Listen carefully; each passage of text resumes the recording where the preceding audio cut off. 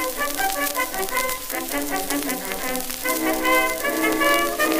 you.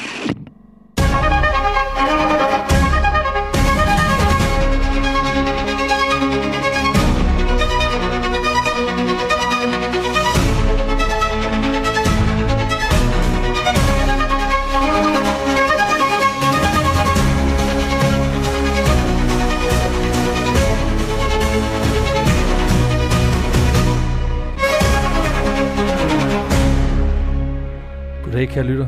Du lytter til Vanvittig Verdenshistorie. Den, altså den vildeste historiepodcast med mig, Alexander Janko, a.k.a. Jürgen von Kreuter. Og jeg hedder som altid Peter Løde. Ja, og i dag, det er jo en fucking vild dag. Det er en vild dag. Det, er en vild dag. det er jo simpelthen afsnit 200 af Vanvittig Verdenshistorie. Præcis. Og dermed så laver vi også vores allerførste megasode. Mega so. Det er jo egentlig et afsnit, som du kender det. Der er kælet lidt ekstra for detaljerne, og så er det Mega langt. mega langt. Faktisk så langt, det udkommer i tre dele hen over den kommende uge. Den første del får du Nu. i dag. Ja, ellers Øh, så, du hører det jo lige nu. Ja, og så får du altså de to næste dele i løbet af, af ugen. Ja, det er crazy, det er crazy sager. Altså man kan sige, der er jo også sket lidt siden afsnit nummer 100. Ja, 100. Øh, det, der er sket, øh, kan vi sige, det er jo, at øh, jamen, altså, for det første, afsnit 100 op, blev optaget på Bremen Teater for et, et fuld crowd, som gik mm. fuldstændig amok. Det er et, en episode, som, som øh, siden dengang er blevet kaldt øh, et af de bedste, vi nogensinde har lavet. jeg synes også, det var Og jeg vil øh, sige, rigtig godt. det er fuldstændig rigtigt. Jeg vil så også sige, at jeg synes fucking også, vi har leveret lige siden. Øh, lige nu er vi jo midt i vores turné, Danmarks mm. turné, og, øh, og jeg synes sådan set bare, at vi holder stabilt niveau, og det bliver bedre og bedre på nogle ting, og man kan dårligere på andre ting. Ja, Uh, mine uh, alias er ikke blevet bedre, kan jeg lige så godt sige. uh, men som man nok kan regne ud på titlen af den her megasode, så, øh, så er temaet Første Verdenskrig. Vi tager Yes. simpelthen hele pisset fra ende til ende, fra start til slut, fra vestfront til østfront, fra drama til drama. det er hissigt, det her. Det er hissigt. Og øh, ja, vi har valgt at dele den op i, i tre dele, men når de alle sammen er udkommet, så kommer der altså også et mega cut, så du kan høre det hele ud i én køre, hvis du er sadist. Ja, præcis. Det er fucking sindssygt. Ja. Uh, jamen altså, det, det, det er crazy sager, det her, og uh, ja, vi skal have noget øl i glas. Og vi kommer altså også til i løbet af de andre afsnit løbende at tage nogle øl. Vi tager nogle øl med, men, men fordi at det er en legendarisk start, så har jeg også besluttet mig for, at vi skal åbne en legendarisk øl. Ja. Den her øl, den har jeg haft i mit uh, in my possession for uh, i hvert fald i hvert fald i halvandet år. Mm. Øhm, det er en voldsomt dyr øl. Jeg har en version mere af den her, som jeg gav 2.500 kroner for. Den her, den, What? Ja, den her den er noget billigere. Ikke meget, men, men lidt billigere. Markedet er selvfølgelig også øh, crashet fuldstændig siden da, så den her det er måske en 1.500-1.800 kroner nu. Nå, så det er sådan noget billigt sprøjt. Det er sådan noget billigt sprøjt. Det her, det er, hvad ølnørder i meget lang tid sagde, at det er det ypperligste inden for Imperial Stout. Det her, det bliver ikke meget bedre. Det er så ikke helt rigtigt, fordi du kan altid. Ikke? Men, men øhm, der er ligesom tre stouts, som er dem, som de fleste ligesom siger, dem her, dem skal du have prøvet. Det er altså 50 øl, inden du dør, så er det det her, og det, det bliver ikke vildere. Den ene, det er KBBS fra, øh, hvad hedder det, øh, Kentucky, det er sådan en Kentucky Breakfast Stout, den er helt crazy. Den er meget, meget dyrere end den her. Mm. Så er der øh, Toppling Goliath øh, Assassin, og så er der den her, Fedt. fra amerikanske side project. Øllen hedder Beer Barrel Time. Uha. Og det er simpelthen, øh, som jeg forstår det, øh, forskellige øl, der er brygget, lagt på forskellige bourbonfade, mm. og så er det blandet. Så det, der sker, det er, at øh, Corey, som er, øh, som er hovedbrygger, headbrewer på, øh, på The Side Project, han simpelthen udvælger de bedste fade, så blender han det til, til den Altså her øl en, i en stor blender. i en stor blender, og så får det vist nok en der fadkarakter oveni, for at det ikke skal være løgn. Så noget af det her, det har været måske to, måske tre år undervejs, for okay, at komme i den her flaske. Og det er en øl, der bliver udgivet, øh, den bliver udgivet hvert år. Der er blevet udgivet nogle, special, speci- der er blevet udgivet nogle specielle versioner, hvor du har puttet øh, ru i, i basisøllen. Der er også udgivet en øh, speciel version, der hedder Van Winkle, som er udelukkende vist nok på fad fra Pappy Van Winkle, som er sådan et øh, crazy bourbon øh, bryggeri. Det er sådan noget med, at deres ypperligste whisky, den koster 30.000. Okay, altså jeg er helt sådan... Ja, så det Øh, her, det, blown det, away forestil af- dig, det er den vildeste Imperial Stout, altså den her mørke, maltede øh, kaffe, chokolade, øh, mm. muffin, øh, altså brownie batter, Ja. og så bare tilsat de bedste fade, det dyreste fade, den, og, og den længste liggetid.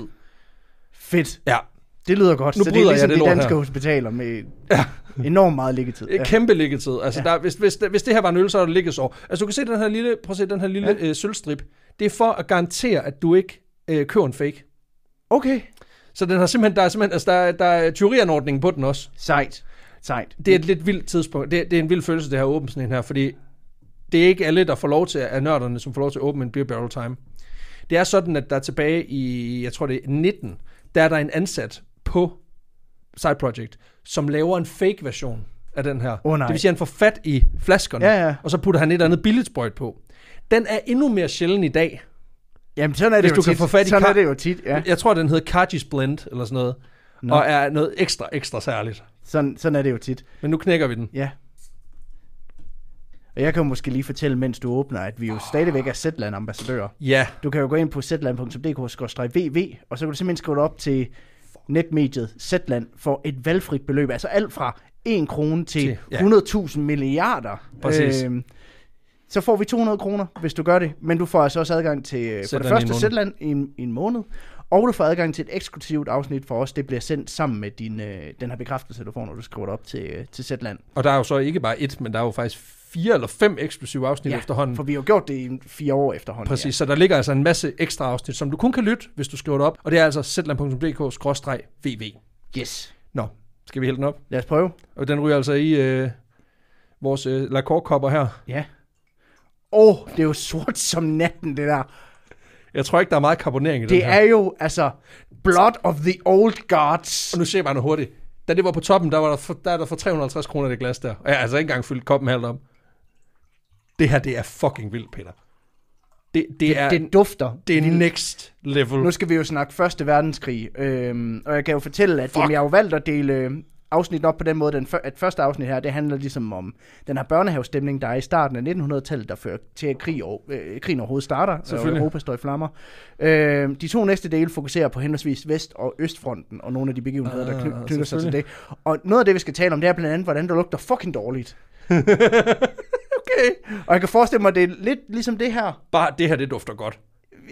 Meget specielt, synes jeg. Det er meget sprit. Det er meget fad.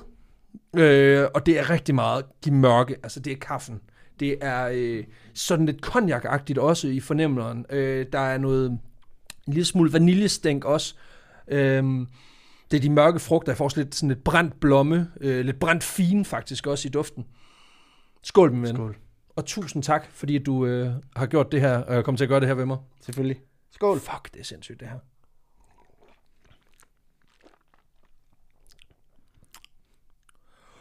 Wow. Hold op. Holy fuck nuts. Okay. Det her, det Ej, er, okay. It's the gift that keeps on giving, dem blev ved. det er så ekstremt, det her. Wow. Wow, wow, wow, wow, wow. Jeg skal kun have en kop. Ikke Ja. fordi den ikke er, men, men en kop tror jeg er rigeligt. Altså, på en eller anden måde, nu har vi åbnet den. Der er bare øl for sådan noget 1200 kroner i den ja. flaske. Ej, hvor er det sindssygt, det her. Den trækker de ledeste gardiner. Altså, det ligner sådan noget. Nu har jeg lige lavet is til min datters fødselsdag for ikke så længe siden. Altså, det ligner i... Altså, viskositeten ligner sådan noget... Øh, når du laver øh, altså, iscreme. Mm. Altså, den er ikke lige så tyk, men alligevel tæt på. Den Ja. trækker så onde gardiner i den her malkekop. Og jeg ryster helt. Altså, det, er, s- det er så vildt for mig, det her. Puha. Fuck, det er Jeg lækkert. synes, den er, øh, den er meget vold... jeg, jeg synes, den er god, men den er meget voldsom. Det er, sådan, det er som at, at, at drikke sådan en sprittet brownie mix. Altså, hvis du forestiller dig sådan et, en brownie mm. øh, dej, der er fortyndet, så den, har, så den nærmest minder om sådan en letmælk i, Ja. i, ty, i mundfylden, og så bare lige med et skud sprit. Men prøv at høre, hvis det her havde været et shot, så havde jeg drukket dem hele aften. Ja, det er det også. Nu får du bare en kop. ja, det er Ej, hvor er det sindssygt, det her. Ja. Nå, jeg, jeg lænder mig tilbage, Peter. Jeg glæder mig usigeligt meget til, hvad ja. der skal ske nu. For vi skal i krig. Nå, Alexander. ja, okay, Peter. Det var okay. Der, der tager du det så fuldstændig ned. Hvor jeg, jeg, jeg står her er helt op og kører, og så siger du, vi skal ud og dræbe nogen. Vi skal marchere. Ja. Vi skal til et Europa i kaos. Er du klar? Vi skal marchere. Ja, jeg er klar. Så kører vi.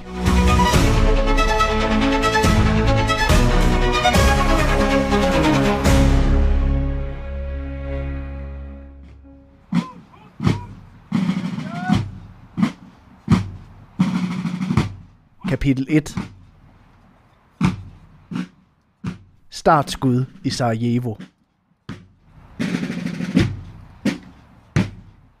Europa er splittet, konflikterne raser, og en ny magtbalance er ved at etablere sig her i starten af 1900-tallet. De centrale stormagter er sådan filtreret ind i et spænd af alliancer, vennetjenester og enormt dårlige beslutninger. Der skal ikke mere end en gnist til, før det hele det eksploderer i den her krudtønde. En gnist, der kommer fra patronkammeret på en pistol i Sarajevo. Men vi starter endnu længere tilbage, omkring 100 år før. For vi starter med, at vi skal et smut til koncert. Fedt. Og du skal forestille dig Europa som en skoleklasse. Altså, der er nogen, der er stærke, der er nogen, der er svage, der er nogen, der bliver trådt på, der er nogen, der, der forsøger at holde sig øh, helt ude af det, så de ikke kommer øh, på den dårlige side af fede Lars. Ikke? Øh, Ah, der er nogen, der er kæreste med flere på en gang. Lige præcis, ja. Ja, ja. ja. Frem mod Napoleonskrigen i starten af 1800-tallet, der har det været Frankrig, der var både duks og fede Lars i øh, den europæiske Ah, ja, skoleklasse. Napoleon han har formået at samle store dele af kontinentet under sit rød-hvide og blå flag. Og det er meget sjovt, fordi hvis du ikke indgik i hans kejserige, så slog han da også både rød, hvid og blå. Han er hissig, ham der, Ja, Napoleon. Det er nogle gevaldige trælår, som Europas fede Lars han giver, ikke? Ja, det er utroligt, at sådan en, øh, et kage med tørdej og med marcipancreme, det kan, det kan blive så voldsomt. Ja, ja. Ja. ja. Det, kan, det kan slå, slå hårdt, hvis du fryser det. Ja, det er selvfølgelig rigtigt. Men efter at uh, Bonaparte, han er gone apart, og det uh, tysk-romerske uh, kejserige er faldet fra hinanden i kølvandet på Napoleonskrigen, så har det efterladt sådan et vakuum af magt i Europa. Det er jo en klassiker. Vi, ja. taler, vi taler meget lidt om det, men det er, det er en konsekvens nærmest altid, når der sker paradigmeskift i magtsystemerne i Europa. At det er fordi, der er en eller anden kammerat, der havde den højeste hat i byen. Ja, Når den er væltet af, så er der nogle andre, der tænker, prøv at høre, hvad er det, jeg fornemmer? Er det, øh, er det magt derovre? hvad er den af? Er det mon hjemmebag? Nej, er det, det er den søde duft nederlig? Det hedder faktisk ikke engang, man må sige mere efter den jeg her tror, det er Martin den søde, jeg tror, det er den søde duft af overtag. Men hvem er The Big Kahuna i, i Europa på det her tidspunkt? Ikke? Altså, der er flere om budet. Både britterne, Østrig, Rusland og osmanerne melder sig ligesom ind i den her stoleleg om, hvordan magt og indflydelsen skal fordeles i Europa. Ja, selvfølgelig. Øh, de forsøger i hvert fald alle sammen at styrke deres position i efterdønningerne på Frankrigs fald, og ligesom prøver at få skubbet de andre væk. Og så skulle man tænke, at i en skolegård som i Europa, så ville de bare slå hinanden med pinden, indtil de ligesom fandt ud af, hvem der skal have alle de andres lommepenge, ikke? Jo, Men det gør de ikke. så de er ikke amerikanere. Nej, de gør først det mest fornuftige. Så de er ikke amerikanere. De henter nemlig en voksen. Ja, der, der, USA er meget sådan noget, dem der sidder nede bagerst og taber pinden sammen, indtil de har den største pind. ja, Ja, lige præcis. I 1814, der mødes alle Europas centrale magter i Wien til det, der er blevet kaldt for den europæiske koncert. Og det kan godt lyde lidt som sådan noget Eurovision noget. How many Øhm, times? Ja, men øh, det er faktisk et møde, hvor landene forsøger at gentegne landegrænserne og fordele magten i Europa ovenpå, ovenpå Napoleonskrigen. Ah, så det er fyr og flamme, vi skal øve os på hinanden. Ja, lige Modtaget. præcis. lige præcis. Øh, og det er fordi, der faktisk har været konstant krig i Europa siden slutningen af 1700-tallet, og nu er man ved at være så fucking træt af det, at man ligesom beslutter sig for at afholde de her øh, sådan en række kongresser, hvor stormagterne så kan mødes og diskutere politik og forhåbentlig holde fred på den måde. Det er det, man kalder den europæiske koncert. Nå, okay, jeg troede bare, det var op, fordi at, at Tobias Rahim af en eller anden sindssyg årsag også er blevet booket der. nej, Nå, okay, der kommer ikke nogen spiller. Det er ikke sådan Frank, Frans List, der Nej. kommer ind og giver et nummer. nej, nej. Og Nå, der er, okay. de, de åbner ikke engang med et fælles nummer, altså der er ingenting. Ingen grundvidianere til stede. nej, nej, der er ikke noget fra højskolesangbogen overhovedet. Ej, hold kæft, mand. De skal altså synge lidt. Ja. Det bliver folk så pisse glade for. Ja, men det er en form for forældremøde i klassen, kan man sige, hvor man lige mødes og venner, hvad der sker ikke. Og også lige diskutere, hvordan man kan slå ned på nogle af de idéer, der vil sprede sig omkring demokrati og menneskerettigheder og sådan noget. Men det er en helt anden sag. Ja, jeg kan godt mærke, at det er ikke i den her podcast. Nej. Nej, for det er ikke grineren. Et af de første spørgsmål på dagsordenen, det er, hvad man skal stille op med resterne af det tysk-romerske rige. Fordi efter det er faldet fra hinanden, så er Tyskland ligesom blevet opdelt i sådan en masse små lokale hertugdømmer. Nej, men det, det, var det jo også før, men der var bare en eller anden makker, der havde den store pind, og var Ja, ligesom lige sådan, præcis. nu gør I, som jeg fucking siger. Ja, og Altså, så tog han de capiche? andres lommepenge, ikke? Ja, ja, præcis. Og øh, det kommer der styr på. De her lande, de beslutter, at de her 39 små herredømmer, de skal samles under en paraply igen, som det, der hedder det tyske forbund. Skide godt. Og øh, de to største og mest magtfulde af de her stater i det her forbund, det er det preussiske og det østriske rige. Ja, tak. Og øh, dem kan man allerede godt nu lige bide lidt mærke i, fordi de kommer til at være meget vigtige. Og de kommer, hen. de kommer senere. Ja. Samtidig så bliver der indgået nogle alliancer, som kommer til at blive enormt vigtige for stabiliteten i Europa. Altså hvis vi skal blive den her klasseværelsesmetafor, så vi kan kalde det for lejeaftaler. Ja, fedt. Den ene lejeaftale har navnet Den Hellige Alliance. Okay, det er altså sådan en hård lejeaftale. Ja, og den anden hedder den firedobbelte alliance. Det er 100% der, jeg skal være, for jeg skal ikke hjem til bibelbashende Gudrun og hendes mor. Så Nej. hellere dem derovre, hvor der er fire dobbelt op. Ja, men det er ligesom de her to, der, der er de to store øh, lejeaftaler, der kommer ud af det her. Ja, tak. Den hellige alliance, det er en aftale om, at prøjserne, øh, østrigerne og russerne, de er vinder nu. De har deres egen lille klike, det er dem, der går til fodbold.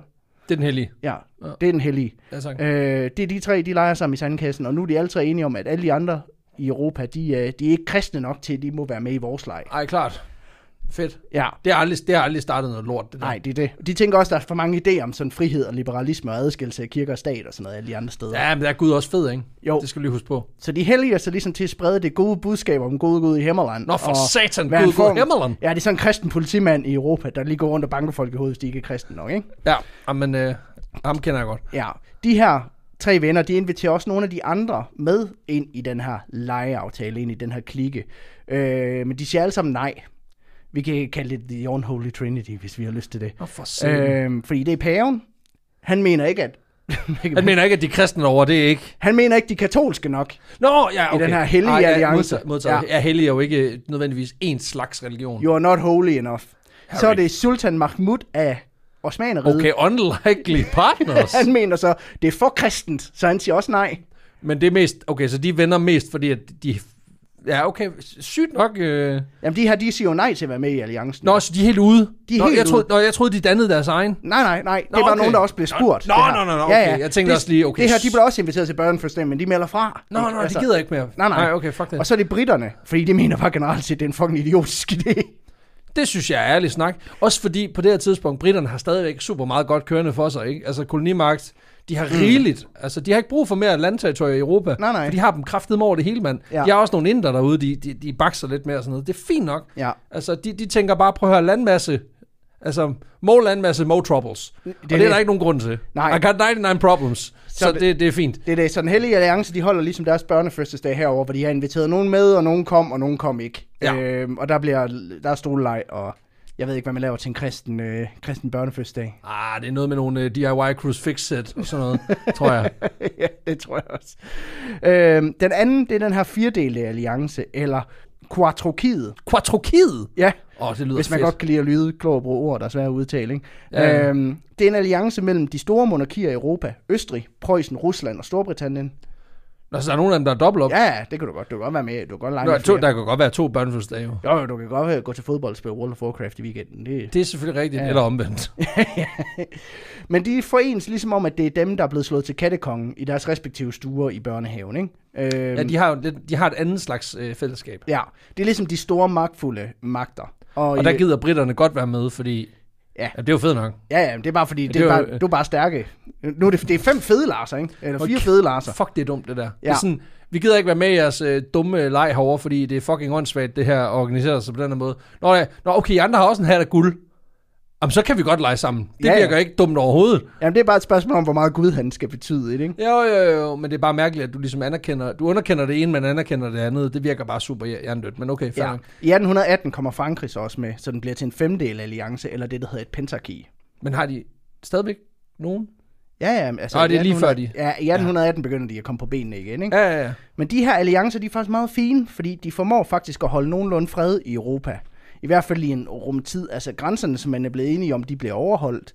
Og alle er ligesom enige om, at man holder interne aggressioner ude af de her alliancer. Og fordi stormagterne generelt set er i alliance med hinanden, så er det faktisk så- relativt nice at bo i Europa her i... Det kører. Ja, Ja.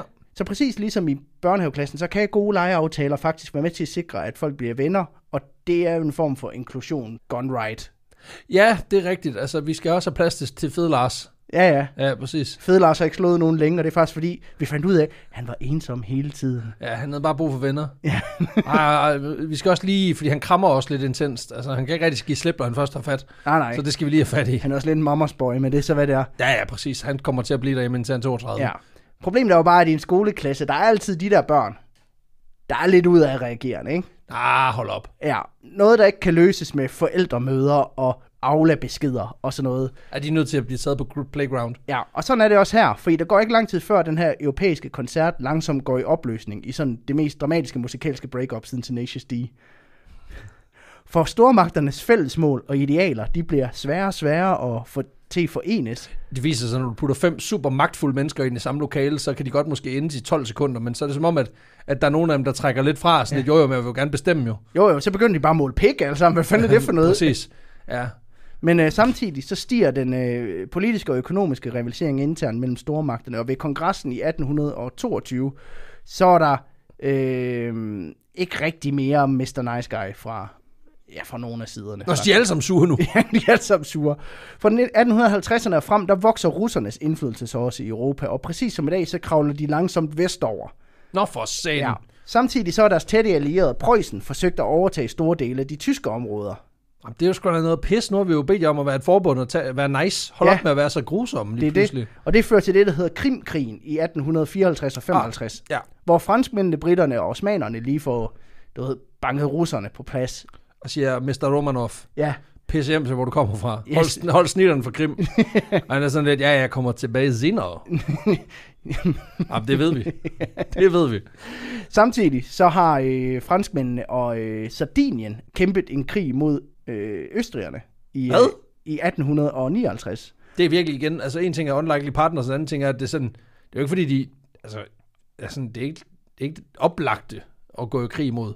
Nej, Altså der er noget landmasse imellem og sådan noget. ja, men det er fordi, at øh, østrigerne de begynder at invadere Italien. Nå, Og så prøver Frankrig øh, og Sardinien øh, ligesom at sige, hey, hallo, grænser, grænser, ja. grænser. husk vi at tegne nogle streger, og dem skal vi altså overholde. Ja, præcis. Hallo, mand. Du, Du ved, i skoleklassen, det er sådan der, du har tegnet stregen ned igennem, og så er det din side, og det er min side. Jamen, nu der er begynder, nu penalhuset, det kommer kraftet med lige så stille over på den anden side. ja, men du ved, dumme svin. det, Jamen, præcis. Det er sådan, oven for trappen, der får du vask, og neden for trappen, der er, du, der er der helle. Ja, Så fuck- skal du holde op med at rende op lige til kanten. Fuck you. Ja. Fuck dig, fede Lars. Ja, men præcis. Jamen, sådan er det. Så får du en fucking vask en gang imellem. Altså, Ja. det må du kraftedeme bare. Og igen, hvis lille Patrick nede fra 3. klasse, hvis han bliver ved med at være sådan en fucking dick, så kan det godt være, at han får sig en grusvasker. Det er sådan, det er. Det er rules of the playgrounds. Det er igen der, nogle gange så bobler det der Randers noget op til overfladen. hos dig. ja, det hold kan jeg godt det lide. var uh, rural Djursland. Rules. Men Europa er ligesom delt i to nu. Ja. Der er de allierede, primært vestlige magter, Frankrig og Storbritannien især, men også osmanerne faktisk. Nå, og så, de er lige med på Ja, de tæller lige med. Dem er lige inkluderet i Vesten med. også. Ja, ja, ja. Men det er ligesom Eurovision. Altså, hvis Australien kan være med i det, så...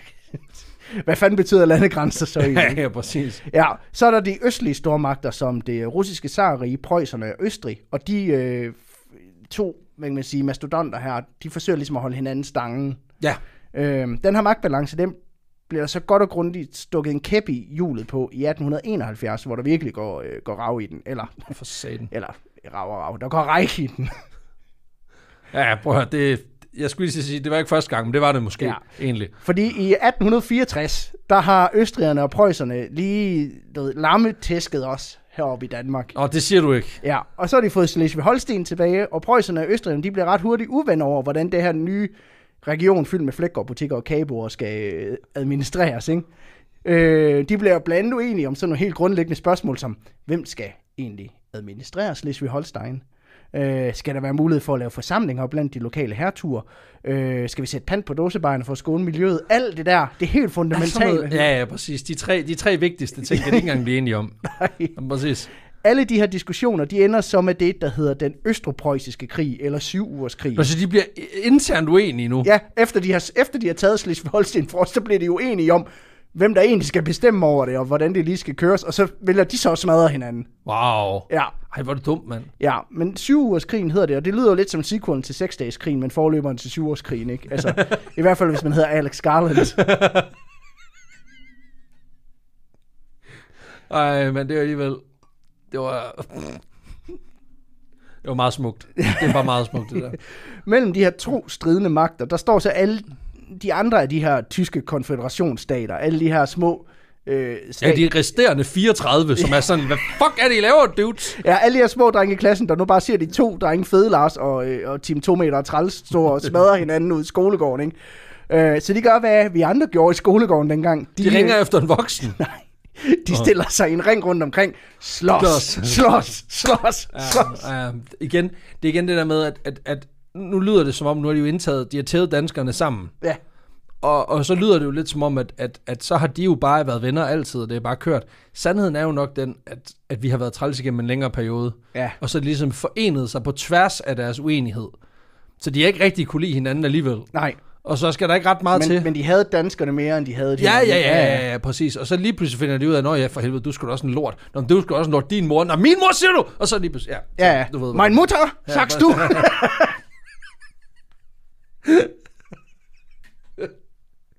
Kender. Men de Ah. her sm- andre små tyske stater, de fordeler sig så ligesom ri- ligeligt mellem preusserne og østrigerne i den her konflikt. Mm. Og, men lader ligesom Østrig og preusserne tage øh, kampen. Ja, få det lige overstået. Ja. Så få det slåsset færdigt. Preusserne, de lammetæsker så østrigerne i den her konflikt. Altså de samme gutter, som de indtil for nylig var allieret med. Ja, tak. Øh, og sejren i den her konflikt, den fører så til, at preusserne øh, ligesom indlemmer alle de 39 tyske konfederationsstater under deres eget flag. Og i 1871, så er der så en ny dreng i klassen, nemlig de Deutsche Reich. Det tyske kejserige. Det er alligevel sygt nok, at de, sådan, de tæver lige den anden store på, på, altså, Ja. på, i skolegården, og så er det sådan lidt, og i øvrigt, så alle jer andre er mine bitches nu, Ja. og de står bare sådan, slås, slå, hvad? Det svarer jo til, at du, du har taget opgøret i klassen. Fede Lars og Team 2 meter og træls. De har, nu har Fede Lars vundet, og så er han bare sådan, nu er det mig, der er læreren. og Team 2 meter skal i specialklasse. Hvad is das denn? ja, men de slår det sammen, og så laver de det tyske kejserige. Nå, ja, de slår af. Det, jeg tror, det, det, er, altså, det er fedt Lars, der slår det hele lortet sammen. Ja, anført af den uh, preussiske kejser, kejser Wilhelm den første, og kansler Otto von Bismarck. Oh god. Ja. Samtidig så i kølvandet på Det er det ham med klumpen. med klumpen. Ja, I Bismarcksklumpen. du ved, det er, det, altså, det, er, det er et klassisk tal på, om du er et rigtig dum svin, hvis du har fået et stykke slik opkaldt efter dig. Ja. Altså Mozart, han var også kæmpe psykopat, så siger jeg Især bare. hvis det er et rigtig nederen stykke slik. Ja, ja, det er et hårdt stykke slik, du, kan, du knækker tænderne, hvis du prøver at bide i Det er det. også der, du ved, at Napoleon har også rigtig skidt kage. for Han er har- kageopkaldt. Han har fået en relativt kedelig kage opkaldt efter sig. Ja, ja, præcis. Jamen, det, det, det, det er et tell. Hvis du har søde sager opkaldt efter dig, det er aldrig godt.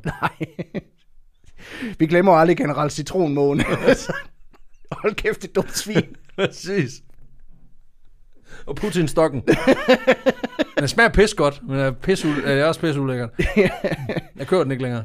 Men i kølvandet på det her nederlag, Ja. så øh, gør østrigerne det, som hvad kan man sige, mange andre, der har fået buksevand i folkeånd, de gør. Nå, græder. De, Ringer til mor. de henter ind fra de store klasser. Nå, der er en, der... Nå, for helvede. Fordi i 1867, der indgår de så det, der hedder det østrig-ungarske kompromis. Ja, Så de slår sig simpelthen sammen med det ungarske kongerige for at danne Østrig-Ungarn. Ja. Eller Østrigerne har, egentlig, de har egentlig haft kontrollen over Ungarn i 18 år. Øh, så nu er vi et par. ja. Hvad siger du? Så den, den østriske kejser Franz Josef har ligesom reageret over det her land med en jernnæve, men nu siger han ligesom, hey, hvad med at vi slår os sammen? Og de er lidt sådan, hvad, hvad, hvad, Hvad, hvad, havde vi en mulighed? hvad vil det ændre? Primært navnet. ja. Så nu er I med, ja. men så skal I også lægge tropper til. Det, jeg kunne forestille mig, det er det, der er hele finten. Det er, at, at hvor han før bare har været sådan lidt, jeg skal have 10. Mm. Og lige om lidt er det 9. Ja. Callback. Øh, men så, så kan det være, at, at han ligesom har tænkt, hvis I, hvis I nu får navn på døren, så ja. Ja. kan det være, at I har lyst til at give nogle tropper til, når jeg skal ud og smadre nogen. Det er det. Så de indlemmer altså for alvor Ungarne i øh, det østriske rige. To lande forenet under en regering og en regent, nemlig ham her Franz Josef, der får den fede titel kongekejser. Åh, oh, okay, han er ikke bare kejser. Nej, nej, han er fucking kongekejser. Kaj, jamen, det er fordi kejser er lort, mand. Det er Vilhelm en kejser, ikke? Prøv, jeg er kongekejser. Hvad er du? Kongekejser. Det, er det, prøv at, det er det, de unge vil. Ja, ja. Og dermed så har Europa lige pludselig fået to nye store magter. Og fornuftigt nok så vælger Østrig-Ungarn og det tyske rige så lige at slå pjalterne sammen i 1878 og indgå i en alliance, der skal forsøge at sikre fred i Europa. Det er sgu da meget godt. Ja, ja. Eller i hvert fald styrke deres ståsted. i Nå, forhold ja, til ja, nogle ja, af- okay. man Altså, vil så sige. det, det, det, det lød federe, end det var. Ja, i forhold til nogle af de andre centrale magter omkring. Men, Modtaget. og dermed så ser magtbalancen helt anderledes ud, efterhånden som vi går ind i 1900-tallet, eller end det bare gjorde for øh, 100 år forinden. Ikke? Okay. Og selvom stormagterne nu alle sammen er hvad kan man sige, gået i klassetrin op, så betyder det ikke, at det går bedre med sammenholdet i klassen. Altså tværtimod, så bliver der sendt nogle rimelig hissige aflabeskeder øh, afsted i kølvandet på den her nye dynamik. Når viser det sig, at folk er fucking sure, eller hvad? Ja, pænt meget. Det kan de ikke lide, eller hvad? I øh, 1877, der forsøger russerne at genvinde nogle af de territorier, som de tidligere har tabt i Krimkrigen, ved blandt andet at lægge beslag på Sortehavet. Det skal man Øh. ikke gøre. Man skal aldrig lægge beslag på sortehed. Nej, Det er ret sikker på, det er sådan en regel. Det står i Art of War. Ja. Er det ikke det? jo, det øh, huer heller ikke rigtigt osmanderne, som vælger at skubbe igen, og så starter det, der hedder den russo-tyrkiske krig. Hold kæft, man, Øh. hvor der bare ikke nogen, der kan lide hinanden. Altså, det er virkelig... altså, hvis de nu bare satte sig ned og røg en fredspipe, måske en bong, en jordbong eller et eller andet. Jamen, de hader hinanden så fucking meget. Jamen, altså. det, mener også bare, det virker også lidt som om, at de hader hinanden så meget, der, der, bare, der mangler bare en undskyldning. mm, ja, ja. Altså, det er virkelig, de er alle sammen on edge, ligesom ham der er kammeraten i U29. Altså, Skagen Smackdown. Hvad så du? Altså, de alle sammen. Hvad siger du? Hvad siger du? Hvad siger du? Og lige pludselig, så, er der bare, så dræber de bare Ja, hinanden. og så er det alle sammen bare, du filmer bare det Ja, her. præcis. De, sidder alle sammen med telefoner. Ja. Jeg hader jer. Okay, sindssygt, mand. Ja, ja. Den her øh, russo-tyrkiske krig, den varer et års tid, indtil russerne går sejrigt derfra. Nå. Og efterfølgende så mødes man så i Berlin, som, øh, for ligesom at prøve at holde sammen på den her europæiske koncert, og prøver at forhandle en fredstraktat. Det bliver også bare et mere og mere akavet arrangement, det der. altså, fordi folk møder bare op med altså, blå øjne, og du ved, de har fået stukket et øje ud, og... Ja, og hvad siger vi så til hinanden? Undskyld. og så krammer I, og så er I gode venner igen. Ja, læg den kniv. Hallo, hallo, Italien, læg den kniv. Også bare fordi man ved, at albanerne de har bare siddet og lavet en pind, der er større og større og større. Ja, ja. Og lige pludselig så kommer den. Ja. Så hakker spætten. De, de har frosset snebolde ude i fryseren, og som, pisset i dem. alt som de bare er klar til. Ja. Præcis. ja. Noget af det, som man er enige om, der skal kigges på, på det her møde også, det er øh, Balkan. Nå for satan. Ja, fordi det er jo... Ja, det kan jeg godt høre. Det lyder som om, det er helt klart det største problem, de har. Jamen, det har været lidt en hotpot af lort de seneste årtier. Nej, det har ikke. De, de, skulle kigge, de skulle kigge indad. De skulle have fat i en parterapeut, fordi Balkan er ikke problemet. Nej, Balkan er også problemet. Nå, ja, sige det sådan. jamen det er det, jeg mener. Altså, hvor det er, sådan, det er meget nemt, det der med... Det, det der, det er jo en dysfunktionel, et dysfunktionelt parforhold. Altså, det er den klassiske, skulle vi ikke få et barn mere? Jo, jo. Det er, hvor de peger ned et eller andet sted, hvor der bare er nogle kammerater, der bare har noget kørende for sig, og de er sådan lidt... Det er dem, der er problemet. Ja, ja. Jamen, det, ja, de sidder bare sygt meget gaslighter hinanden. det det, jeg mener. Hvor det er sådan, ja, ja, det er Balkan, der, der er helt ja. troubles der. We are not the problem. Det er Balkan. det er jo derfor, vi ikke kan enes. Det er fordi, de slås ned på Balkan. Præcis. ja.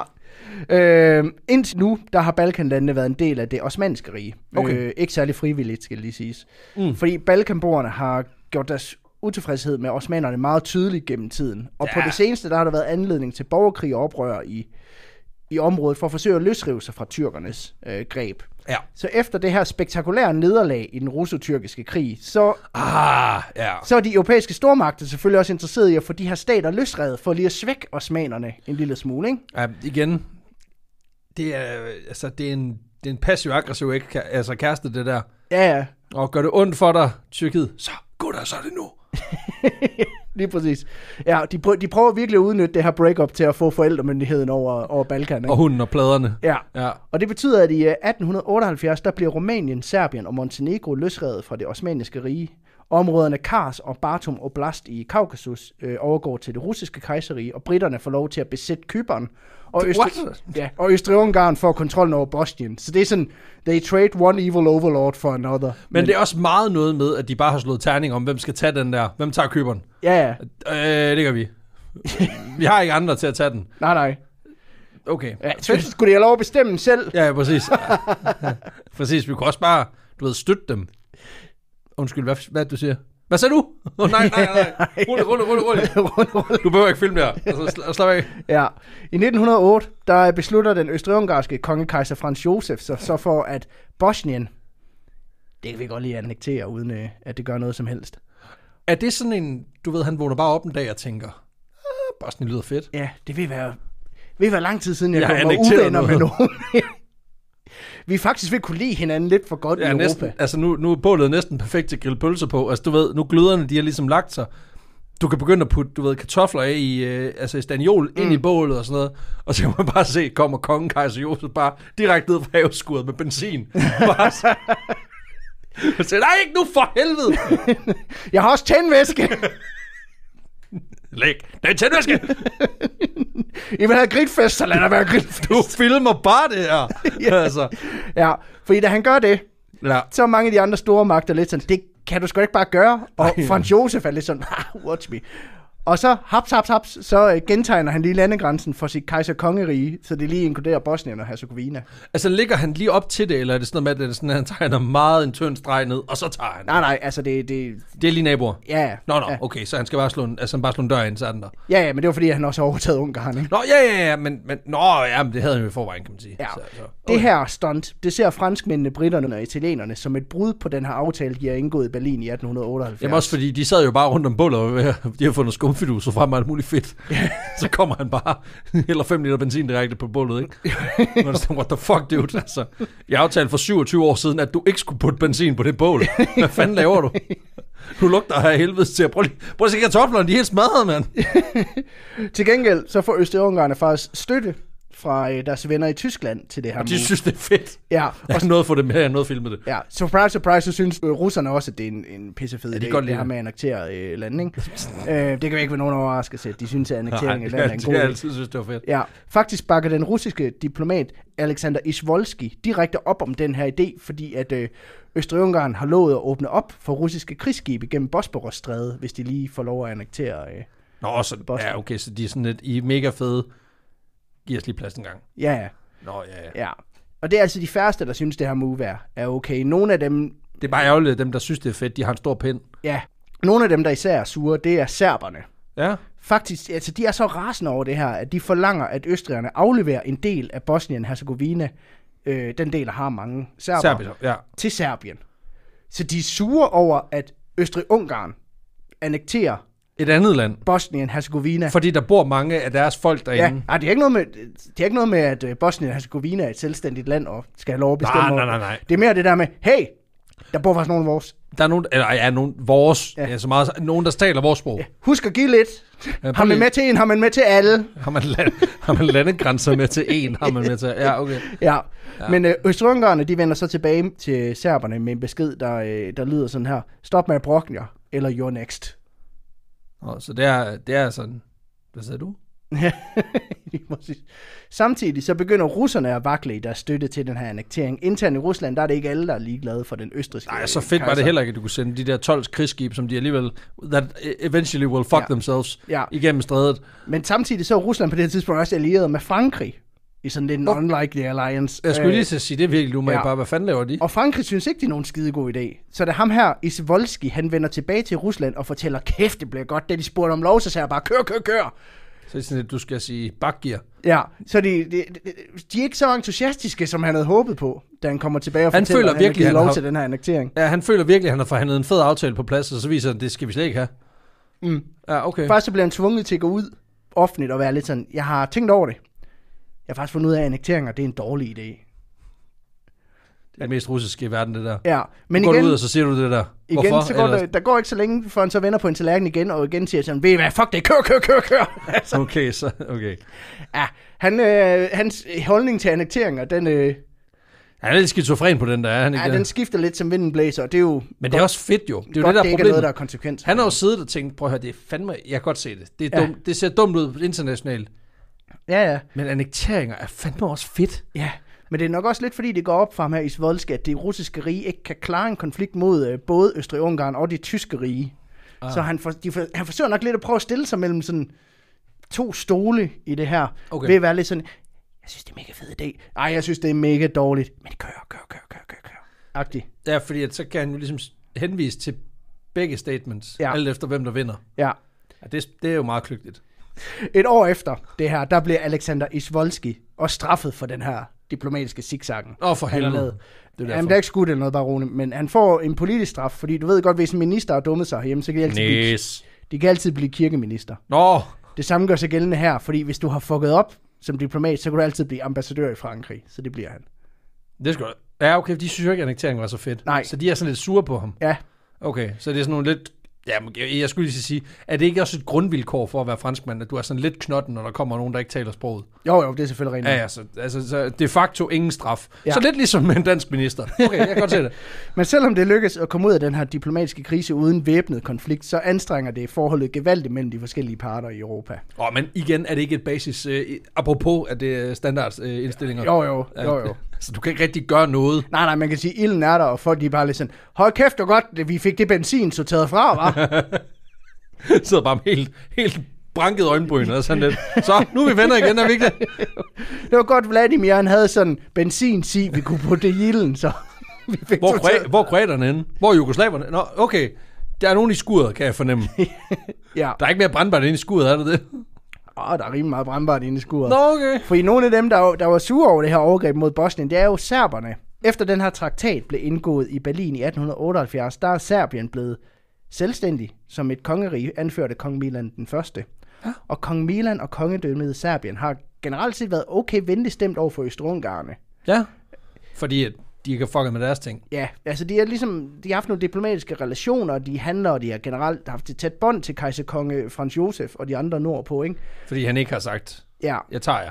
Men i maj 1903, der ændrer stemningen sig i Serbien, fordi der stormer den kongelige serbiske hær, det kongelige palads, anført af officer Dragutin Dimitrovic. Åh, oh, Dragutin. Ja, de øh, nedkæmper kongens vagter og myrder kong Alexander og hans kone Draga.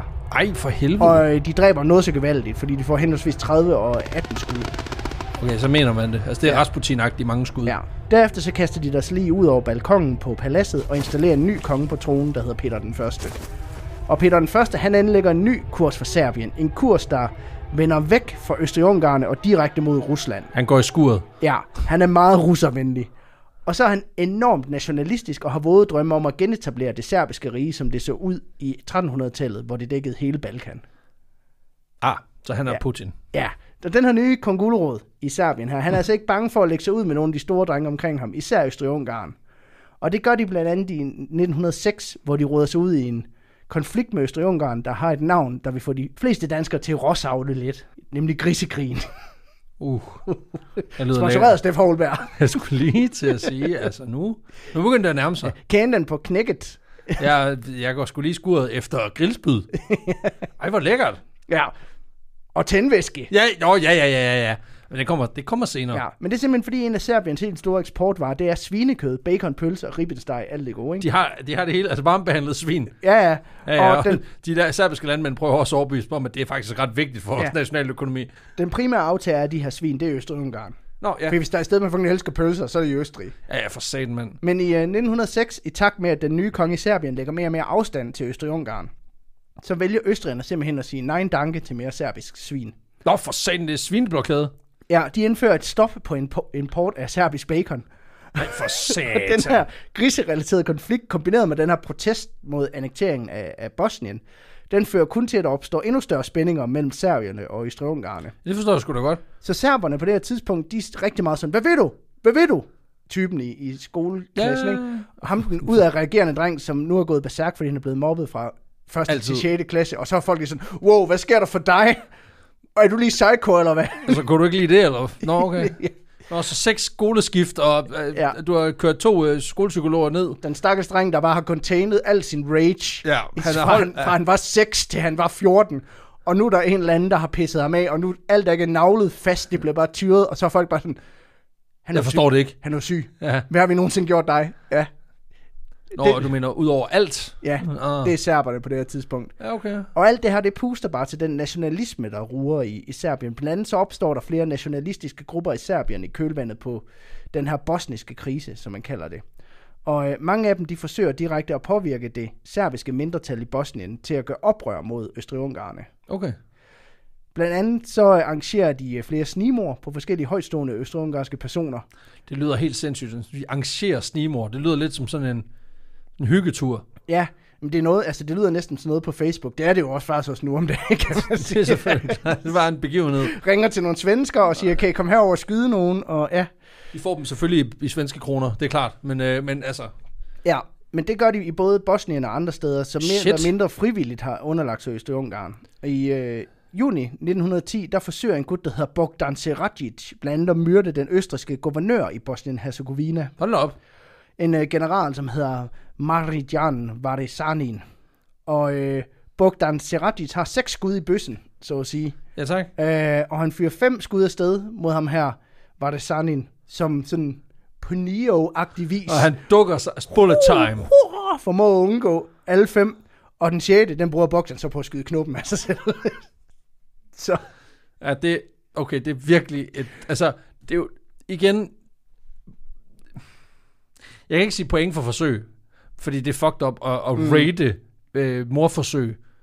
Men den er jo, altså også fordi han har jo ligesom tænkt, nu får jeg det her overstået. ja, Og så sker der bare det, at, at den her guvernør bare laver breakdance moves. Altså, han Ja. laver windmills og hele lortet. ja, han laver det der kangaroo noget, fra, som hende der i Australien han lavede til OL. Ja, Så står han med en kugle tilbage og sådan lidt, okay, det er også super pinligt. ja, Ja. ja så skyder han knuppen af sig selv. Ja, okay. Han er om nogen en dårligere snigmorder, end ham, der prøvede at myrde Donald Trump. Han ramte da trods alt lidt Ja, det, men så, ja. Ja, men Bogdan Seradzic her, han er serbisk nationalist med forbindelser til en gruppe, der hedder Ungt Bosnien. Og Ungt Bosnien, det er sådan en oprørsgruppe, som kæmper mod Østrig-Ungarn for et frit Balkan. Ja. Øhm, og de er altså inspireret, og måske endda også finansieret af de her serbiske øh, nationalistiske bølger. Okay. I hvert fald så er et af Bogdan Teratis erklærede mål, at med hans død, så vil den serbiske nationalisme hævne hans død. Altså, han er sikret. Ja. Det er hans forsikring. Det, han, han ser ligesom sig selv som martyr for det. Han er bare, ja, ja, præcis. Jeg er bare et våbenet. ja. Ja. Så serberne, Et meget dårligt et, men, men stadigvæk. Ja, så serberne, de øh, kæmper altså for at øh, styrke deres egen indflydelse og samle Balkanlandene under et banner mod Østrig-Ungarn. Og derfor så starter de i 1912 også endnu en krig. Mere, mere krig nu. Ja, man kan jo tage et shot for hver gang, der starter en ny krig i den her episode. Så er man det jo, synes jeg også, vi har gjort. ja, så er man jo spritstiv, når man er færdig. Sammen med Grækenland, Bulgarien og Montenegro, der går Serbien i krig mod osmannerne, for lige endegyldigt at sparke dem ud af Balkan. De sidder på lidt få territorier dernede stadigvæk. Ja, de ligger stadigvæk og slikker lidt sår og sådan noget. Ja. ja. Og det lykkedes dem faktisk at befri resten af Balkan fra osmannernes fedtede naller. Nå, for satan. Øh, så otte måneder senere, der pakker osmanderne øh, deres øh, pakkenelliker og øh, smutter Per- over i Tombolaen og bor. Ja, pisser tilbage. Lige præcis. Og de her lande, de øh, fordeler sig ligesom de befriede områder mellem sig, alt efter etnisk ophav. Ja, okay. Øh, det er kunne- fordi, det, det, altså, man siger, osmanderne har haft det, Ja, men de har ikke rigtig haft nogen, altså, nej, der er ikke rigtig boet nogen... nej, det er mest bare for at sige, at vi har det. Ja, Ja, så nu, øh, så nu tegner jeg ligesom landegrænserne efter, øh, hvad kan man sige, nationalitet. der bor sygt eller- mange af dem her her, så det giver Ja. mening, at de taler, når de taler det sprog. Ja, så er det kunne man godt dengang. Du kunne godt kigge på en person og være sådan, du er vist kebabminister, du må ned til tyrkerne og bo, du lugter altså tiki, du er vist græker og sådan noget. Ja, det Altså- kunne man godt. Ja, det ville være super racistisk, hvis man sagde det i dag, for eksempel i en podcast. Ja, Men det, men det gør du ikke, så Nej, det er jo nej. vigtigt. nej, det vil jo være, Det ville være sindssygt upassende. jamen det er det. Ja, præcis. Jamen det må man jo ikke nu. Nej, nej, nej, præcis. Man må ikke en skid længere. Du smutte over til den sidste censurfri zone og blive ved med det der. Men det er områderne Albanien, Kosovo og Makedonien, der ligesom øh, er tale om her. Ja. Så øh, igen mødes man i stormagterne for at tale om, hvordan det her bo det skal opgøres Yes. sammen, med, sammen med de her Balkanlande. Og her ender Serbien altså med at kunne indlemme Montenegro i sit territorie.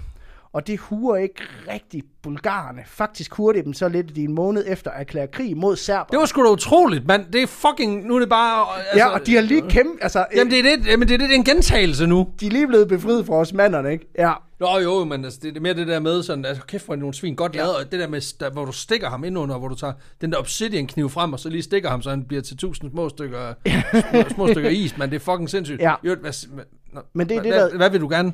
Når du gerne du vil gerne have den by, eller hvad? Nå, okay. Ja. Hvad sagde du? og så, ja, så Ja, gang det er det, der hedder den anden Balkankrig. Ja. Øhm, det er så bare ikke lige tænkt sig om, øh, bulgarerne her. for fordi helvede. serberne er jo allieret med grækerne, og med rumænerne, som ikke rigtig har været involveret i det her endnu. Så Og de, sidder bare... Så de går så sammen om at angribe Bulgarien, for ligesom at sætte dem på plads. Og så samtidig så indgår de en studhandel med osmanderne om, at de lige kan få noget af deres territorie tilbage, hvis de hjælper dem med at smadre bulgarerne. Og hvis man synes, det er sygt forvirrende, når man sidder og lytter til det her, så er det rigtigt. så er det, det tror jeg også, de synes dengang. Ja, ja, altså det er meget noget med, at du skal huske at tage den rigtige hat på, når du går ud og slås om morgenen, fordi det kan godt være skiftet i løbet af natten. Ja, ja, hvem der er venner. Og, hvem- ja. Det er sådan lidt, lidt ligesom, du ved, i folkeren, når man skulle spille fodbold, og så var der nogen, der fik sådan en rød snor rundt om, om øh, mm. altså sådan hen over skulderen. Og så, du ved, så fik man ikke måske lige skiftet Ja, ja. ja. til næste fodboldkamp, og så lige pludselig så var, der, så var, det, så var det 4 mod 8, i stedet for 6 mod 6. Ja, ja. ja, ja det sker.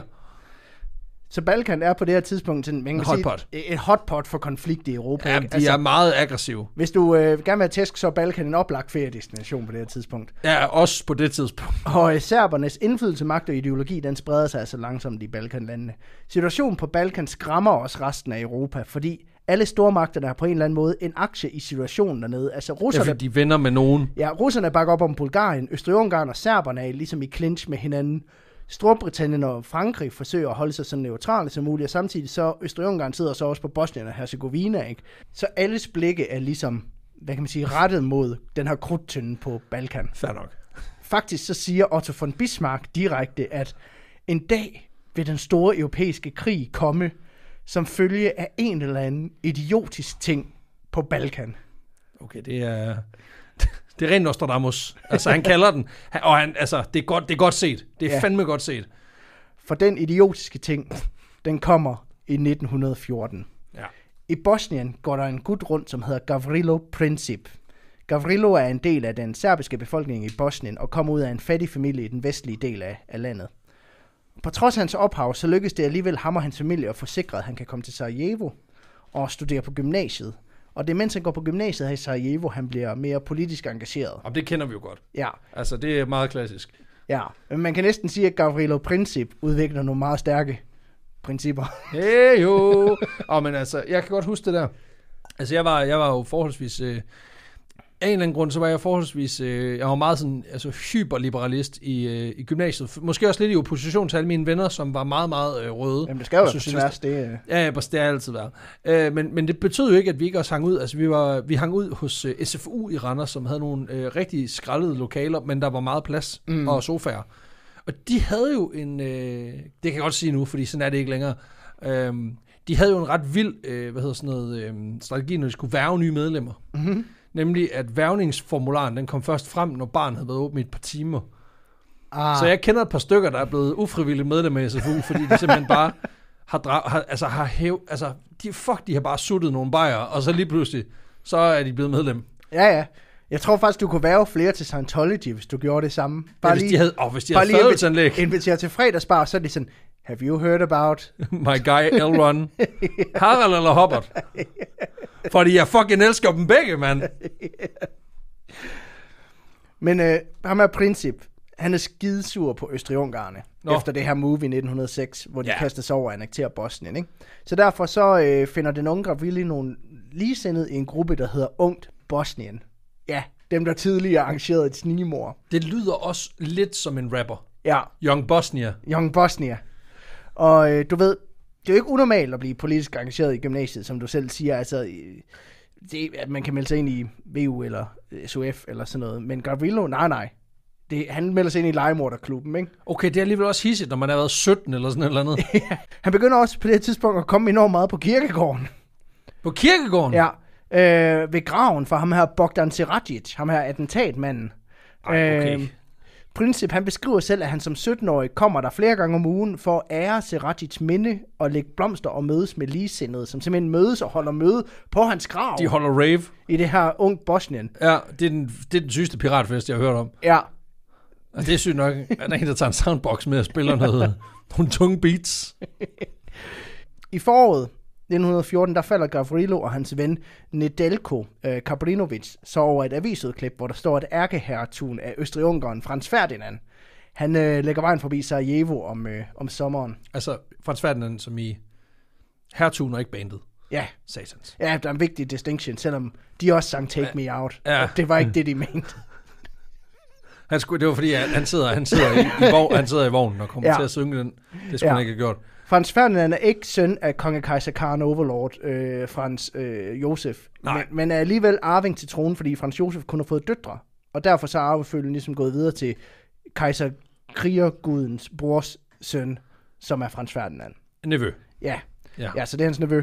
Og udover at være nevø og arving til kejseren, så er Frans Ferdinand også inspektørgeneral for den østrig hær, som den her sommer beslutter sig for at holde sommerøvelser i Sarajevo. Han tager lige sådan en tur det, altså, tur det steder, vi har annekteret, som virkelig ikke kan lide os, men som tolererer os. Ja, ja. Godt, de ikke har spidse ting og ting, der kan sige bange. Ja, ja, lige præcis. Det er ligesom hvis ham der fra den der Skagen Smackdown, han viste sig i Skagen året efter, hvor de er sådan, ja, Det var dumt. vi skal lige have lidt øje med ham, ikke? Men den er jo svær, ikke? Fordi, altså, okay, øh, han går i en forholdsvis lyserød skjort, forholdsvis lys bukser, og så har han sådan noget øh, DKBN-hår. Held og lykke med det. Altså, han er en for, altså i Skag 29, der er han jo en fucking grey man. Ja. Du kan jo ikke sparke dig frem for den type. Ja, og Frans Ferdinand tog ud på præcis samme måde.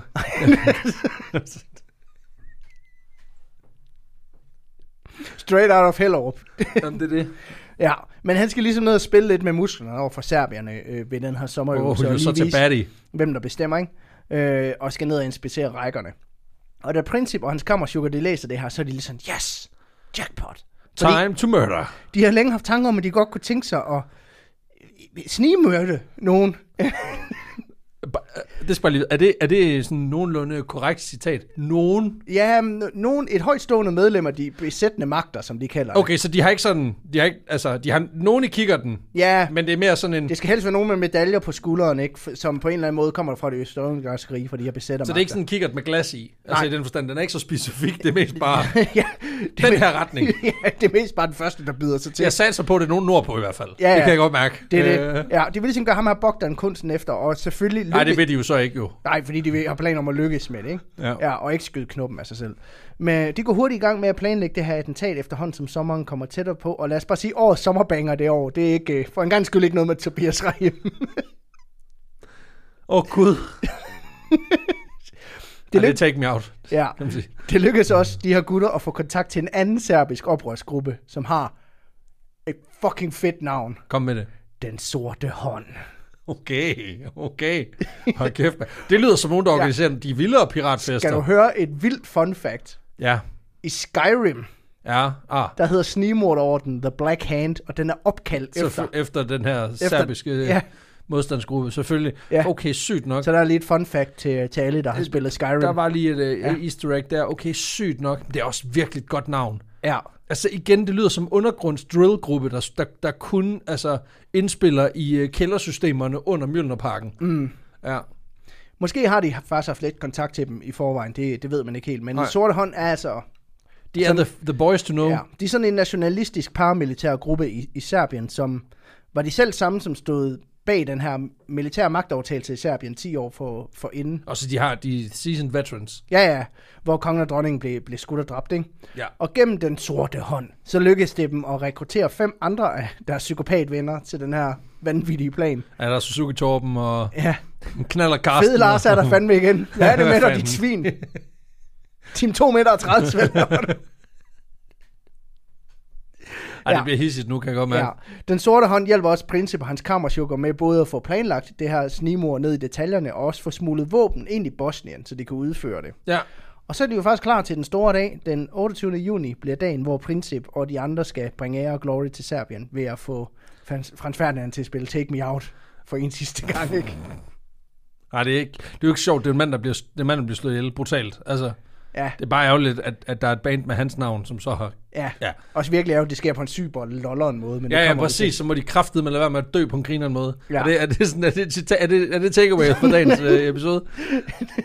Hvis ikke vi vil være begriner, så lad være med at dø på sådan en grineren måde. Ja, det er virkelig irriterende. Jeg håber ikke, det er det, vi kommer til at tage fra. Altså, der, også fordi, når det her megasode, den, den udkommer, 6 timers podcast, og det, man, det eneste, man husker, det er at lade være med at dø på en grineren måde. Ja, Det må ikke, det, det må ikke være det. nej. Nej.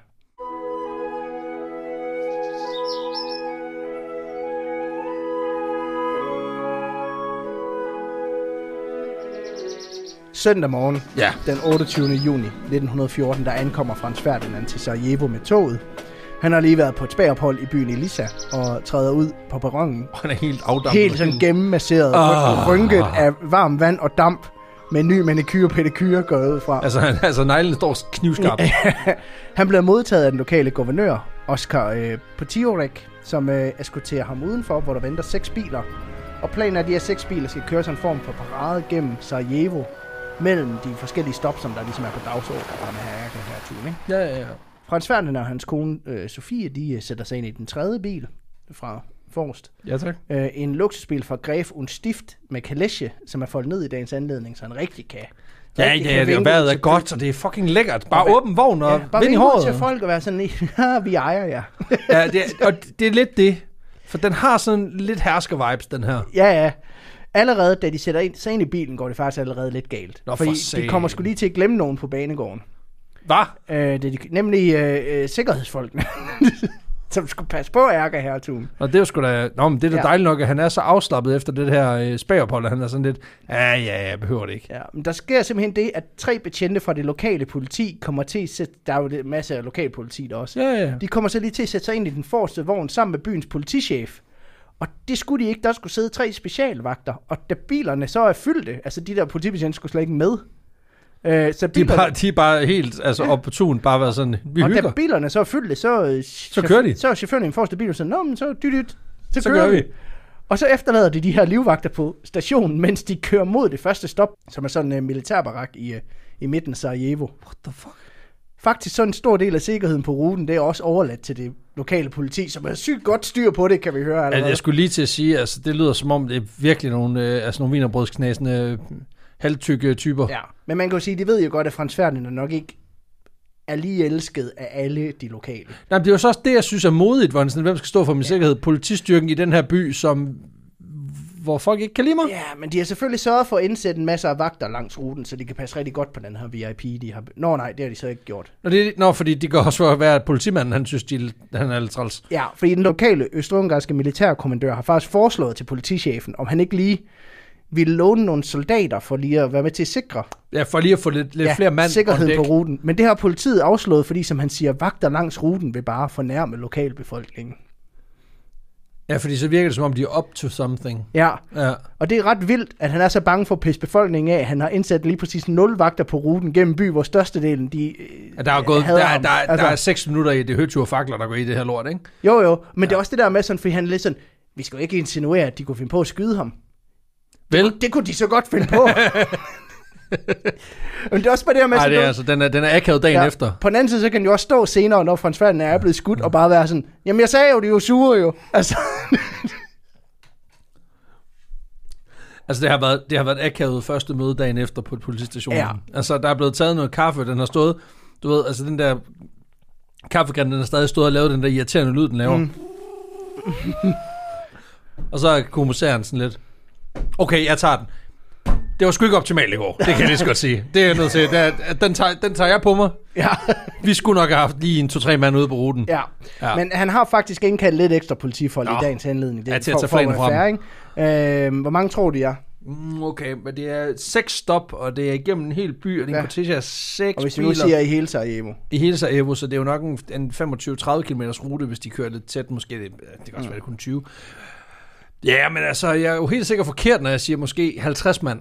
Ja, 60. Nå, okay. Nå. Ja, men det er jo så det, han har indkaldt til hele Sarajevo. ja, okay. Så det er jo ikke kun så dem, de står der- med en kilometers mellemrum. Så det er jo ikke kun dem, der står på ruten. Det er jo dem, det, det er det antal det- der er på er- arbejde i hele Sarajevo. Ja, okay, det er, ikke, det er ikke, overhovedet ikke nok. Nej, Ej, okay. Ja. Ej, det, det, men så må vi jo sørge med håb, der ikke sker noget jo. altså, Princip og hans kammerater, de er også klar. De har fordelt sig langt, fordi, de er også 50. de har fordelt sig langt med ruten med favnen fuld med bomber og våben, og har ligesom lagt en plan for, hvordan de en efter en skal gøre et forsøg på at tage Frans Ferdinand af dage. Hvad? De, står, de har ligesom fordelt sig, så. Ja. de har flere muligheder for at prøve at nakke ham. Nå, okay. Det lød bare som om, at så er der en, der står ved, altså, ligesom vandposter. Nå, men vi fik ham, nu kastede jeg håndgranater ved første kilometer. Ja. Dem, dem kørte han lige forbi. Ja, Så nu venter vi lige og se, hvor langt han kommer. Altså, det er jo ikke sådan... Nej, det, nej, du nej, har jo det- et skud i bøssen, jo. jamen det er mere det der med, at det, og det er mere, ikke, hvor eksponeret han ja, er. det er heller ikke sikkert, at muligheden byder sig. Altså, at der Nej. er en oplagt... Øh, Ja, der, er- at han kan komme på skudhold, eller Ja. de kan kaste granaterne, eller hvad fanden det er det, kan være. Så ligesom for at få flere chancer, så, så stil, øh, fordeler ja. de så langt med ruten. Selvfølgelig. Ja. Og så kan de også nemt omstrukturere, hvis planerne ændrer sig og sådan noget. Så de laver sådan en form for dødens popcrawl. En popcrawl kun med jægerbombs og shots. Den var du selv meget stolt over. Ja, Og det er også meget det sjovt. var, Satans, mand. det var jeg. Ja. Første stop på dødsruten, det er øh, et møde på Rådhuset i Sarajevo. På vej derhen, der passerer den her eskorte som Mostar Café, hvor den første af vores attentatmænd står klar. Mohammed Mehmet Basic. Han øh, står klar med en bombe, som han vil kaste lige krydderen på ærkehertugen. Altså, det er rigtig bomberman-type, ikke? Ja, men da bilerne kører forbi, så gør han det ikke lige. Måske fordi han bliver bange, måske fordi han ikke kan komme tæt nok på. Øhm, men man ved det faktisk ikke helt. Men Nej. der, det sker i hvert fald ikke, og Frans Ferdinand fortsætter på sin færd uden at han aner, der er en mand, der lige har været ved at kaste en bombe i krydderen på ham. Nå, ja, ja. Jamen, så det, man kan sige, det er jo Schrödingers bør- bombe, det der. Altså, Ja, ja, der kan vi antage, at vi alle sammen er altså, 10 sekunder fra i snimødet hele tiden. Inden længe passerer han den næste morderiske gerningsmand, Vaso Kobrilovic, som står lidt væk fra øh, Mehmet Basic, øh, udstyret med en pistol og en bombe. Men det lykkes heller ikke ham at få gjort noget ved det, før Frans Ferdinand er kørt forbi, og chancen er forpasset, ikke? Fuck, det var to ud af seks legemordere, der spildte deres chance. Klokken 10 minutter over 10, der kører bilkortesen så forbi Komodja-broen, som går over øh, Miljakov-floden. Og her står Nedelko Kabrinovic klar med en bombe. Og da Frans Ferdinand kommer tæt nok på, så løfter Kabrinovic armen og kaster den her bombe Fuck! direkte mod den tredje bil, hvor ærkehertugen sidder uoverdækket og vinker til pøbelen. Ikke? Han griber den lige, kaster den tilbage ud i floden. Der sker det, at den her granat, den simpelthen rammer kalesjen, det her sammenfoldet stof. Nej, det er ikke rigtigt! Og bouncer den af bilen og ud på vejen, hvor den så ryger ind under den næste bil, som så eksploderer. Nej! Og, What? og efterlader en halvanden meter dybt krater i vejen. Okay, det, det, det er jo vildt godt ramt. Men det gik fra at være et, et morplot til at være et trickshot. Ja, Og det skal det aldrig gøre. Ja. Fuck, hvor vildt! ja, der er vild panik. 20 mennesker er kommet til skade. Og folk løber på kryds og tværs for at komme væk fra stedet. Samtidig så sætter bilkortagen farten op for at komme væk i en helvedesfart, ikke? Ja. Nedelko øh, Kabrinovic her, han ærger sig ret meget over, at det er gået galt. Jamen også fordi han så det jo. Han, han, han, han nåede lige at råbe Kobe. Ja. han gjorde det. Han er også faktisk så meget, at han lige hiver en cyanidpille frem, som han lige sluger, inden han hopper i floden for at begå selvmord. Ej, Øh, ja, okay. Ja, der er så bare lige det ved det, at de her wannabe-attentat, men de har alle sammen fået udleveret sådan en cyanidpille, som de kan sluge for at undgå at blive pågrebet. Men det, de ikke ved, det er, at de her cyanidpiller, som de har fået fra den sorte hånd, de, øh, de skal over sidste salgsdato. Nå, så de er ikke effektive, så du får bare herreondt i maven. Ja, i stedet for at slå dig ihjel på få minutter, så får den dig bare til at kaste virkelig meget op. Ja. Og samtidig så den her flod, han har hoppet i for at tage, ben, tage livet af sig selv, der har han lige glemt at tage højde for, at der er lavvand, så den er ikke dybere end 13 cm. 13.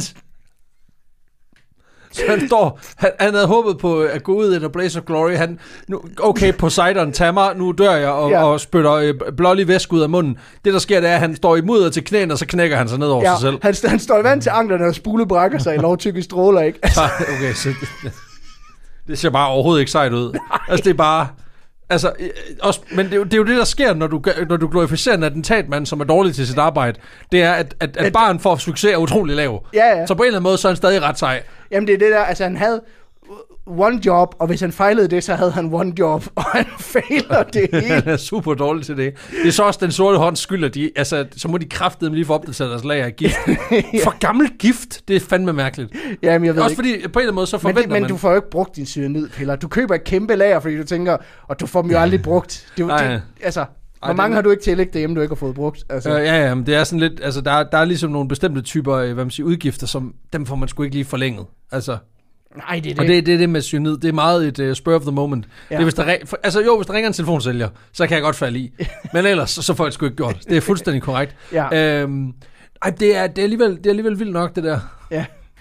Men, uh, Men det er også fordi, jeg forventer på en eller anden måde, at hvis gift bliver for gammelt, så bliver det mere giftigt. nej, Skulle da ikke mindre giftigt? nej, cyanid, det bliver åbenbart bare... Øh, Det er så mærkeligt, det, det der. får du bare ondt i mausen. Det er også bare fordi, hvis du spiser en ost, Ja. så smager den nice. Hvis den bliver for gammel, så bliver den super herklam, og du kan få mega skideren på. ja, Det er sådan, jeg forventer det med gift. Jamen, Altså, så, så, sådan er det ikke med gift. nej, så, så slukker min, min hjerne og mine nerver og hele lortet, men jeg skider også i bukserne. Ja. Det var det, jeg forventer for gammel gift. Ja, nej, det blev...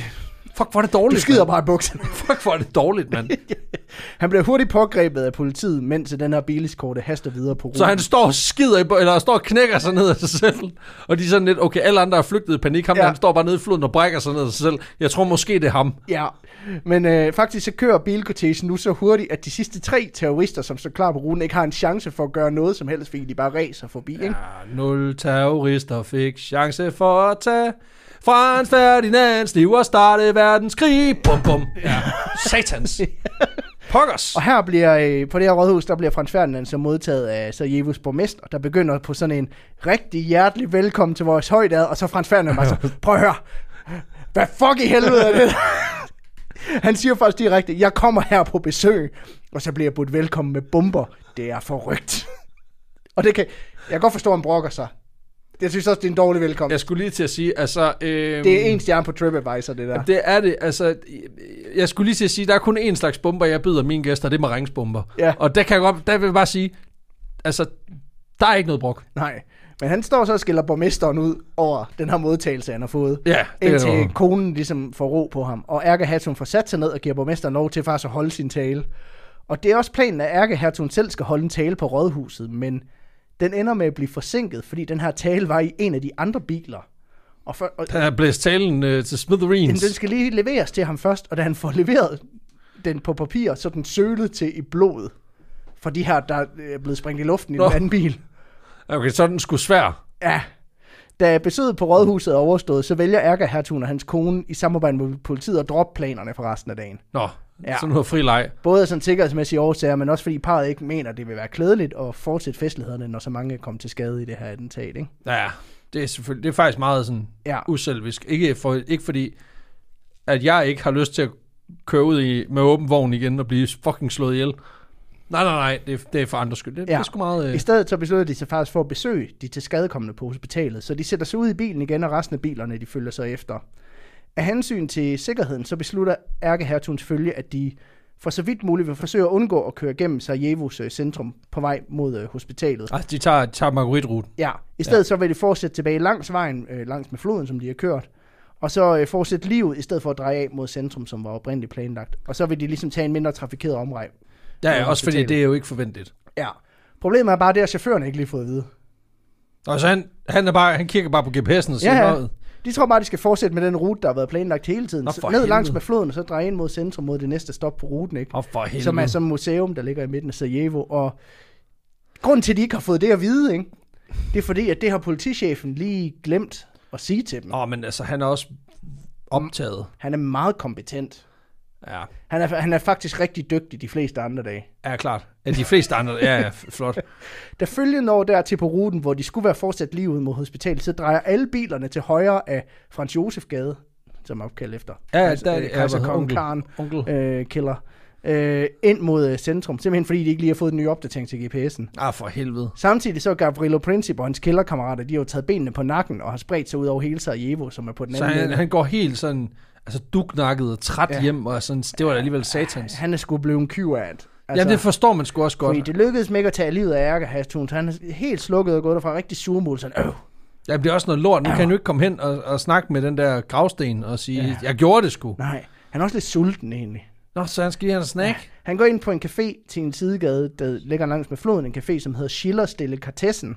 Ja. Og her stiller han sig så i kø udenfor, hangry og sådan lidt miv-agtig. Ja, men er fandme sur. Nu skal Ja. ja. han, han skal have noget pålæg og noget. Ja, nogle ja. Ja. af kilderne siger, at han bestiller en sandwich på caféen. Det er, der, det er ikke rigtig noget, der kan bekræftes. Men man ved, at han står uden for den her café. Jeg elsker, at det er en, det er en ting. Ja, det er mange. Har, vi har sgu brug for at vide, hvad var der på den sandwich. Jamen, det, er, nå, men det har været en stor diskussion, og folk de er sådan, ja, de tror faktisk ikke, man kunne få sandwich i Budapest på det her tidspunkt. Nej, okay, Øh, så det, ja. Ja, men man ved i hvert fald, han står uden for den her café, da han pludselig ser en bil bremse op foran sig. En bil uden tag, eskorteret af fire andre biler, og en mand råber, hold, hold, hold, vi kører den forkerte vej. Så bakker vi. og da Gavrilo Princip får, kørt, får kigget efter, så kan han godt se, den mand, der sidder i den åbne vogn, det sgu da, Det skulle da ham fra det der band, der synger Take Me Out. det sgu da Frans Ferdinand. Ja. Og hans kone, så han trækker sin pistol og skyder, først mod ærkehertugen, og så derefter mod konen, og, Ah, for helvede. og rammer den østrig-ungarske arving direkte i halspulsåren. Oh, okay, sygt. Okay, det, er, det eskalerer lige fra 0 til 1000, det der. Ja. Sygt nok. Ja, og hans sandwich var ikke færdig endnu. Nej, altså, præcis. Så skal du have med en varmepose, eller? And to go, det er Toronto. Okay. Sindssygt. ja, ærkehertugen falder sammen med Ja, bilen, gør- hvor nå, det gør øh, man. chaufføren hurtigt speeder op og kører derfra og krydser fingre for, at han virkelig kan ruten til, til hospitalet. Ikke? Nå, I skal ikke på museum, eller? Nej, okay.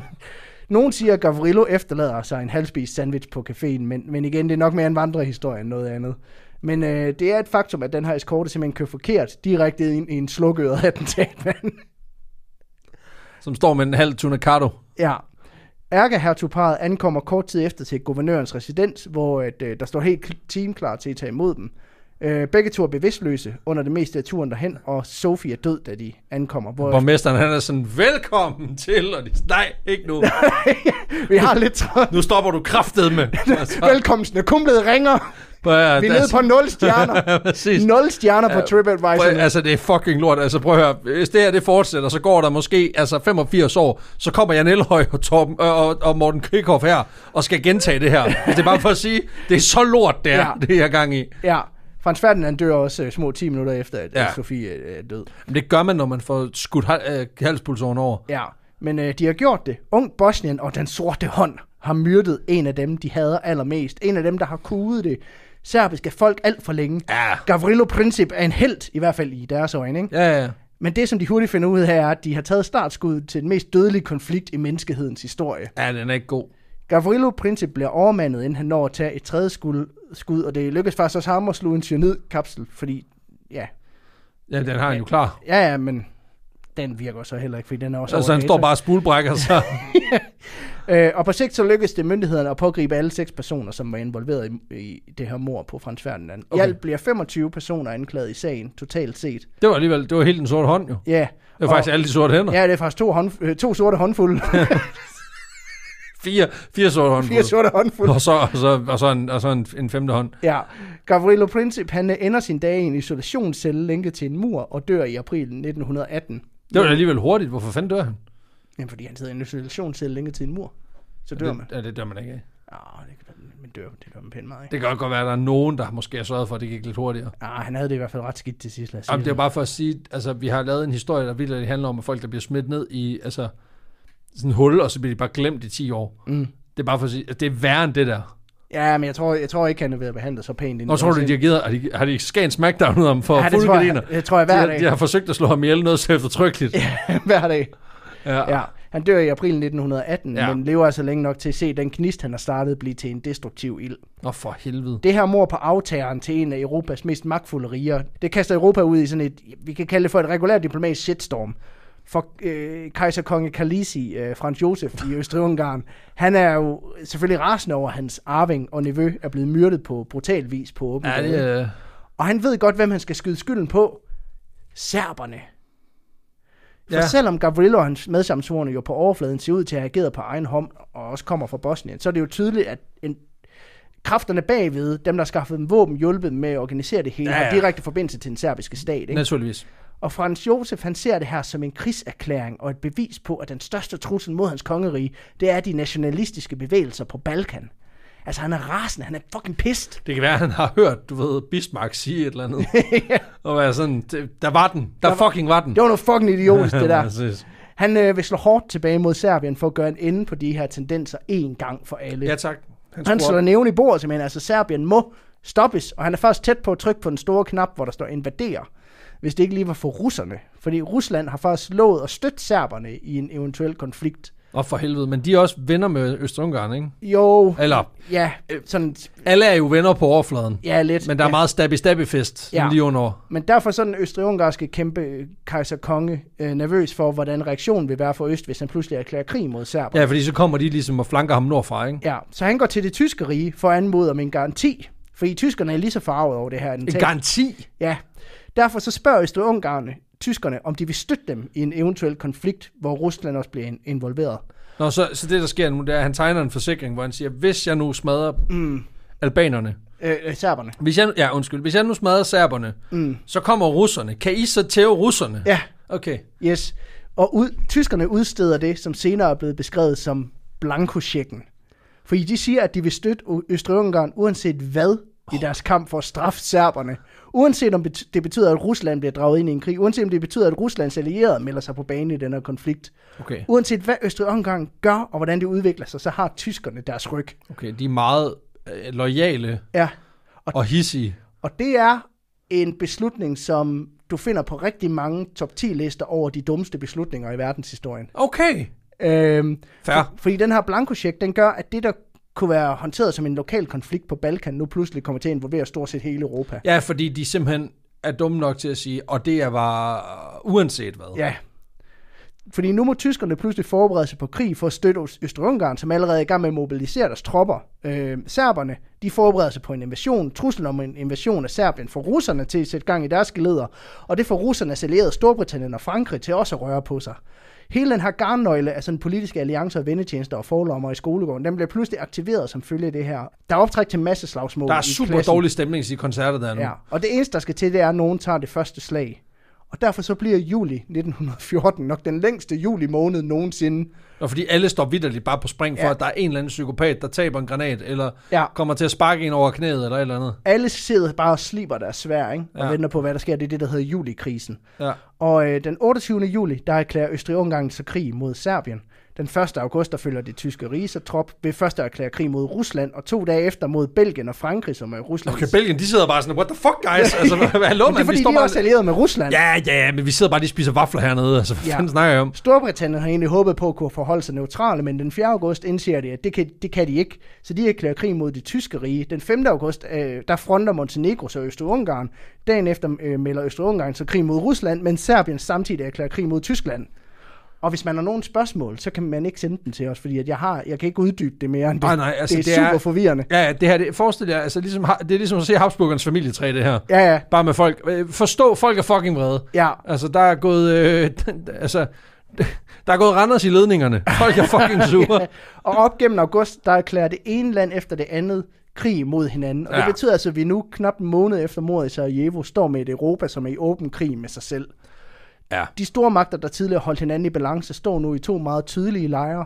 På den ene side har vi de allierede, Frankrig, Storbritannien og Rusland, og på den anden centralmagterne, Tyskland, Østrig-Ungarn og det osmanniske rige. Og de er også med. Ja, ja. Ja. Ja, jamen, de er altid med. Ja, de er altid med. Okay.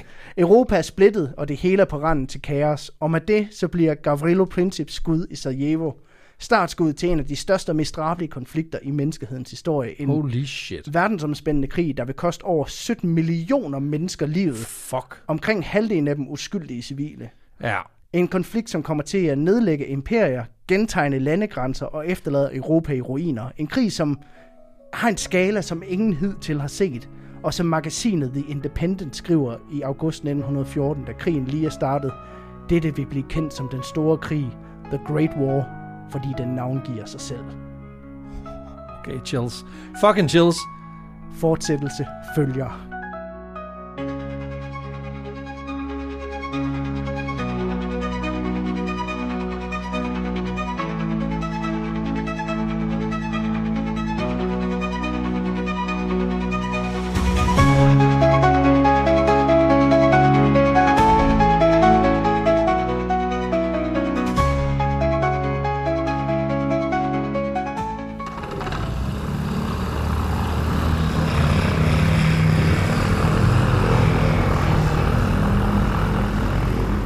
Kapitel 2 Bad News fra Vestfronten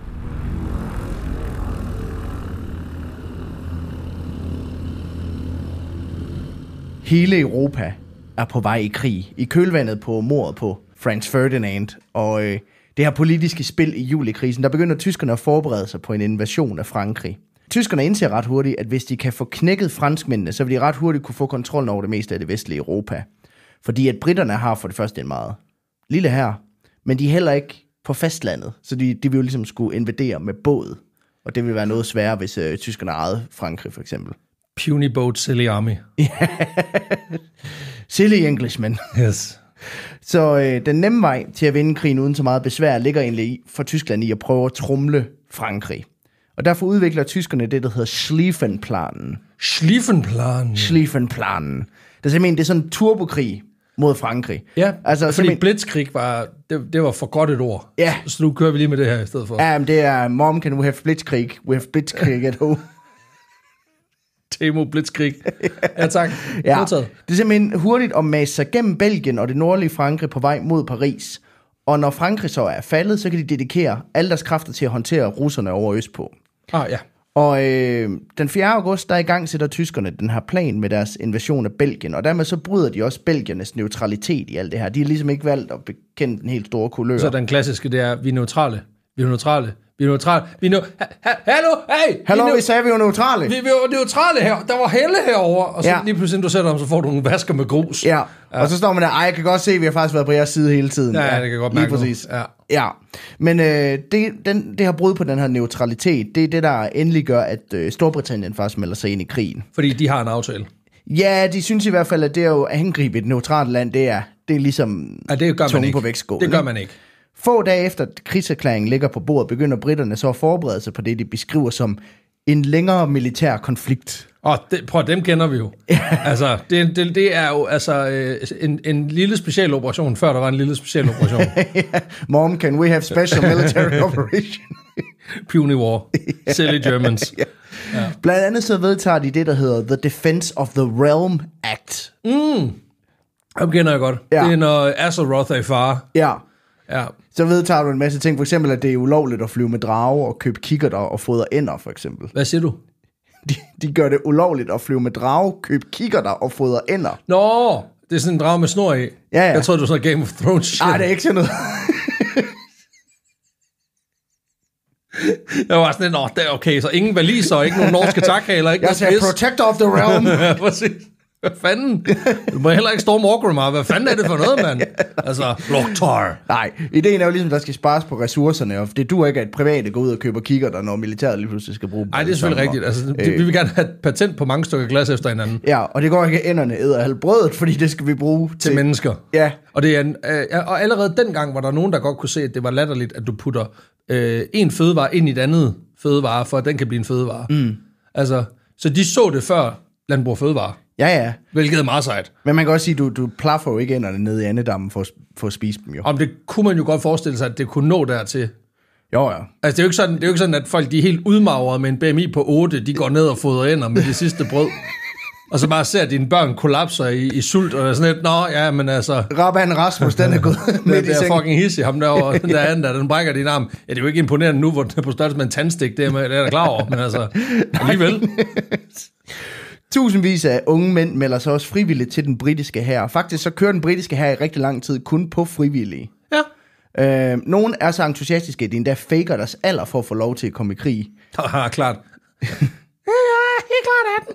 Den, den yngste, man har fundet efterfølgende, Og som er blevet...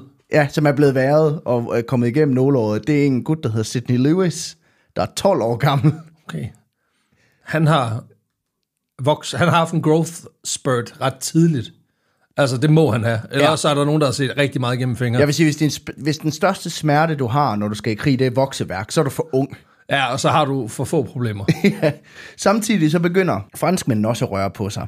Ja, selvfølgelig, de kan jo ligesom godt mærke, hvad fanden der skal ske nu. Ja, og de prøver ligesom at presse ind på nogle af de territorier, som de tidligere har mistet til tyskerne i 1870, og der er tusinder af, af- af franskmænd, der dør i, i den konflikt. Men det, der ligesom bliver til Vestfronten, som er det, vi skal tale om i andet kapitel her, Ja. Det begynder langsomt at tage form i slutningen af 1914, hvor øh, tyskerne brager gennem det nordlige Frankrig, og de allierede styrker forsøger af flere omgange at slå tyskerne tilbage. Ja. Men det er først ved floden Marne, at det sådan rigtig lykkes at stikke en kæp i hjulet på den tyske avance. Maren. Marne. Nå, Maren. Marne. Okay, ja. Den 5. til den 14. september, der finder det første store slag i Første Verdenskrig, nemlig sted ved den her flod, Marne. Marne. Slaget ved Marne hedder det, meget ja. passende. Her forsøger tyskerne at omringe de britiske og franske styrker, men det lykkes altså at afværge det her angreb ved bare at blive ved med at angribe og bombardere de tyske tropper, indtil de ligesom stopper. Og det er jo, altså, ja. Det er skolegårdstaktik. Ja. Det der, hvis du bare bliver ved med at lange flade ud, indtil der er nogen, der holder op med at komme imod dig. Så, Ja, ja. Det er var angreb, angreb, angreb. Angreb, angreb. Ikke give tyskerne en eneste chance for lige at trække vejret. Altså, når de sover, angreb. Når de spiser, angreb. Når de sidder og pøller, angreb. Altså. Og så de angriber også, når de skider. ja, ja, de angriber sgu hele tiden, du. Ja, det er måden. Ja, for lige at hele tiden at ødelægge muligheden for, at de kan lave den her omringningsmanøvre, som de Der sidder en og spiser, en der skider og alt muligt, så kan du sgu ikke lave en kniv... Du kan ikke lave en knivtangsmanøvre, når du er i gang med at lave en knivtangsmanøvre. Nej, det kan du Det kan du sgu ikke. Jamen, sådan det er bare, det er, en sikker, det er bare, den er, den er stensikker. Det er et legendarisk slag, det her. Miraklet ved Maren ender franskmændene med at kalde det. Ja, det er sgu da klart. Altså, du er nødt til at give det et eller andet overhældigt, hvis du har altså, skudt en mand, der sidder og skider. Ja, Altså, også fordi de mister over en kvart million. nej, okay. Okay, det er alligevel også. Altså, Det var... øh, ikke kun øh, dræbte, men også øh, såret og forsvundne og sådan noget. Ikke? Men de bliver bare ved med at sende nye mænd til frontlinjen. Der er så stort et behov for forstærkninger øh, ved den her frontlinje, at 600 taxachauffører simpelthen vælger at fylde deres taxaer med soldater i Paris, og så køre dem ud til fronten. Ja, det er jo, det er jo Uber. Det er en tur på godt øh, 200 km. Det er, Det, er ret lang, det var lang, tid, lang tur dengang. Ja, og det fede er selvfølgelig, fordi de skal jo tjene penge på en eller anden måde. Åh oh, nej. De lader lige taxameteret rulle. Nå, så det okay, så det okay, ja. Ja. Fedt nok. Det betyder, at den franske stat får en taxaregning på 70.000 frank. Det skulle da, ja, for, for, hvor mange siger du? To, 600 taxachauffører? Seks- det er 600 taxachauffører, ja. Ja, det skulle da. Ej, okay, det er alligevel også en stor regning. Jamen, jeg gik ind på inflationhistory.com, Ja, tak, kom med det. og så fandt jeg ud af, at det svarer til 25 millioner euros den dag i dag. Okay, 105, ah, det er jo så, hu- 25, så det er 175 millioner. Så er den 185. Ja, sådan noget den, i den stil. I, i taxabonger til soldater. For 600 taxaer? Nå, de må køre med en Ja, gang. de, jeg tror, de har kørt mere end en Åh, gang. det ja, håber jeg sgu da, ellers så er ellers så er det da fucking god bis at være taxachauffør. Ja, ja. Ej, de har kørt flere gange. Ja, okay. Men det, det, er, bare, det er en hissig taxaregning. Ja, altså, du kan jo få her for de penge jo. Jeg Ja. ved ikke, om de er klar over. Men jeg har prøvet at undersøge, er det den største taxaregning, der nogensinde er blevet lavet i historien? Og det tror jeg, det er. Jeg Så- har ikke kunne finde andre eksempler på, på Ah. taxaregninger, der er højere. Jeg skulle lige til at sige, jeg ved ikke, om du har set uh, bilagene fra da Ulrik Hågerup, han var direktør i DR. Ej, det er selvfølgelig rent nok. Ej, det var, jeg ved ikke, gælder det, når det er SAS? Det vil, Det er vel bare en lufttaxa, er det ikke det? Nå, jo, præcis. Nej, en det er færge jo er luft, en luftbus. En vandtaxa. ja, det er en vandtaxa. Færge er en vandtaxa, luft, bus er, eller hvad En rumfærge er vel bare en taxa ude i rummet, er Ja, det ja, ikke det? det, det er det jo. Altså, især, jo, hvis ikke du selv flyver den, så er det vel. Ja, ja. Ellers så er det leasing. Men det lykkes. Efter ja. de her ni dage, der tager tyskerne altså hoserne på nakken og rykker tilbage til Aine-floden. Så øh, fatter de skovl og hakke, Nå, og begynder at etablere sig i nogle defensive stillinger. Det er tydeligt for dem, at den her plan om at tage Frankrig Sonic the Hedgehog-style, den er ikke gået så den er godt. sgu ikke god. Så det, de gør, det er nok også igen, når der, når der er, du ved, 1600 øh, tyske soldater, der er blevet taget vidderligt med hoserne nede, mm. så har de fundet ud af, at vi skal grave vores lokummer ned også. Fordi Ja, ja, ellers så kommer de og stikker os med en bajonet i nakken. Det, det er det. ikke fedt. Nej, Der er, det er ikke rimeligt. Der er ikke nogen, der skal dø på tynden. det er fandme ingen værdighed i. Jamen, det er der bare ikke. de skal ikke gå ud i Lannister-style. Det skal Nej, det skal du virkelig ikke. Altså. Jo, jo, jo, faktisk. Jo, faktisk hvor, hvor påstår må du godt, så længe det er med altså crossbow.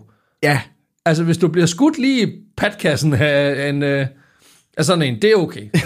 så, så må du godt dø på hvis der lokum. kommer en dværg og skyder dig med crossbow, så må du godt dø på lokum, ellers så må du ikke. Nej, præcis. Og det er en regel nu. Ja.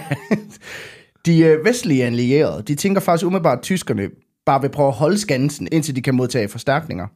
Og derfor så vælger de også at fatte skovl og hakke, og begynder også at grave skyttegrave, Ah, ja. så de kan modstå en stor tysk offensiv, som de ligesom forventer kommer Men, anytime. men ikke? hvordan gør man så det? Fordi er det sådan mole-style, at du starter med at grave dig ned et sted, og så laver du ligesom sådan en slange? Jeg, jeg ved det faktisk. Jeg, jeg tænker bare, at du stiller dig op og begynder at grave. Men øh, så starter der faktisk et nyt race Ja. herfra. Nemlig det, man kalder for racet mod havet. Fordi lige nu, så ligger tropperne jo bare i skyttegrave, som er nogle kilometer inde i, i, i landet, ikke? Ja, ja, ja. Men hen over de næste par uger, så begynder begge parter simpelthen bare at grave på livet løs mod nord. Altså, de graver og graver og graver. Og det er simpelthen fordi, de er nødt til at sikre sig nogle forsyningslinjer. Og der er skib jo godt. Ja, så tyskerne begynder at grave for at se, om de kan nå at grave sig hele vejen ud til Nordsøen, og så begynder de allierede så at grave for at se, om de kan ligesom nå Indhente dem. Indhente dem og udflankere dem, så de ikke kan nå ud til, til Og det er havet. den klassiske, det er, hvis du spiller center, så er der lige nogen, der lægger en vej.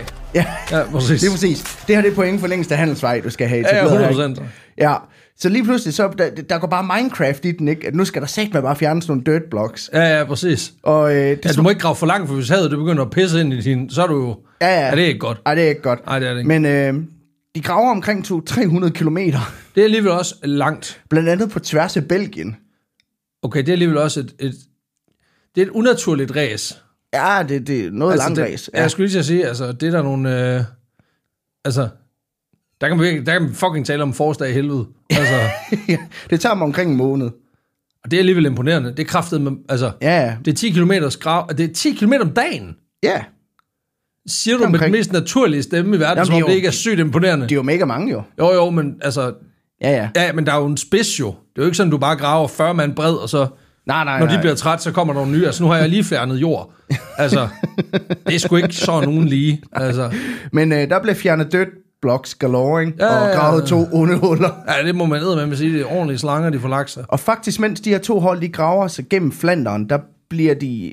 De bliver også en form for indianer, Jonas. Altså, Nå, for fordi helvede. mens de graver, så bliver de, de bliver lidt arkeologer også. Nå ja, fordi de løber på alt muligt lort. Alt muligt gammel lort, der er begravet. Blandt andet våben fra dengang The Duke of Wellington besejrede Napoleon ved Waterloo i Hvorfor 1815.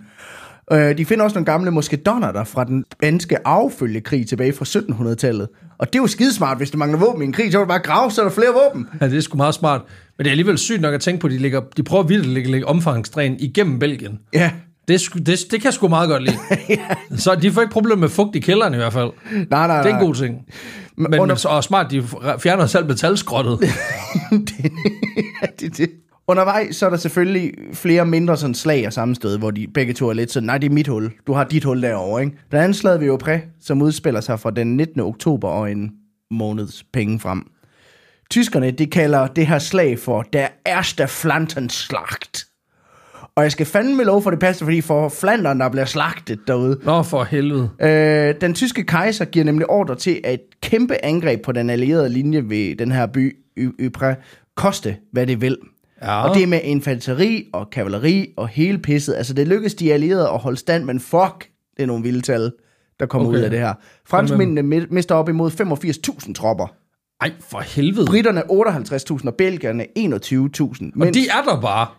Jamen, de er jo sådan, de er jo nødt til at gå med i krigen, Jamen, jamen, det er også der bliver igen- gravet hul gennem deres land. Du ikke? er vidderligt i gang med at grave i min baghave, og så begynder du bare at skyde op af hullerne. Det er fandme ikke i orden. Nej, Altså, jeg prøver, jeg har lige anlagt det bed. så joiner du. Jeg har, Det gang, du. prøv, jeg har gang i noget vinterhave. Prøv, at- der, der skulle være guldrødder til foråret. Ja, ja. Hvad fanden laver du? Prøv at høre, hvis folk graver sig gennem din have, så joiner du. Så, så, så må du vælge side, ikke? Jamen, det er rigtigt. Så må Ja. du... Tyskerne mister omkring 80.000, og det her slag, det var altså 33 dage. Det vil sige, at det er cirka sådan 7500 mand, der øh, de mister om dagen i det her slag, der både dør og bliver såret. Ja. Ikke? Skal vi ikke lige have en tår på det? Jo. Jo, godt, fordi jeg har noget mere øl. Ja, fedt. Nu, Lad os tage en øh, ølpause. Ja, og nu er vi gået, øh, altså, man kan sige, vi, vi er gået videre, og så alligevel ikke. Fordi vi er i samme, øh, vi er sgu lidt i, samme, øh, samme stil som sidst. Fedt. Dog ikke helt så fancy, vil jeg sige. Det er en dejlig øl, som jeg har fået af Andreas Poulsen, som er fast lytter af programmet. Mm. Øh, den er fra Prairie Artisanal Ales i USA, som laver nogle... Ja, den er også sort som natten. Det her, det er så en, øh, en øl med øh, ristet kokos. Mm-hmm. Der står toasted coconuts, øh, hvad hedder chocolate chips and cake mix. Chocolate chips and cake mix. Så Yes, og den hedder simpelthen bare Indulge Me. Og det er fordi, det, det synes er, jeg jo, det er jo sådan en brownie-ting så. Ja, ja, præcis. Men det er jo fordi, jeg tænkte, det her, det, og det er noget mindre flask, så det er jo, det er jo meget hyggeligt. Øh, og jeg tænkte, det er fordi, det er jo det, du gør lige nu. Du giver os lige lidt ekstra lækkert mm. til folket, og det synes jeg jo egentlig er meget smuk, smuk på den her øl. Skål! Skål. Ja, det er en meget sød lille flaske, den er i. Ja. En lille Vi ty- tyk prop Ja. ja. af en flaske. Det er, sådan, øh, det er den øh, luksuriøse version af en faxefad. Den dufter vildt. Smager sgu meget godt. Den smager vildt. Mere sprittet end øh, Beer Barrel Time, helt sikkert. Mm. Øhm, har samme sådan voldsomhed. Øhm, jeg tror igen, det er alkoholprocenten, der gør det. Den er mere sprittet, som sagt. Mm. Den, øh, den er mere oily, altså den er mere sådan olieret Ja, ja, ja. i, i, i teksturen. mærke, at den ligesom- den coater munden på en anden måde. Og den, den holder ikke lige så længe. Altså det er efterladt med, det er helt klart den der sprittede fornemmelse. Jeg får lidt en vibe af, når jeg har drukket den, at det ligesom har drukket en øh, espresso martini. Ja, Altså det der sådan, at den, at den ligesom... den har også det der med, sådan, hvis man lige har bidt igennem en kaffebønne eller sådan noget. Ja, ja, præcis. Ja, ja faktisk. Sådan, og, og den der sådan distinkte bitterhed, men også sådan lidt udtørrende fornemmelse, man får fra, fra kaffe. Mm. Øhm, men smager virkelig, virkelig dejligt. Smager fantastisk. Ja. Øhm, jeg vil sige, jeg synes ikke... Jeg synes ikke, der er nok øh, ristet kokos. Fordi Nej. ristet kokos er, altså i, øh, i moderne øl, er det bare fucking lækkert. Så jeg kunne godt have brugt lidt mere af det, men ellers så synes jeg, det er rigtig godt. Undskyld. Og den er, den, er, den, er, den er meget lækker, synes jeg. Jeg synes, det er virkelig godt. Ja, Øhm, altså, at den så koster en tiende del af den anden. det, øh, ja, det er så, jeg, jeg, må, jeg, må indrømme, jeg kan bedre lide den der, end jeg kunne lide den anden. Ja, men det må du jo så selv om. Jeg synes helt klart, at den anden var en større oplevelse. Markant større oplevelse. Men, Men, det, det, er jeg ikke, det er jeg for uh, noob-agtig til at kunne det kan øh, sagtens, sætte pris på, øh, tror jeg. det, det, det, det skal jeg ikke kunne sige. Jeg synes helt klart, at den her den er mindre i balance, men jeg synes, det gør det, det er igen det der med, det er sådan lidt, altså det, det er virkelig god vin mod mm. exceptionel vin. Ja. Og det er lidt det samme her. Altså det er det virkelig, virkelig velbrygget. Det er virkelig lækkert. Det er jo også afsindigt dyrt. Det koster jo stadig 700 kroner literen, kan man sige. Ja, ja, ja, helt sikkert. Det kan godt være, at det her det er bare priser, men stadigvæk, det er virkelig, virkelig lækkert. Og smager dejligt. Men det andet var bare lige et niveau over. Ja. Nå, Nå. Peter. Vi skal Tilbage til- til nogen, der dør. Vi skal tilbage til slaget ved Ypres. Ja, øhm, fordi det er en massakre. Men gennem stedighed, mod og sikkert også en vild dyr taxaregning den her gang, så lykkedes det de allierede at holde stand mod tyskerne. Ja, Og det her slag, det ender praktisk talt sådan uafgjort. okay. P- pisfedt. Ja, og det her med slag, der ender uafgjort, det er jo sådan pretty much historien omkring Vestfronten. Altså, samtidig med det her slag, der øh, bliver der udkæmpet det, der hedder slaget ved Isère, hvor det lykkes øh, belgerne at genvinde to Ej. centimeters territorie, eller sådan noget. Ja, okay. Ja. Ah, det er den klassiske. Vi vandt også lidt. Tilbage fra, fra tyskerne, som ellers har besat hele Belgien på det her tidspunkt. Men Ja. det koster også begge hold meget dyrt. Altså, belgerne ender med over 3.500 døde og 15.000 sårede. Ja. De kunne bare have købt den der lord-titel inde på internettet, så har de fået lige så meget land tilbage. ja, det har været væsentligt billigere. I. ja, det er det, jeg mener. Hos øh, tyskerne, der øh, gider de ikke engang til. Nå. Øh, men hvis du går ind på wiki, så står der bare under casualties, Germany, heavy losses. Så det var mange. Så det er mange. Og det var rigtig mange, måske ja, endda. det ender altså formelt uden, øh, uden nogen venner. Åh, og der har det sådan, jeg synes, man skulle spare nogle kræfter på det her. Når det er, når der er så meget uafgjort, Ja. så gør det ligesom håndboldligaen. Hver uafgjort giver et point. Men det er jo en sød tanke, men mm. der er jo en å- åbenlyst årsag til, at det ikke kan lade sig gøre. Det de, de, de bliver jo ved med at tro på, at de vinder. Du går jo ikke ind til en kamp med sådan en, en idé om, nu bliver det lige. Nej, nej, men så de der få slag, du så vinder, de kunne så give to point, ligesom i håndbold. Nå ikke? ja, Jamen, jeg havde helt glemt, at det er den, der først får 18 point, der vinder. Jamen, det kunne vi jo bare aftale jo. Ja, ja, nå ja, det er rigtigt. Det er en, Folk, de plejer at overholde aftaler i det, krig jo. det er jo en akavet måde at, at lave krig på. Vi spiller til 18. Og du får fire for længste handelsvej. Har du nogle kort på dig, som jeg ikke lige kender til? Nogle pointkort, jeg ikke kender til? Hold kæft, så havde han en ridder på hånden. Nej, så spiller han fire ridder lige til sidst der. Røver os for alt, hvad vi ejer har. De har i kraften heller ikke fået noget på den der 8 længere. Fuck, Hvad fanden er det her? Der bliver aldrig slået 11. Nej. Hvorfor bliver der aldrig slået? Vi mangler tre herovre. det eneste malm, jeg har. For fanden, mand. ja. Jeg tænker bare, altså, lav et pointsystem. Det er fandme nemmere. Jamen altså, jeg synes, ideen om, at man kan, at man kan koge alle verdenskrige ned til, at vi spiller til 18, Ja. og så ligesom sige, så er det slut der. Ja, ja. Så må vi bare håbe, at mujahedinerne, de ligesom overholder den leg. Ja, men forestil dig det, altså, når sæsonen er slut, så står Woodrow Wilson der og er sådan, Nå, men det var så Aalborg håndbold, der vandt i år. præcis. Var bare- Tillykke med det, Mikkel, ikke? Altså, Vær så sygt bare at se, altså du bare se uh, Abu Bakr uh, Bakr Baghdadi, der bare lige kommer ud fra sin jordhule og sådan lidt. Jamen altså, vi må bare erkende. Damaskus, de tager den. Ja. Sådan det. Det er lidt ærgerligt der i, i tredje inning, ja. Ja. der hvor vi går i skjul, og de så bare bliver ved med at bombe og vi får fire fejler point. vores kontra fuldstændig. får fire Øh, point på en dødbold. Ja, ja, ja, Ja. det er en selvmordsbombe, det kan jeg godt se. Uh, Ja. Men der, der, hvor deres major til gengæld løber ind i en, han tror, at han er spider, men så ender med at være en bombe. Det er jo vores taktik, kan man sige. Hver gang de skyder en, så kommer der bare en med en højtaler. For evigt! Ej, det er for meget. Ja. Ja. Det er ikke sjovt, det er folk, der dør. I Det øh, er sygt, man sige. slutningen af 1914, der har Vestfronten så nået Nordsøen fuldt Ja. ud. Og hele fronten er omkring to tredjedele af den længde, den ultimativt kommer til at få. Okay. Inden øh, 1914 er over, der har der virkelig været nogle sindssyge tabstal på Vestfronten. Man anslår, at tyskerne har mistet i alt omkring 667.000 mand. Det var alligevel en del. Så vent til du hører de franske tal. Nå for helvede. 995.000. Det er lige en tredjedel oveni. Ja. Ja. Eller 50 procent oveni. Britterne 96.000. 50.000 belgiere. Og det er altså både døde og sårede, vil jeg lige sige. Ja, ja, jo, Men, men... men det er omkring 1,8 millioner tropper, der øh, simpelthen er blevet skadeliggjort i, i ræset mod havet og den her frontkrig, der vil udvikle sig. Ja, det er jo skrækkelige tal. Jeg kan ikke lade være med at tænke over, at du sagde sidst, at, at, at der samlet set ville vi snakke omkring 17 millioner døde. Ja, Og det er bare for at sige, at, at jeg ved jo, at krigen var jo ikke 10 år. Nej, Så det her, det er jo rookie numbers. ja, ja. Ja, det de, er kommer, ja, ja. de kommer godt fra start, lad os Ja, det sådan. men slet ikke hissigt nok. Det, det, det der med, at det er skrækkeligt at tænke på, at det bliver bare værre Ja, ja. herfra. Ja, det er jo også lige om på de tabstal af begge parter, de beslutter sig for at stoppe lige kort og holde jul ude på slagmarken der i, Ah. i, i julen 1914, ikke? Fordi det er så fucking lort, at alle de beslutter sig for at lige spille pakkelej i stedet for. Ja, Fordi hvis der er noget, folk bliver gode venner over, så er det jo pakkelej. ja, det har ikke spillet familie ad overhovedet. Nej, vi har jo dækket det i et tidligere afsnit, men julefreden 1914 var midt under det her race mod, øh, mod havet, hvor begge parter besluttede sig for lige at holde våbenhvile i kølvandet på slaget ved Det er Ypres. noget bold og noget. Ja, så var det simpelthen lige at ja, synge nogle sange sammen og spille noget fodbold og udveksle nogle små gaver og sådan noget. Ja, ja. De Sidde fik der. Nej, Hansi. En patron om med dit navn på, hvor er du sød. Den glæder mig til at bruge i morgen. Så føles det ikke så bittert, det var dig, der rendte med mandelgaven, dit dumme svin.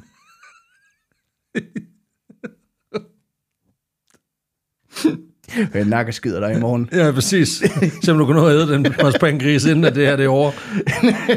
Du har til midnat, de fede svin. Ah, det er bare for sjov. Vi hygger. Vi hygger. Ej, for det er hissigt. Jamen, det, er jo- det er jo faktisk, altså egentlig, da vi snakkede om julefreden i podcasten, ja. Der var det jo det der med, åh kæft, hvor er det menneskeligt. Mm. Men i bund og grund, hvor sygt er det ikke lige at tænke, at de sådan, jamen så bare to dage efter, skal bare begynde at skyde på hinanden igen. Ja, ja. Der er jo nogle af dem, der har trækket dem helt, en hel uge, ikke? Jo, jo. Men så er det sådan lidt, så kommer der en korporal, og sådan lidt, så er det fucking tilbage til arbejdet. Hvorfor det er min ven? Ja, og nu, han, nu skyder ja. han lige i hovedet. Men julen var lige til påske, her sergeant. Ja, det gør det overhovedet ikke. Gør det sgu ikke Skyder ham, der er ham, der var klædt ud som julemand. Han har været meget uartig barn. Ja, præcis.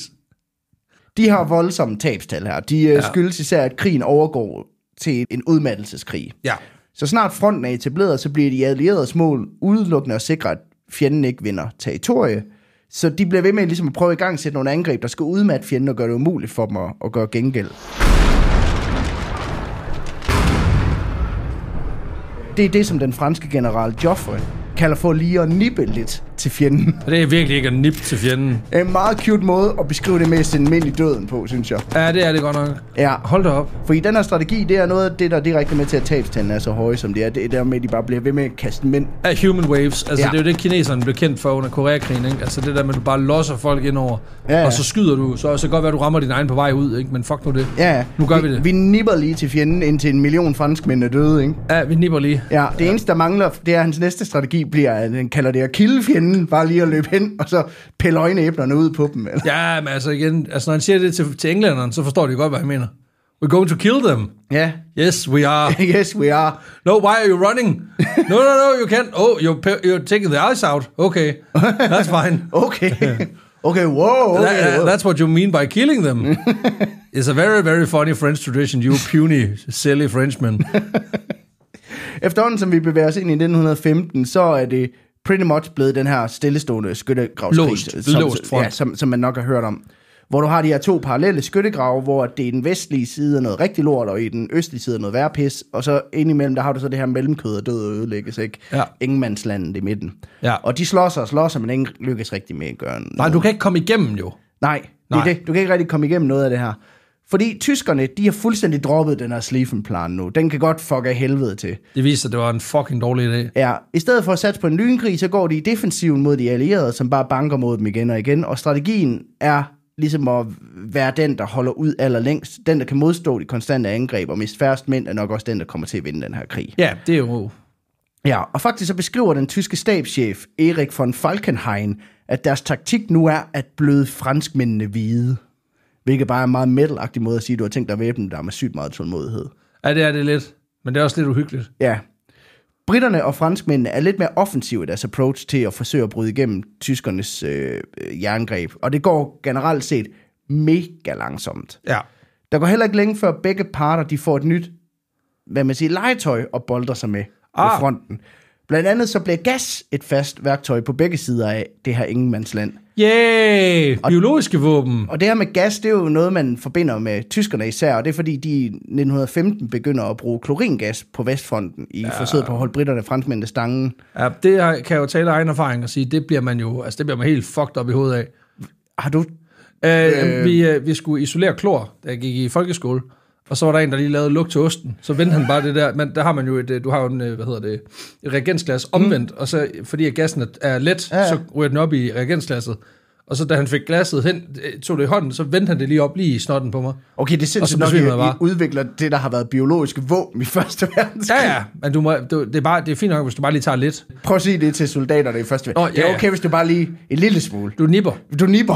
Bare lige, du, kilder, du kilder lige din næsbord med det her kloringas. ja, også fordi det er, en, det er en ret hissig gas, den, den er ret giftig. Ja, den er så. Altså, kloringasforgiftning kan give vejrtrækningsproblemer. Yep. Det kan give kemiske brændsår, hvis dosen er høj nok. Yep. Og den kan også give dig diarré og kvalme.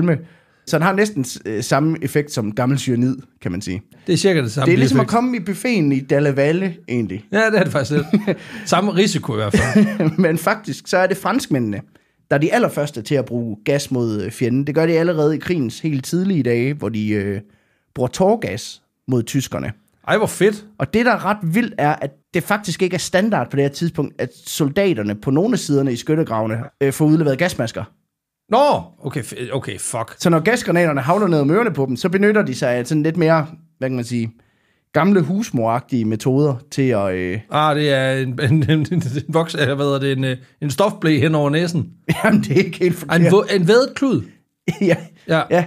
Ja. Lige præcis. En, en klud, det kan også være vædet sokker, øh, Ja. eller lomteklæde, eller, eller noget i den Vædet, stil. der, vædet noget, jo. Ja, og bare lige hvis man sådan døjer med øh, gasangreb, og står derhjemme og tænker, hvad gør jeg? Så lige pis på noget, og så rundt om på face. Ja, lige præcis. Ja, ja, giv dig selv den der, du ved, den klassiske cowboy røver, Ja, men så bare lige pis på det først. ja, ja. Ja. ja fordi at de pisser på det. Ja, det gør så. Fordi at de, de vil jo ikke bruge De- deres øh, Vand, jo. vand på, på, Nej, på det. det er jo sygt, det er jo spild af ressourcer. Ja. Så hellere lugte af pis fra Ja. næsen ned. Så pisser de lige i sokkerne, og så propper de dem i munden, ikke?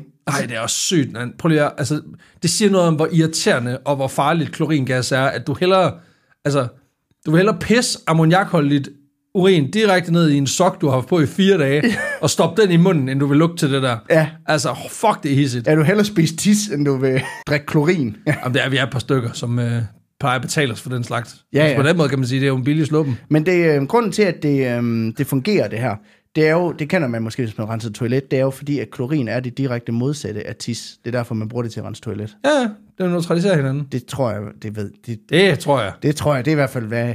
Nej, det er noget med, at den her klorin, den krystalliserer sig på den våde overflade. Ja. Og så, øh, så indånder du, du altså ikke de her... Ikke, ikke lige så meget i hvert fald. Nej. Der er heller ikke nogen af soldaterne, der på det tidspunkt har hjelme, faktisk. Nå. Øh, vi skal frem til 1915, før franskmændene, som de første introducerer metalhjelmen. Øh, til en til dag, så er de bare tisset en sok og taget den på hovedet gået ud fra, for at beskytte mod Det patroner. er, det er seriøst. Altså, det er den værste, det er den værste røver i byen. Bare sådan en helt stram tennissok ned over hovedet, sådan en Wilson. Det ligner Og bare en så smølf. Nej, en gul smølf. En gul smølf. Ligner en meget syg smølf. Hvad fanden er du har på hovedet? Jamen, det er fordi, så får gassen mig ikke. Nej, men altså, jeg har lige set en grænvoksen sergeant stå og piste direkte i ansigtet. Men hey, ja, du ved, hvad man siger, ikke? Altså, siger man? Krig er lige med kreativitet. Ja, for Der helvede. er ikke nogen, der er blevet så inspireret til at opfinde ting som folk i krig. Og det mærker man også på våbenfronten, hvor udviklingen går sindssygt stærkt på det her tidspunkt. Ja, det er jo klart, altså hvis du lige pludselig giver sådan nogle skabspsykopater sådan et, et carte blanche til, hvad kan vi nu slå ihjel med? Mm. Det er jo det, der sker, det er, at der sidder nogle fucking sadister derude, som bare har ventet på det her, og sådan et, hvad siger du? Skal vi bare finde noget, så- der er så destruktivt som muligt? Oh well! I've been waiting for this. Så hiver de bare alt for mange papirer op af en eller anden skuffe, hvor det er bare... Du kan bare kalde mig Q. Er det? I 1915, der begynder britterne for eksempel at producere verdens første tank. Det er William Foster and Co., der, som producerer landbrugsmaskiner egentlig oprindeligt. Der pludselig omlægger hele deres produktion til at udvikle kampvogne i Det stedet må du for. ikke sige for højt, det der, fordi der er stadig nogle landmænd derude, som er pisse sure. Hvis de finder ud af, at det ikke er sværere end det der, end at få fat i en sur pladesmed, så går det lige op. Ja, ja. Ja. Den første prototype, de laver af tanks, den får navnet Little Willie. Hvilket siger lidt om, hvad det er for en potensforlænger, de har, de har prøvet at bygge. virkelig. en- Ja, det er ikke så big dick energy, det der. Nej, der er et eller andet mærkeligt over at navngive sin potensforlænger efter sin dealer. Det synes jeg er lidt underligt. Åh, oh, jamen, det er ligesom øh, Lille John. Ja, den er faktisk opkaldt efter øh, virksomhedens grundlægger, William Foster. Øh, men pig-joken er ikke helt dum, fordi det her ved jeg ikke, om du ved. Tanks har jo køn. Hvad? Tanks har køn. Kampvogne har køn. Okay. Der findes to tankkøn, det er meget binært. Okay, det er enten eller. Ja, fordi på det her tidspunkt, der inddeler man de her kampvogne som enten mand eller kvinde. Så De- det er en pansret kvindskabsvogn? Jamen, de assumer gender på en pansret mandskabsvogn. Altså, Ja, ja. Men Det- hvad, hvad, hvad er the tell? jamen, dem med kanoner på, det er mænd. Og dem med maskingevær, det er kvinder. Du ved, når en fartank og en mortank elsker hinanden rigtig meget, Så går så der i stikker far kanonen ind i mors udstødningsrør. så får vi sådan en babybælte køretøj. Så skal jeg bare lige vide, den der half-track, du ved, hvor der er bælter bagpå, Ja. Og hjul foran, hvad er det så? Jamen, det er, øh, Det er interracial porn, bare hvis du var en tank. det er en kromosomfejl. Nå, øh, jeg troede, det var ligesom sådan en sonky. Du ved, eller en liker. En det, Den er, den er, altså, ja, ja, den er steril. Den kan ikke få flere. det er en kvindelig, øh, kvindelig tank, der har været utro med en traktor. Ej, den er blevet bare, den er, prøv at høre, det er jo en kvindelig tank, en pansret kvindskabsvogn, der kom kørende på en bar vej, og lige pludselig så er der bare kommet, altså en, en kæmpe majtærsker, som bare har tærsket hende. Hold kæft, den har bare majtærsket hende fuldstændig. Den er bare blevet tæt, og den har fået en stor plov. ja, men øh, ja, så får man lige lidt panserporno her i Hold kæft, man kunne kun i den her fucking podcast. Ja, ja. Men det er også, jeg synes, det er meget typisk for tiden. Man kigger på den store kanoner og sådan, åh, det er en han. Og så kigger man på et lille hisse maskingevær og sådan, kæft, det er hysterisk, det der. Men faktisk, så er det oprindelige navn for tanks om noget endnu dummere end, Åh, det, nej. end Little Willie og han og hun tanks. For i den komité, der har i gang sat produktion af kampvogne, de har simpelthen valgt at navngive dem landships. Landskibe. Ja, ja, men det er sådan lidt ligesom med, altså på den måde kan man sige, der har de jo også kaldt, altså luftskib. Mm.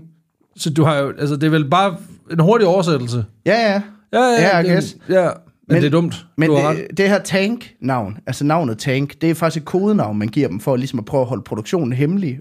Øh, Nå, fordi sagen er det ikke, hvad det er. og så siger man ligesom, det, at man producerer vandtanke. Nå, Og det giver mening, at du så bygger sådan nogle kæmpe store... ja, vi har øh, lige netop firkantede indkøbt vores første tanke. Ja, men øh, mens de går fifler i Storbritannien med at få to tanks til i bold, som var de pandaer i Zurich, så kommer der i løbet af 1915 en helt anden form for pansret maskinel til Vestfronten, Åh oh, nej. nemlig fly. Nå, ja okay. Den øh, 1. april 1915 bliver den franske pilot Roland Garros den første i et fly, der skyder et andet fly ned ved hjælp af maskingevær. Og dogfight. Ja, Kæft, mand, det er en joke. og det, er gør det så han ikke. faktisk ved at skyde direkte gennem sin egen propel. For Ja. øh, det er ligesom inden man får udviklet et fly, de kan skyde sådan en rytme, så de skyder mellem vingerne på, på propellen. Ja. Øh, så det han har gjort, det er, at han har sat en masse metal på propelvingerne, og så har han bare aftrækkeren ind. Hvad? Øh, øh, inden, han kan jo ikke skyde udenom de der vinger jo. Så han har bare armeret sin propel, og så holder han bare triggeren ind. What? så må propellen jo deflecte de skud, der ikke lige rammer ud igennem. Okay, det er alligevel også modigt. Ja. Og især den her flyteknologi bliver noget, man hele tiden optimerer og forsøger at være foran på. Blandt andet det her med, at man ret hurtigt får opfundet den her øh, timer, så den, Ja, ja, så den ja, skyder præcis. udenom så, så du propellen. skyder ind igennem Ja. hullerne. Faktisk så to uger efter, at øh, Roland Garros han har skudt den her fjendtlige flyver ned, der bliver han nødt til at nødlande bag fjendens linjer. Og der tager tyskerne ham til fange og beslaglægger hans fly, og kort tid efter, der udvikler de så den her interrupter, der gør maskingeværet ombord. Øh, ligesom timer det. Med, Ja, det er fordi, de ser hans designer sådan, det er kraftet med dumt, det der. det er totalt spild af kugler jo. Men øh, med den teknologi, så bliver det lige pludselig en fast del af slagmarken, at fly de indgår i de her dogfights op, op i luften. Ikke? Altså, hvor Med de, god grund. Ja, hvor de jagter hinanden på, på kryds og tværs. Og det er Ja, jo blandt andet i dem, at baron von Richthofen, han gør sig bemærket. Den røde baron. Den røde baron. En gut, som øh, kæmpede på tyskernes side, og som gennem krigen opnår over 80 sejre på himlen over Europa. Ja, han var ret god. Ja, jeg tænker, vi gemmer en hel episode til ham. Ja, fordi han er, han er hissig. Ja. Men jobbet som pilot er også mega træls. Altså ikke nok med, at du skal ind i metalkasser op i luften, hvor du bliver skudt efter dig med maskingevær. Nu siger du metalkasse, men det er jo ikke altid, du er så heldig. Nej, Den nu- kan jo godt være lavet af pap og brædder. Ja, ja. Den Altså- kan jo godt bare være lavet af gamle tøjstykker. Ja, præcis. ja. Men øh, hvis du så bliver ramt, og flyet styrter ned, så har du i det mindste det privilegie, at du ikke behøver at være i tvivl om, hvorvidt du kan gøre noget for at overleve. Nej, fordi det er ikke sikkert, at der er faldskærmen, den lige er helt opfundet nu. Nej, det er der typisk ikke plads til, faktisk. Nej, nej, nej, fordi så bliver den jo for tung jo. at det kan faldskærme med. Altså, har du set ham der Frans Reinfeldt, den der fucking mærkelige dragt, han havde på, den virkede jo ikke for en skid, mand. Nej, nej, Og den er pisse tung jo. Og faktisk så er der nogle generaler, især på tyskernes side, der, lige, der selvom faldskærmen er opfundet af egen Ja, mulighed, så øh, fraråder de det, fordi de mener, at det mindsker piloternes kampånd. Hvad? Du kæmper ikke så meget for livet, hvis du har en vej ud, jo. Det er jo en... Okay. Man kan godt mærke, at HR ikke var en ting dengang. det er virkelig uhyggeligt, det der.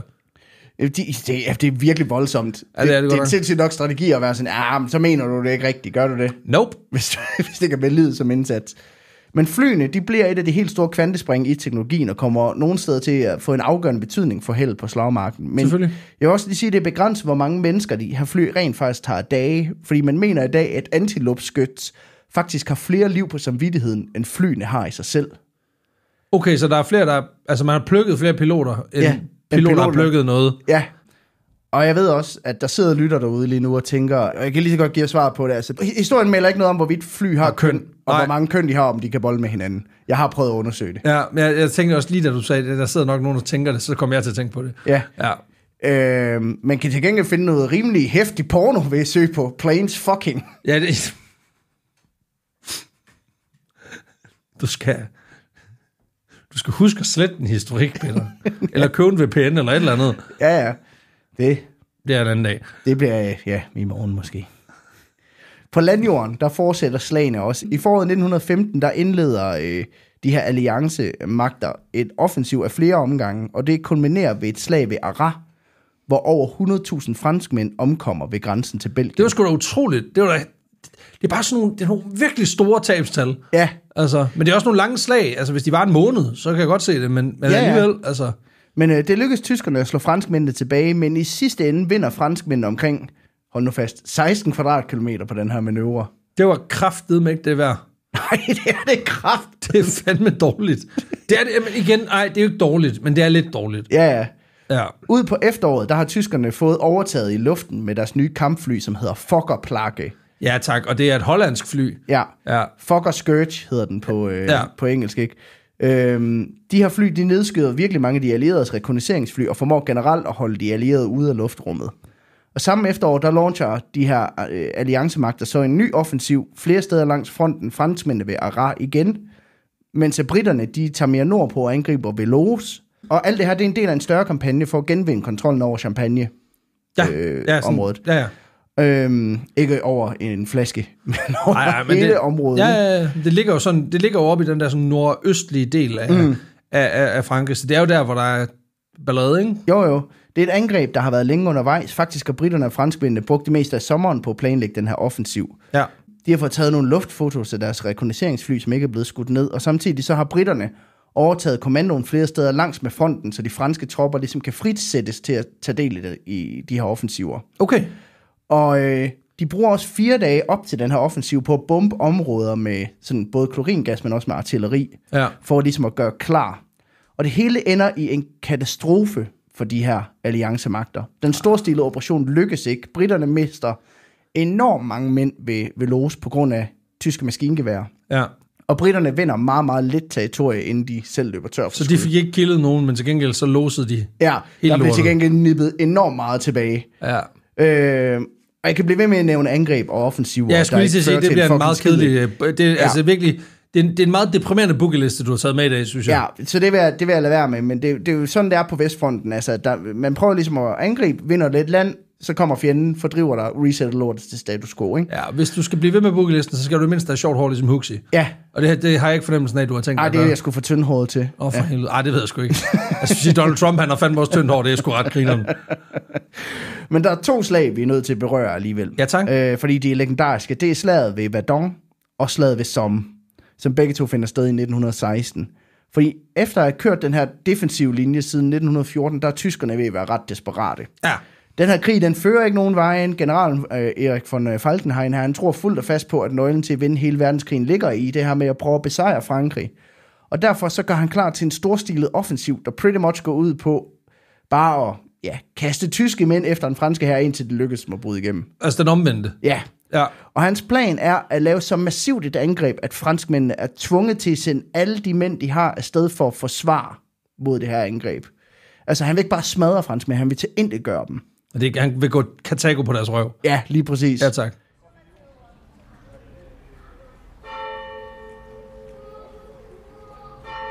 Byen Verdun ligger i det nordøstlige Frankrig. En sådan fin gammel fransk by, som især er karakteriseret ved sådan en gammel historisk fortifikation, der omgiver byen. Omkring Verdun, der finder man nemlig 19 store fort. Hold da op. Og mange af dem er faktisk historiske fort, som den franske her selvfølgelig har indrettet sig i igen nu, og bruger til at slå hårdt tilbage mod de tyske kommunikationslinjer. Og det er det perfekte sted til det her tyske angreb, fordi ikke nok med, at de øh, vil få gjort op med den her trussel mod deres egne kommunikationslinjer, men det er også et punkt, som måske ikke er så velforsvaret som andre steder langs fronten. Simpelthen fordi, at de her fort ikke har set så meget kamp, og franskmændene har ligesom valgt at tage mandskab og artilleri ud af de her fort, for at bruge dem andre steder langs fronten. Okay. Så Verdun bliver målet for den her operation, og håbet er at tage franskmændene på sengen. I tiden op til den her offensiv, der har tyskerne brugt syv uger på at bygge nye jernbaner og betonbunker i området. Og, Det må også være mærkeligt at, sådan at kunne stå og kigge over med, med kikkert. Ja, Og se, hvad fanden laver han? Han står i murtøj. De har den der, de har den der mærkelige, den der, runde, den der runde ting med, hvor de putter mørtel ind og sådan ja, noget. de er gamle med at lægge skinner, og de, er sådan, fanden? de siger, det er DSB, men det virker lidt underligt. Bane Deutschland, hvad fanden laver I her? Deutsche Stadtfahrt. Præcis, hvad fanden? Ja. We have Arriva! Efter de har lagt de her skinner, der har fragtogene så kørt i døgndrift. Over 1300 gange har de kørt frem og tilbage for at transportere mere end 1200 artillerikanoner til området, sammen med 2,5 million patroner til det her fortstående angreb. ha, Ford. Grineren. Er jeg glad Jeg for, håber, jeg, den? ja, ja, jeg håber, togpri- togbilletterne er billigere end, øh, end taxaregningerne. Det er, altså, min erfaring er, at det er de højst sandsynligt ikke. Men mindre du kan få 1300 orange billetter. Ja, det, Og så er det kun uden for myldretid, det er pisse så står de ude for en krups med, altså, med seks kanoner, der skal lastes, så sådan, nej, den er kørt. Hvad siger du? Du har ikke... Har du pladsbillet eller hvad? Nå, så må du jo sætte den der på et eller andet ledigt sæde. Ja. Der står måske til Odense. Det ved jeg ikke. Men altså, prøv at sætte den, og så se, hvad der sker. Jeg vil også sige, at jeg tror, når du transporterer infanteri, der er ikke meget stillezone nogen steder. Nej, det ved jeg ikke. Altså, nej. Hvis du skal transportere over 2 millioner patroner, der er noget, der rasler. Ja, det tror sted. jeg, du kan være ret sikker på. Altså, det, øh, ja. Ja. Jeg tror til gengæld, så tror jeg, at ikke ryger kabinerne. De, altså, det mener de alvorligt. Ja, ja. Altså, du skal fandme... Ja, der bliver fandme ikke råd ombord. Nej, det tror jeg, håber jeg da ikke. Men selvom de har lagt en masse arbejde i, i det her, tyskerne, og brugt tid på både at bygge jernbaner og alt muligt, så øh, lykkedes det dem faktisk alligevel at overraske franskmændene. Jamen, det er også svært lige at overse, altså sådan lige 1200 kanoner, Ja, ja. der lige bliver kørt i stilling. For helvede, altså. Klokken kvart over syv om morgenen den 21. februar 1916, der i gang sætter tyskerne et bombardement af området. Bomberne falder overalt langs en 40 meter lang strækning af fronten ud for Verdun. Og klokken kvart i fem om eftermiddagen, der indleder de så de første infanteriangreb. De møder sådan lidt spredt modstand fra franskmændene, men det lykkes med at indtage det fort, der hedder Dormont, der er det største af de her fort, der omringer Verdun. Og faktisk bliver franskmændene taget så meget på sengen, at tyskerne kan tage det her fort uden at affyre et eneste skud. Ah, det gælder, hvis du starter bombardement. Ja, ja, vi har ikke affyret nogen projektiler. Nej, nej, nej, men hvad med de der 1600 artillerigranater?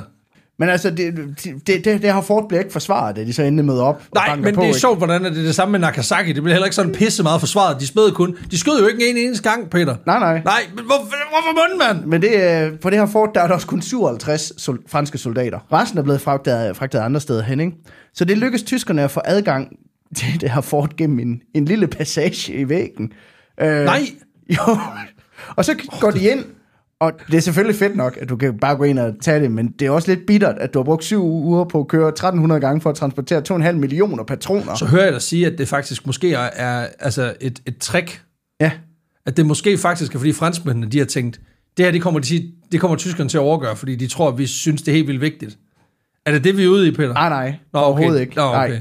Faktisk tværtimod, så blev det starten på Første Verdenskrigs længste slag. Nå, for helvede. Jeg troede lige, at franskmændene var sådan, nu har vi knækket den. Øh. Nej, et af de mest blodige slag i øh, Fordi vi så gerne have deres fort tilbage. verdenskrigen, men også i verdenshistorien faktisk. Ej, for helvede, Peter. Og i starten, der forsøger franskmændene egentlig hurtigt at få så mange tropper som muligt transporteret til Verdun, Okay. øh, efter de er blevet taget på sengen her, ikke? Ja. Men fordi de jo ikke har haft så meget forberedelsestid, som øh, tyskerne...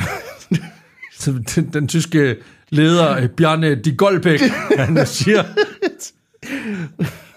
de øh, de går der. Vi ville gerne have haft lidt mere forberedelsestid. Men øh, man kan sige, det er jo ikke nogen jernbane eller andet, der gør det nemt at få tropper til og fra Verdun. Nej, Og derfor så er de afhængige af at fragte det hele via én vej. en vej. En 6 meter bred vej, der går ind og ud af området, som er det eneste tyskerne, de ikke holder øje med. Det er, hele der, det er den eneste livslinje, de har. Øhm, Ja, der skulle man jo håbe, at man havde bygget lidt mere handelsvej. ja, ja, så du Ja. kan have fået de victory points. Ja. Men, øh, men sådan er det. Ja, det er der ikke noget af. Men de begynder faktisk ret hurtigt også at opgradere den her vej. For For ligesom mere at, vej. altså nogle af de franske soldater blev simpelthen sat til at lægge asfalt og brosten på den her vej. Så den, Brosten! ja, så den er mere brugbar. Hvor fanden det er ikke bare asfalt? Hvorfor skal du brosten? Jamen jeg tror, jeg, jeg tror, det handler meget om, hvad de kan skaffe. Det skal og, øh, kraftedeme ligge. De sjavser skal bare ligge fucking skarpt, ellers Tror- så bliver jeg hissig. Jeg tror ikke, at det, øh, jeg tror, det er mere det mulige kunst. De går ikke efter style points eller Nej, det tror jeg sgu ikke. Okay. Inden for et par uger, der er den så brugbar, at de øh, franske forstærkninger, de vælter ind i, i Verdun. Inden for en uge, der lykkedes dem at sende over 190.000 franske tropper og 25.000 tons mad og forsyninger med den her vej. Det er godt nok alligevel også meget mad. Ja, og øh, den gør også franskmændene i stand til at skifte tropperne på frontlinjen ud, så de faktisk har mulighed for at hvile sig. Ah, ja. Hvor tyskerne jo hele tiden ligesom er nødt til at være, være på, ikke? Ja, ja, ja. Den her vej bliver faktisk så vigtig, at den senere får navnet La Voie Sacrée, Den hellige vej. den hellige vej. Ja.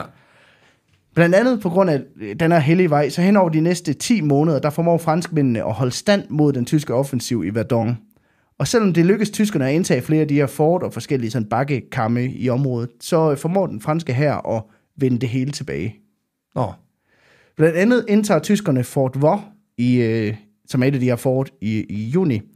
Og i november, der vender franskmændene det så tilbage, og i december er det lykkedes med at presse tyskerne så voldsomt tilbage, at de faktisk er øh, to kilometer fra, Der, hvor de startede. fra der, hvor de startede. Okay, det lød lige som om, at, at det ikke... Jeg misforstod det, fordi det er jo ret imponerende, faktisk. Mm. Jeg sagde bare lige, nå, som om, at, nå ja, what the fuck, ikke? Det er jo, det er jo vildt, altså. Ja. Også fordi, at når, det giver også mening, de kalder den for den hellige vej, fordi når det er 6 meter bred stykke landevej med grus, der gør, at du lige kan tæve tyskerne, som har fucking Ja, så- anlagt så- jernbaner. Altså, det siger lidt om, hvor ineffektivt DSB er. Ja, ja, men også prøv at tænke på herhjemme, ikke? hvis der er et hul i en vej, hvor lang tid tager det ikke lige at få det fikset? Jo, men det er jo klart, at hvis du ligesom... Altså, de er også, de har også, de er også motiveret. Ja, ja, Altså, jeg ved ikke, om du nogensinde har set sådan en makker fra Vej og Park sådan tirsdag formiddag. Det er ikke fordi... Og det, jeg siger ikke, han er dårlig, fordi Det er de sjældent. De er, sjældent sind, de, de er oftest virkelig, virkelig mm. søde og rare mennesker, men motiveret er nok ikke sådan, det er ikke det første buzzword. Det du siger, det er, at de vil arbejde hurtigere, hvis de var ved at blive bumpet. Ja, Ja, og okay. på den måde synes jeg måske, det er meget smart, at vi ikke har, altså det er en, anden, det er en helt forkert slags aktivering. det skal vi ikke ud i. Sådan en bomberman-agtig øh, aktivering, det synes jeg vil være noget råd. Slaget ved Verdun er et brutalt slag. Hen over de her 10 måneder, der mister franskmændene op imod en halv million soldater. 160.000 bliver dræbt, og mere end 200.000 såret. Resten de forsvinder. øh, Det tysk... er alligevel mange, der forsvinder. Ja, men der, er- der er rigtig mange, der bliver væk i sådan en krig. Tyskernes tal er cirka 300.000 i alt, med øh, 150.000 døde. Og ud af de her godt 800.000 døde og sårede, så er over 70% af dem forårsaget af artilleri. Hold op. Hen over de her 9-10 måneder, der bliver der totalt set affyret over 60 millioner artillerigranater. Det, det, det gør jo unægteligt, at præcisionen, den begynder at nærme sig noget stormtrooper shit, det her. Jo, det er godt, altså de, de laver virkelig mange huller i osten. Ja, de, de går efter det der med sådan, det er mere kvantitet over kvalitet, lad os sige det sådan. Og jo, det er det, men det er igen, de satser på, at, altså det er jo, det er jo hurtigt kalkyl, hvor man siger, hvor meget mm. jords areal skal vi bombe? Hvis vi lægger bomberne med så og så meget afstand, så, af, så huller vi ligesom 95 procent. Så må menneskerne også, der er, altså de få mennesker, der, der kan lege øh, minestryger igennem det her, de er nærmest fortjent at overleve. Ja, det er det. Ja, Ja. det er rigtigt. Faktisk så kan bragene fra de her bombardementer høres over 150 km væk. Det er meget larm. Det er meget larm. Det er rigtig meget larm. Ja, der er folk, der brokker sig over, de synes, grøn koncert larmer, når den spiller i baghaven, ikke? Ja, det her det er sådan lige... Prøv niveauet over. bombardement. Også bare fordi, at det her, det kan du ikke få billetter til. at du kan jo, altså jo, hvis, der, hvis du går hen til sådan en eller anden knotten løjtnant, der er sådan lidt, undskyld mig, men jeg kunne godt tænke mig, at det lige stoppede med det der. Så fint nok. Prøv at høre her, der er to muligheder, kammerat. Enten så lukker du røven, og så går du igen. Eller også så får du billetter til det her show. Ja, ja. Du kan melde dig frivilligt. Præcis, du det er kan gratis, kan jeg Så får vi det overstået noget hurtigere. Ja. Soldaterne beskriver også, hvordan nogle af bakkerne omkring Verdun er så sønderknippet til sidst, at de ligner vulkaner. Fordi der simpelthen bare står ild direkte op af dem. Wow. Ja. Ja, det er noget med, at der findes sådan en organisation, det er sådan, nogle, det er sådan et, et hold, jeg gerne vil besøge.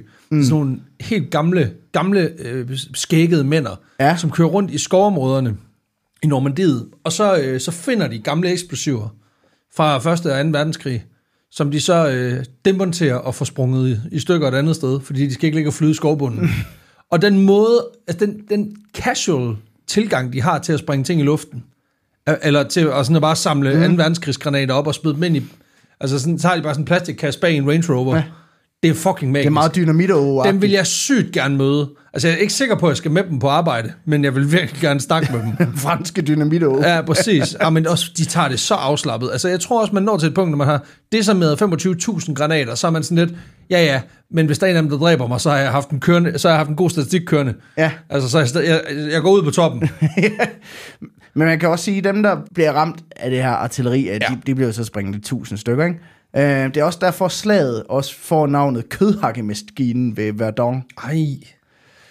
Det er også ved Verdun, at kampflyene virkelig får lov til at vise sit værd, og det er egentlig tyskerne, der sidder hårdt på luftrummet ved Verdun, i hvert fald i starten. Men det lykkes... Med de her fuckers. de her fuckers, they will fuck your shit up. Ja.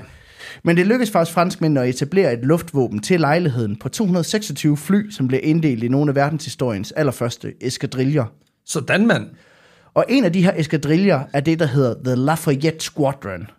Det lyder fedt. Ja, og hvis du undrer dig over, hvorfor jeg siger det på engelsk, så er det fordi, at den kun består af amerikanske piloter, der oh. har meldt sig frivilligt.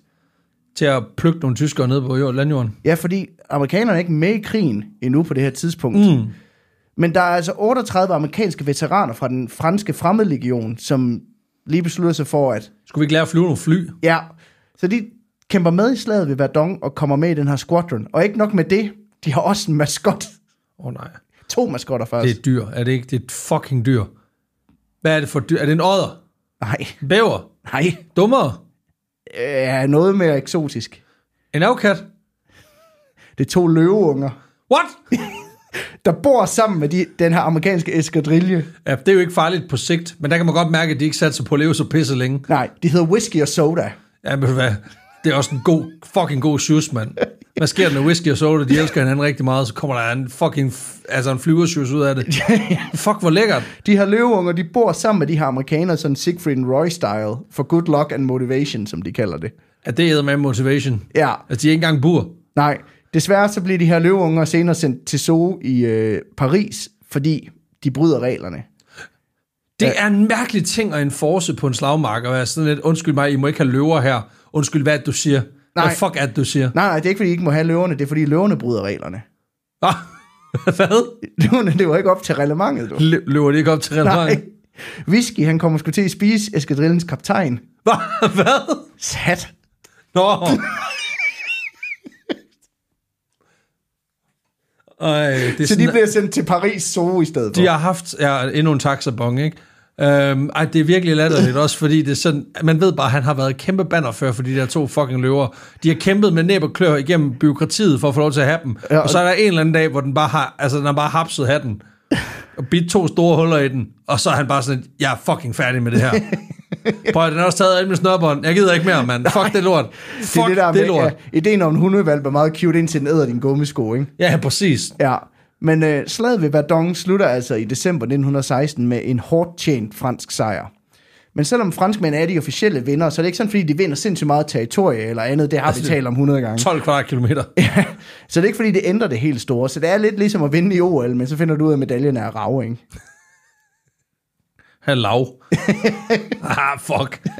Så har du snydt mig igen. Sideløbende med slaget ved Verdun, så udspiller der sig også et andet blodigt slag lidt mere mod nordvest, nem- nemlig ved floden Somme. Det er en britisk og fransk offensiv, som har været aftalt i god tid i forvejen, men det her tyske angreb ved Verdun har faktisk gjort, at de har måttet tage mænd, som oprindeligt skulle bruges ved Somme, og så bruge dem ved Verdun i stedet for. Men den 1. juli, der i gang sætter franskmændene og britterne så den her offensiv i det, der hedder slaget ved Albert. Og forud for det her slag, der har tyskerne været under massivt bombardement i godt en uge, Ja. men selvom britterne har regnet ild over tyskerne, så er det ikke lykkedes dem hverken at bombe alt det pigtråd væk, der ligger på slagmarken, og det er heller ikke lykkedes dem at smadre nogle af fjendens skyttegrave. Så, Så- så de er dårlige. Så da angrebet begynder, så bliver det en slagtebænk, fordi den dag, der lider britterne det største antal dræbte og sårede på en dag i den britiske hærs historie. Nej, Peter. 57.000 mand. Det er kraftet med mange mennesker, mand. Ja, på en dag. Nej, det er ikke i orden. Det er noget fucking lort. Men det lykkedes dem heldigvis at gøre stor skade på den tyske hær. Ja, men øh. det er bare ikke sådan, altså det kan, ja, det skal du også, hvis du mister 57, altså sådan, altså uden sammenligning i øvrigt, altså det er Grønlands befolkning, Ja, ja. og så lige en mellemstor handelsby, eller landsby oveni, ikke? Ja, ja. Altså det er sådan, det er helt fucked det der. ja det, er helt, det, er, det er massive tal. Det er fucked up. det er altså, virkelig vildt. Ej, for det er grusomt, øhm. Øhm. altså. Også bare fordi, husk lige på, hvorfor er det, de blev sure. Det er fordi, der er sket noget nede på Balkan. Det er bare lige sådan, altså... Nå nej, men det er bare ikke ret længe siden, nej, Nej, at der var en eller anden kammerat, der stod med en Tino Cardo sandwich, der måske var færdig, måske eksisterede det ikke engang, og så siger det bare lige, bap, bap, og så vi ser os om, så står vi her, ikke? Ja, ja, lige præcis. Altså for helvede. ja. Fuck den sorte hånd, mand. Senere så for de her gutter, så heldigvis også en sejr med hjem ved slaget ved Basantan. Det bliver til 142 dages intense kampe ved Somme. Selvom franskmændene og britterne har sådan lidt begynder at hælde med sig, så klapper tyskerne hårdt igen, og ved slaget ved Fromel, der formår tyskerne at slå de her angreb tilbage igen. Oh shit, guys, I'm ready for something else. Ja. Og hen over sommeren går slaget ved Somme først ind i sin anden fase, og senere sin tredje og noget mere drabelige fase. Oh Fordi shit. det her, britterne sætter en ny base på banen for første gang.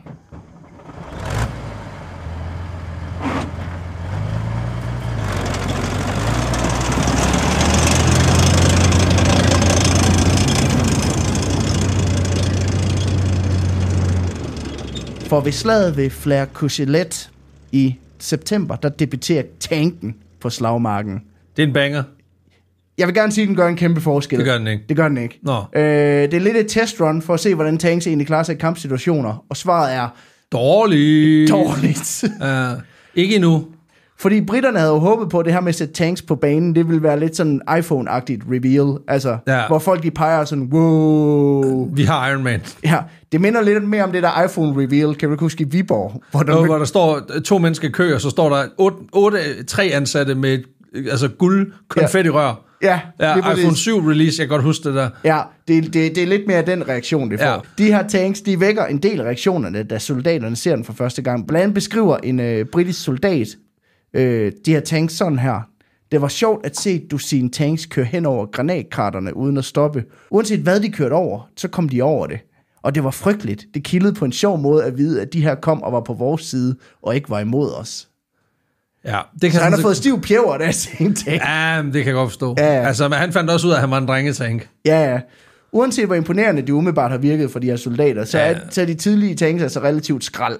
Ja, de er jo tæt på ubrugelige, fordi jeg kunne forestille mig, at skyttegravene er brede, for brede, eller mudder. Og Ja. altså, det er det der med, du har jo ikke testet den i en kampsituation. Nej, nej. Du har Så- kørt rundt ude på en eller anden bane i London, ikke? Ja, Det er datidens, øh, datidens letbane, hvor det er sådan, det virker skidesmart, indtil den skal køre. ah, fuck, er det frost? Nej, det, fordi blandt andet, man har, på de første modeller har man taget det her med lane chips meget bogstaveligt, fordi de har simpelthen roer på. Roar! De har roer på. De har sådan en hale om bagpå, du så drejer, når du skal dreje. Hvorfor fuck er det lige, de har det? Øh, jamen, Bilen de, er jo opfundet. Ja, De ja. har jo ikke roer.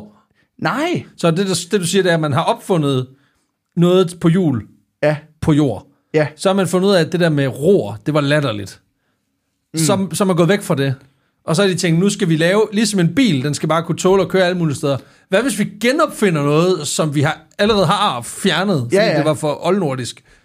Fuck, hvor smart, mand. Fuck, Ja. de er kloge. Ja, men det, øh, den bliver også ret hurtigt pillet af de næste modeller. Ja, men virkelig. derudover, så er de også fucking langsomme. Altså, de, og de er sindssygt upræcise. Og der er faktisk historikere, der peger på, at de her tanks dræber flere soldater, hvis simpelthen bare kører hen over dem, end de gør ved at skyde dem. Det er altså også, igen, apropos det der med at snakke psykologisk mm. warfare, det er nok noget, det er noget af det værste. Ja, Altså også fordi det, der sker, det er, der, der går, altså det er jo sådan, du laver et menneske om til tandpastatube, ikke? ja jo jo. Altså det der, hvor du ser, at du kommer til at se røven gå ud igennem fødderne, fordi ja, ja det, er tryk, men- det er rent tryk. Jo jo, men, det, men jeg har det lidt sådan, du kunne opnå det samme med en Citroën Berlingo. Den kan du også køre folk over i. Ja, nej, nej, det er bare ikke det samme. Siger jeg ikke Har du set. Karen i en Berlingo gå amok på Ja, ja, men den, er, den er ikke, men den er ikke tung nok, for det, der sker, når du kører et menneske over med en bil, det er, at du ligesom kører over det, og så bliver de, de går i stykker, men de, de knækker indeni. Men når du kører nogen over med en tank, så, så kvaser du dem jo. Ja, ja. Min, Altså- min pointe er bare, at hvis, det, hvis den kan det samme som Citroën Berlingo, så er din tank fejlet. Ja, ja, det, altså, det, det, det er en dårlig tank, men det er mere det der med, at sådan, altså, det, det, det er fordi, det du sammenligner her, det er, altså, øh, du ved, ham der krammer helt vildt hårdt, og så en hydraulisk presse, mm. den der finske YouTube-kanal, hvor de bare Ja, ja, ja. ja. kvaser ting. Øh, og det er lidt, altså, det er der, hvor jeg siger, hvis du er på en slagmark, og du så ser en, der bliver kørt over, og så ligger han stille, kontra en, der bliver kørt over, så bliver han til mos, og hans ansigt, det, flop, det flyver ligesom af. Så tror jeg, det sidste er helt klart stærkere rent Nå, jo, jo. psy- psykologisk. Jo jo, men du Ja. kan ikke se det på statistikken. Nej, nej, nej, nej, nej, nej, nej. Der kan Nej. godt mærke, at du er meget numbers guy. Jeg er meget numbers guy. Du er kæmpe Excel-svin i dag. Også fordi, at uh, tankens statistik, den er fucking dårlig. Nå, Ud af med det. 50 tanks, som er med i slaget ved det her Flag Courcelette, der er det kun 25 af dem, der overlever. Nå, hvad Og- fanden... øh, Jamen det er faktisk fordi, langt de fleste af dem bliver smadret, fordi at uh, de, end, de bryder sammen ude på slagmarken. godt? Så kan tyskerne løbe hen og lægge granater under dem, og så springe dem i luften. Er det ikke så godt? Nej, det er ikke så Det er godt. noget fucking juks, Der det tror der. jeg faktisk, en Citroën Berlingo, den havde kørt bedre. Ja. Det er jo sindssygt, det der. Ja. Alligevel så ender slaget ved flere øh, Courcelette med en øh, sejr til britterne, som alligevel får flyttet frontlinjen 2-3 kilometer. Nice. You aren't winning. You're just not losing. You're, you're just not losing. altså, det er det. You're just not losing very slowly. Ja, ja, præcis. Men den her unboxing party af tanken, øh, gør jo selvfølgelig også, at der går ikke særlig længe før både tyskerne og franskmændene får sat kampvogne i produktion. Hvorfor baseret på den, øh, den landslide Jamen, jeg, sejr. jeg tror, de ser, at der er et proof of concept. Ja, jamen, fordi jeg skulle lige Øh. sige, der må stå nogle britiske ingeniører, du ved, et par kilometer væk med nogle ret store kikkerter, som de har jo så har patent på i øjeblikket, Ja. og, og tænke, fuck det er fedt, fuck det er fedt, hvad fanden sker der nu? Hvad er nu det der? Nej, nej, nej, nej, nej, nå, åh, åh, åh. øhm, jeg skal lige have lidt tid for mig selv. Ja, Jeg skal lige ind og forske lidt men i at lave nogle bedre tanks. Jeg tænker, hvis jeg nu tager en lidt større drengetank og en lidt mindre dametank, og så måske får dem til at lave et, et babybæltekøretøj mere, så kan det et eller andet. igen, der er jo ikke noget som våben, der kan få Georg tendenserne frem hos de, hos de fleste. Ikke? Nej, nej. Det sidste slag i slaget om Somme, det bliver ved Ankre, som kører fra den øh, 13. til den 18. november. Her går de allierede tropper ind i Ankredalen i håbet om at vinde noget territorie, som de kan bruge til at fortsætte kampen i det nye år. Ja, Men det her slag, det bliver afbrudt midt i på grund af sindssygt dårlig vejr. ja. En kombination regn, sne og tåge. Den er svær. Ja, og det betyder, at skyttegravene på begge sider bliver fyldt med mudder og vand, og derfor så trækker begge parter sig tilbage og må vente på, at vejret det skifter. Og det er simpelthen fordi, at der, altså, der er soldater, der drukner i mudder, Mudder, ja. i de her skyttegrave. Ja, i det mindste så behøver vi ikke at pisse i vores sokker. Nej, Nu er der ren regnvand. Hansi, hvorfor pisser du stadig dine sokker? ah, du har regnet Ah, men det er lækker. Det er fordi, jeg er, er smagt godt, ja. Mm. Det er jo fordi, jeg er flindrende pervers.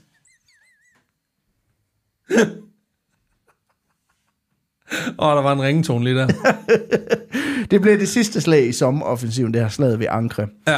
Hele slaget om som ender med at vare fire måneder, to uger og tre dage.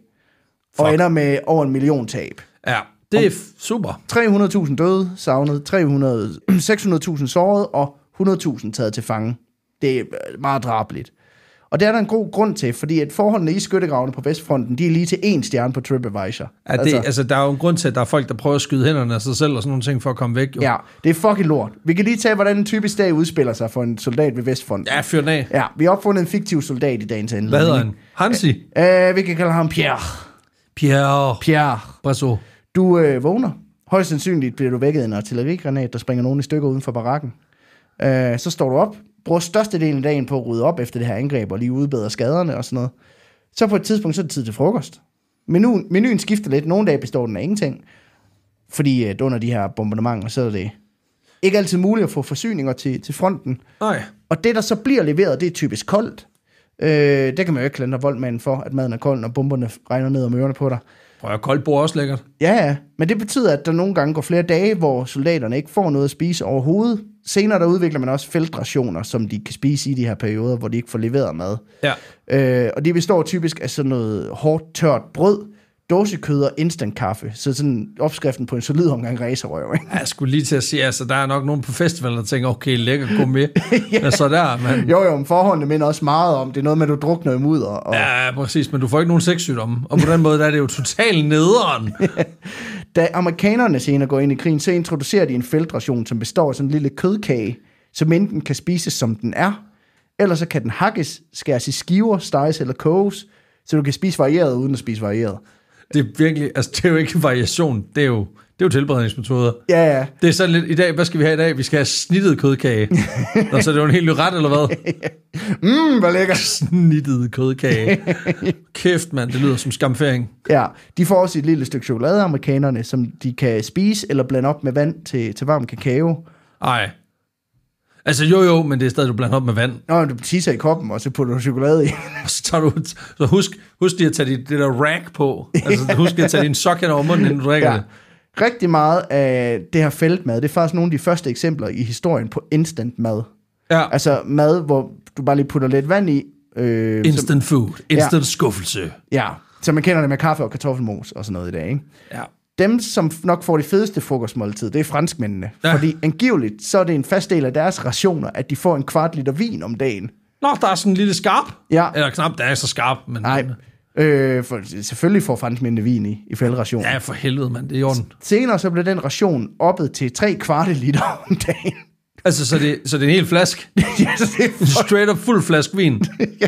Hold kæft, mand. Så skal du altså også se noget lort, før de ligesom tænker, vi bliver sgu nok nødt til op den her gang. Ja. Skulle vi ikke give dem en halv liter vand med? Nej.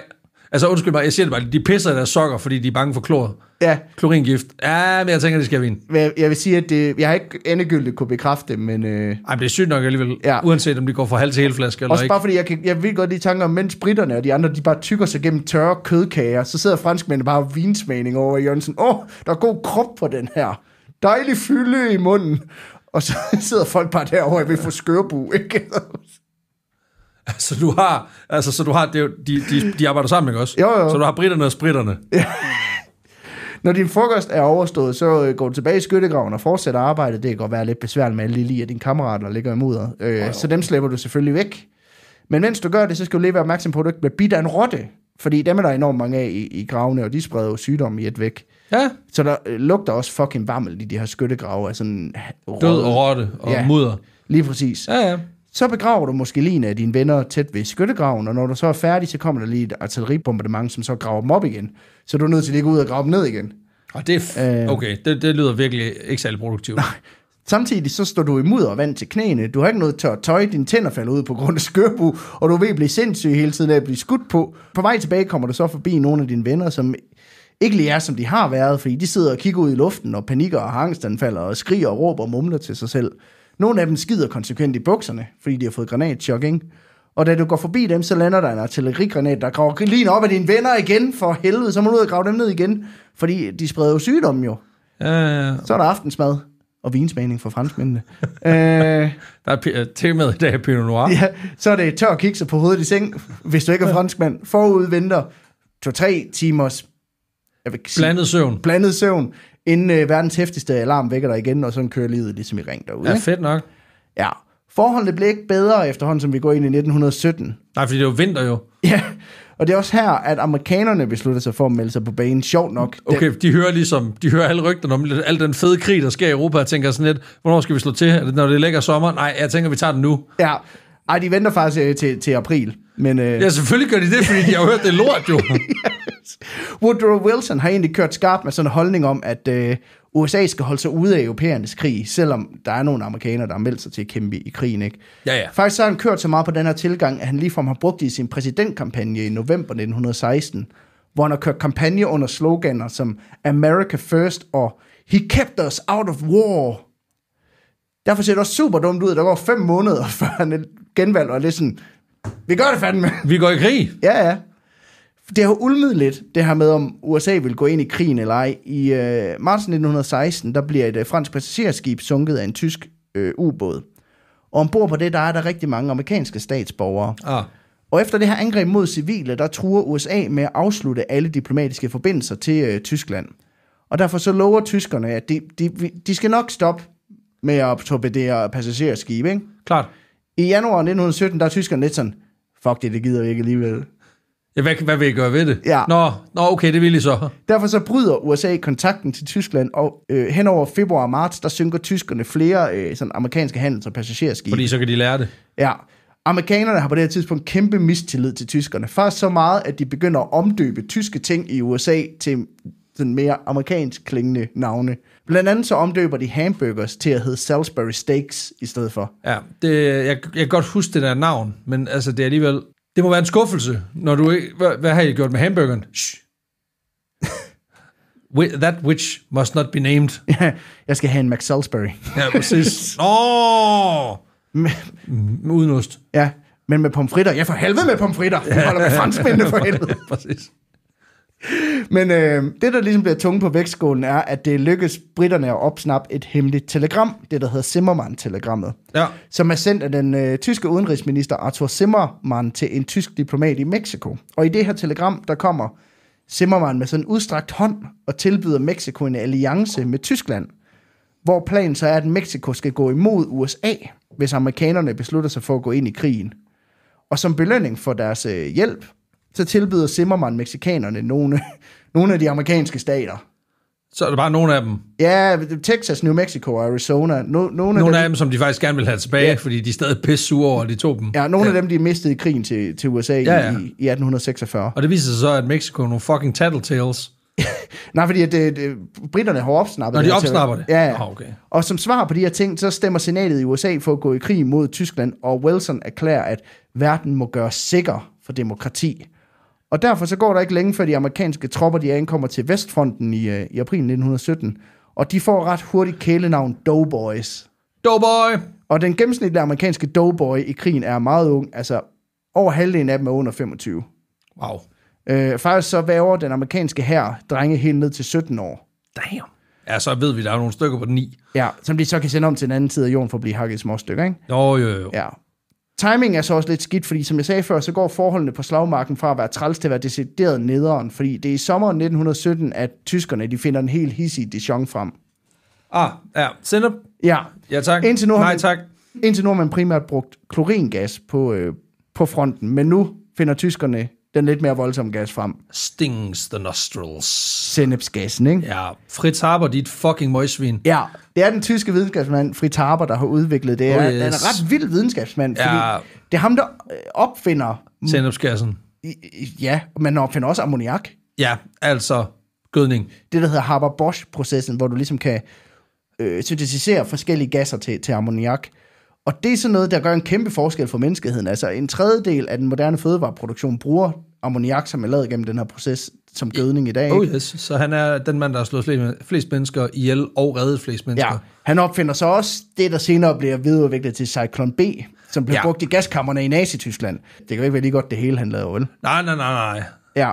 Harper har faktisk været med til at udvikle flere af de gasser, der bliver brugt på slagmarken, og er hæftig fortaler for, at kemisk krigsførelse er fucking fedt. Ja, Så han får også tilnavnet faderen af kemisk krig. ja, det gør han nemlig. En af de gasser, som han udvikler, det er altså sennepsgassen. En gas, som i flydende form er farveløs, men som i den form, det bliver brugt i krigen, ofte har sådan en farve, som sennep har. Let gul. Ja, og så lugter det lidt af hvidløg eller peberrod eller sådan noget. Ja, øh, og det, det lægger sig også som sådan en film på alting. Ja, lige præcis. Ja. Den er fucking nasty. Altså, Ja, det ligner virkelig, at du har, altså, det ligner, at, at, at dine venner har givet dig en ledget gang kanel, bare med pis i stedet for. Ja, sennepsgas kan virkelig give nogle seriøse brændsår. Hvis du indånder det, så kvæler det dig. Det kan give lungeskader, fordi det blandt andet giver vand i lungerne. Yep. Hvis du får det i øjnene, så bliver du midlertidigt blind, øh, måske permanent blind. Ja, det, kan jo, det brænder jo vildt Ja. dine øjne. Det er noget rigtig lort. Altså, det er ikke så mange, der dør af det faktisk. Det er kun 2-3 procent, der, der dør Ja, ja men det. resten, de har det bare pisse træls. Ja, resten får bare lange indlæggelser og permanente skader på grund af sennepsgassen. Ja, ja.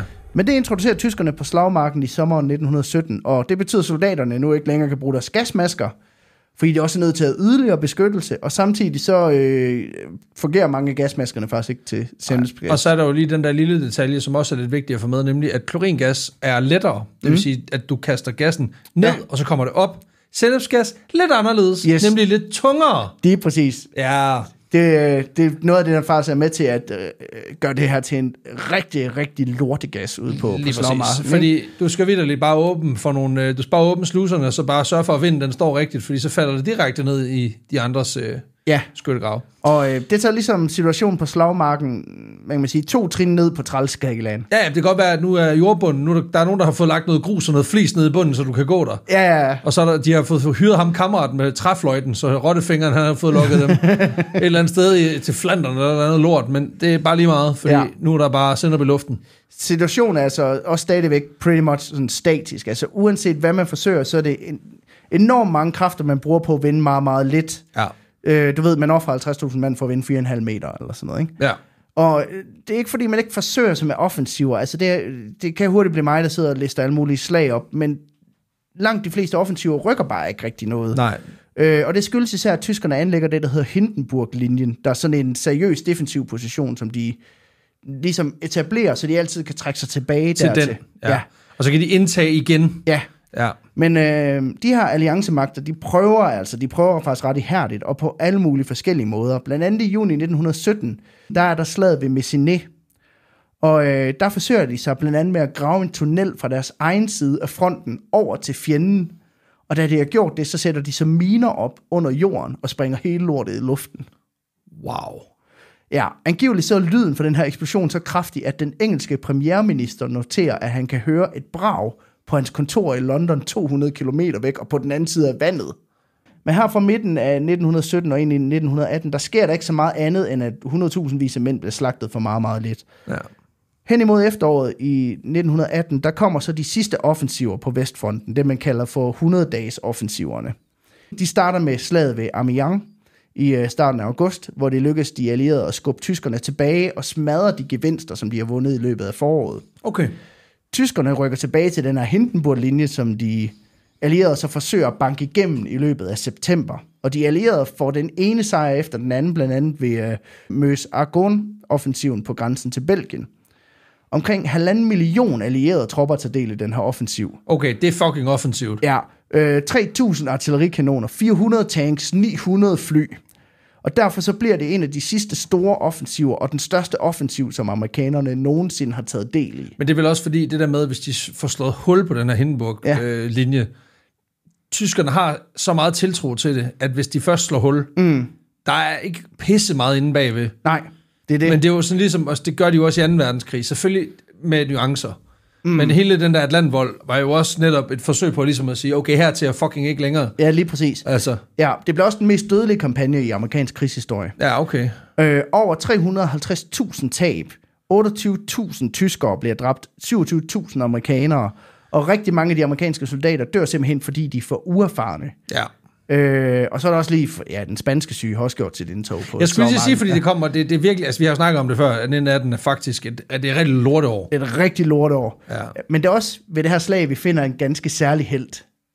For under den her offensiv, der bliver den amerikanske major Charles Whittlesey og 500 af hans mænd fanget bag fjendens linjer uden mad eller ammunition. Og det er selvfølgelig nederen, fordi tyskerne jo skyder efter dem. Men det er også nederen, fordi de bliver beskudt af deres egne venner ved frontlinjen. Ja, det er jo klart, fordi de skyder hen over dem jo. Ja, de bomber jo bare the shit ud af de her områder bag, fordi de ved jo ikke, de er der. Nej, nej, nej. Efter nogle dage er den her styrke på 500 mand reduceret til 200. Der Og- røg simpelthen lige, der røg simpelthen lige altså en helt spartansk legion. Ja, Ja. Og Major Whittlesey her, han forsøger desperat at spørge efter hjælp. Altså han sender nogle mænd afsted med besked om, at de skal evakueres, men hver eneste af dem bliver skudt og dræbt. Og det er så her, at majoren han hiver en gruppe soldater frem, som vi ikke har talt om endnu. Okay. Nemlig brevduer. Ah, ja. Faktisk bliver der brugt over 500.000 brevduer ved fronten i løbet af, af Første Verdenskrig De er jo pisse svære at ramme. til at levere sådan beskeder til og fra frontlinjen. Ja. Og, og nu må de altså virkelig sætte lid til det her dyr. Så Major Whittlesey, han finder en brevdue frem, spænder en besked fast på benet af den, hvor der står, mange sårede, vi kan ikke evakuere. Så kaster han den op i luften, og så bliver den plaffet, så var den i en falk i den natholdsklip, ikke? Sælger vi. Selv er vi. Det var en god fugl, der fløj der. Ja. Han prøver igen, ny besked, hvor der står, mændene lider, kan der sendes hjælp op i luften? En Flyver død. Plaf, død. To Fuck. duer nede. Ja, og det er her, majoren finder sin sidste brevdue frem. Cher Ami hedder den. Kære ven. Kære ven. Han skriver en seddel på tyndt og let papir, som han putter i den hylster på benet, hvor der står, vi er ved en parallelvej. Vores eget infanteri bombarderes. For guds skyld, stop. Okay, det der undrer mig nu, det er, hvorfor fanden er det tre forskellige beskeder? Ja, men jeg tror, han ligesom prøver... at, Øh, han kan lige så godt arbejde med retorikken løbende også, Ah, ja, ja, øh, kan man sige. Har han en decoy-due her? Nej, Ja, han tager sin, sin høje hat af og smider decoy-duen op, den bliver plaffet, så kommer den rigtig lige bagefter. nej, fordi der er en løve, der har et hans hat også. Åh, oh, for Øh, helvede, der er hul i den, alle duerne er fløjet ud. Fuck dig, mand. Men så op afsted flyv Xiaomi. Bang. Tyskerne skyder Xiaomi. Nej. Og Xiaomi dykker mod jorden. Men vender tilbage What? op i luften og flyver afsted. Da, da, da, For satan, den, den basker med vingerne, ikke? Fucking Da, ligeglad med, da. at den lige er blevet skudt. Tyskerne prøver igen og rammer, men Xiaomi, den er, den er, Den en er fucking ligeglad, Den er en fucking tank. Den Det- tager bare imod og bare flyver af helvede. Oh, for satan. Det er bare 50 cent, hvis den var en fugl. How do you do? Very bad. Very bad. Very bad. Så igen, altså jeg er blevet super aerodynamisk. Hvorfor? Det er fordi, der er vindtunnler hele vejen igennem mig, mand. Ja, den flyver i 25 minutter, 40 km hen til hovedkvarteret og overbringer den her besked. Og bare fucking den flyvende ost, mand. Ja, på det her tidspunkt er duen blevet skudt gennem brystet, gennem året, og fået skudt det ene ben af, som hænger og dingler i en strimmel. Det er forkert. Det er heldigvis det rigtige ben. Ja, ja. Altså på den måde, at... Ja, det er ikke den beskeden sidder på. Nej. Men øh, den får overbragt beskeden, og det lykkes dem at redde øh, Major Whittlesey og hans mænd fra den, øh, fra den sikre død. Og Jeremy bliver kåret, altså heltekåret, for en medalje, og faktisk så går den igennem en masse operationer efterfølgende, for, fordi man prøver at redde dens liv. Fordi det fortjener den jo som Der har virkelig kæmpet for det, ikke? Ja, og det lykkes. Og den får faktisk et træben. og bliver sendt tilbage til USA på pension. Selvfølgelig får den et fucking træben. Selvfølgelig får duen et træben. Fuck, hvor er det latterligt, mand. Det er også bare, men det er også, det er også på en eller anden måde siger det jo noget magisk om os mennesker, ikke? Altså, at, at vi kan se, altså, der er folk, der bliver, altså, folk bliver bare mursmadret i det her. Altså, mm. det, det, bliver, det er en kødhakker krig, ikke? Ja. Og så alligevel er der overskud til, kan vi få fat i en duekirurg? Ja. Det er fucking i orden. Er der en duelæge til stede? Ja, præcis. Dr. Doolittle. Perfekt, mand. Skal du høre noget sjovt? Nå, nej. Ham, der fandt på Dr. Doolittle, tjente faktisk ved øh, Vestfronten. Okay, sygt nok. Det er faktisk der, han kom på ideen til Dr. Doolittle.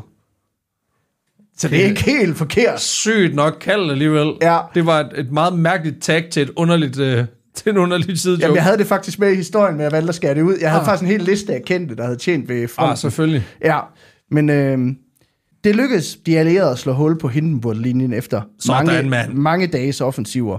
Cirka 100 dages offensiver, faktisk. Det er mange dages offensiv, Peter. Ja. Øh, de her 100 dages offensiver fortsætter frem til den 11. november 1918, hvor tyskerne skriver under på en aftale om våbenhvile. Og det var da alligevel satans, den kom på bordet lige der. Ja, men alt det, det vender vi tilbage til i næste og sidste kapitel. Uh. For på Østfronten, der går det også amok. Ikke mindst i Rusland, hvor en væbnet revolution ender med at tage livet af Tsar-familien og stikke en kæp i hjulet på alliancens fremskridt og bringe endnu mere kaos ind i en allerede kaotisk situation. I alt dør der omkring 4 millioner på slagmarken ved Østfronten. Flere millioner bliver såret, og flere hundredtusind kvinder og børn bliver enker og faderløse. Og det er et af de største og mest katastrofale, men måske også lidt meningsløse tab af menneskeliv, og noget, som sætter så dybe spor i alle, der oplevede det med egne øjne.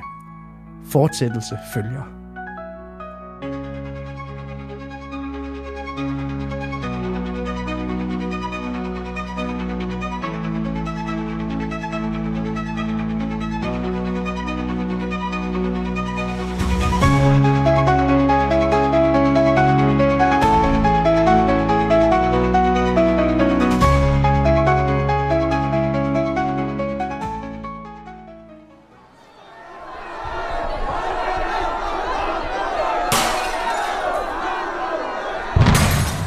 3 Østfront Hostlers Vi spoler tiden tilbage til 1914 og vender blikket østover. Da Frans Ferdinand er blevet dræbt i, i Sarajevo og Europa er kastet ud i kaos i løbet af, af sommeren 1914, så efterlader det rynker i panden hos især én mand, nemlig zar Nikolaj den anden af Rusland. Fordi i de her dage, der leger Østrig-Ungarn jo med ideen om at erklære krig mod serberne for deres rolle i det her mor. Og hvis det skulle ske, så føler sig Nikolaj sig egentlig draget til at forsvare Serbien med næb og klør. Men samtidig så ved han også godt, at en konflikt med Østrig-Ungarn også vil føre til en åben konflikt med den tyske kejser Wilhelm. Og det er lidt akavet. Fordi de to, de er grandfædre. For Eller grand grandfædre måske endda. Og de er faktisk begge ting på samme tid. Nå, nå. Fordi de europæiske kongehuse, det er jo sådan lidt en, hvad kan man sige, noget blandet Incestu- saft. Det er virkelig en øh, blandet saft. Ja, blandet Men- saft for Rynkeby, ikke? Men det er sådan lidt, det er lidt blandet saft på den måde, at det, det er, øh, det kan godt være, at det er forskellige frugter, men mm. det er reps i tre farver. Ja, ja. Altså, så det er ikke sådan rigtigt. Altså, det er hvid reps og rød reps og champagne reps. Ja. Smager de alle sammen reps? Ja, det gør de lidt. Er Ja. de forskellige farver? Ja. Er der nogen af dem, der er lidt deforme? Ja, ja, det er der. Det er ikke multifrugtjuice, det er bare rigtig meget appelsinjuice med appelsinjuice. Ja, altså, det- ja. Men øh, de er begge to tibollebørn til Paul den første af Rusland, og Ja, tak. efterkommer af Frederik William den tredje af Preussen. Og derudover så er kejser Wilhelm også fætter til Nikolajs kone. Så det er noget, det er noget rigtig råd. Jamen, det er. Ja. også derfor, og, og, og, og man kan sige, det smukke er jo, at koncerterne, dem lavede man jo ligesom for at sikre, at, at de store nationer, de mm. havde så meget på spil internt, at de ikke kunne finde på at angribe hinanden. Ja, Men der er jo også så meget blodsbånd imellem folk, at de ikke kunne finde på at angribe hinanden, fordi det er sådan lidt, altså det gør det akavet til familiefesten. jamen det er det. Altså, er vi på Christmas card stadigvæk, eller hvad? Fætter Pauls øh, fødselsdagsfest, den får dig i hvert fald lige den nyk opad, når du lige pludselig sidder og har erklæret krig mod, øh, der jo mod Fætter Wilhelm, ikke? Det er der jo ikke nok, der, nok, der snakker om, nemlig alle hustruerne mm. til de her øh, krigsglade øh, mandesvin. Fordi prøv at tænke på, hvem der skal sørge for bordplanen. Ja. Prøv at tænke på at få det lort til at gå op. Det når, er når der fuld- lige pludselig er nogen, der stabber nogen, og hvem har brændt hvem, og hvem har skudt hvem. Det er fuldstændig Det er umuligt. fucking umuligt, mand. Fuldstændig umuligt. Ja, præcis. Så bliver ja. jeg nødt til at sætte ind med en grandkusine lige her, og så skal du ikke bolle hende. Så boller han lige en sgu Ja, gør alligevel. han kraftet med alligevel. De to fædre her, de har løbende sådan haft kontakt med hinanden op til den Ja. her konflikt. Øh, men op igennem juli 1914, der er deres korrespondence overgået rigtig meget til noget, der minder om, åh oh, fuck, åh oh, fuck, åh oh, fuck, vi er på vej i krig. Øh, det er det, der senere er blevet kaldt for Willy Nicky telegrammerne. Og det er fordi, de simpelthen underskriver de her telegrammer med deres kælenavn for hinanden, nemlig Willy og Nicky. Så det er sådan, jeg kommer her meget dræber din her. Nej, Tiffany's hilsen, Nikki. nej, det er faktisk meget mere sådan noget med, øh, hvad fuck gør vi? Nå, fordi, KH Nicky. så, de, så de vil virkelig ikke i krig. Nej, de vil men, men, faktisk ikke rigtig i krig, nej. men, men, alle, men alt i samfundet siger, de skal. Ja, man kan sige, at tendenserne går ligesom den vej. Ikke? Ja, ja, ja. Og i de her telegrammer, der skriver de to regenter altså, som deres ønsker for fred, og forsøger at overtale hinanden til at droppe ideen om, om krig. Blandt andet så skriver San Nikolaj sådan her. Jeg forudser, at jeg snart vil blive overvældet af pres og tvunget til at tage nogle ekstreme midler i brug, som vil føre til krig.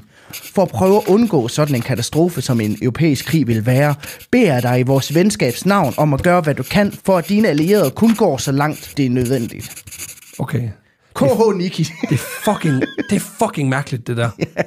Altså sådan, også bare lige prøv lige at forestille dig, hvis man er 15 år, så finder man lige telegrammerne, hvor Hitler og Stalin, de er sådan lidt, KH Hidi. Hey, my boy. My boy, prøv lige at lade være. Jeg, jeg, jeg, jeg synes faktisk ikke, det er fedt, det der sker nu. Nej, hilsen The Dolph.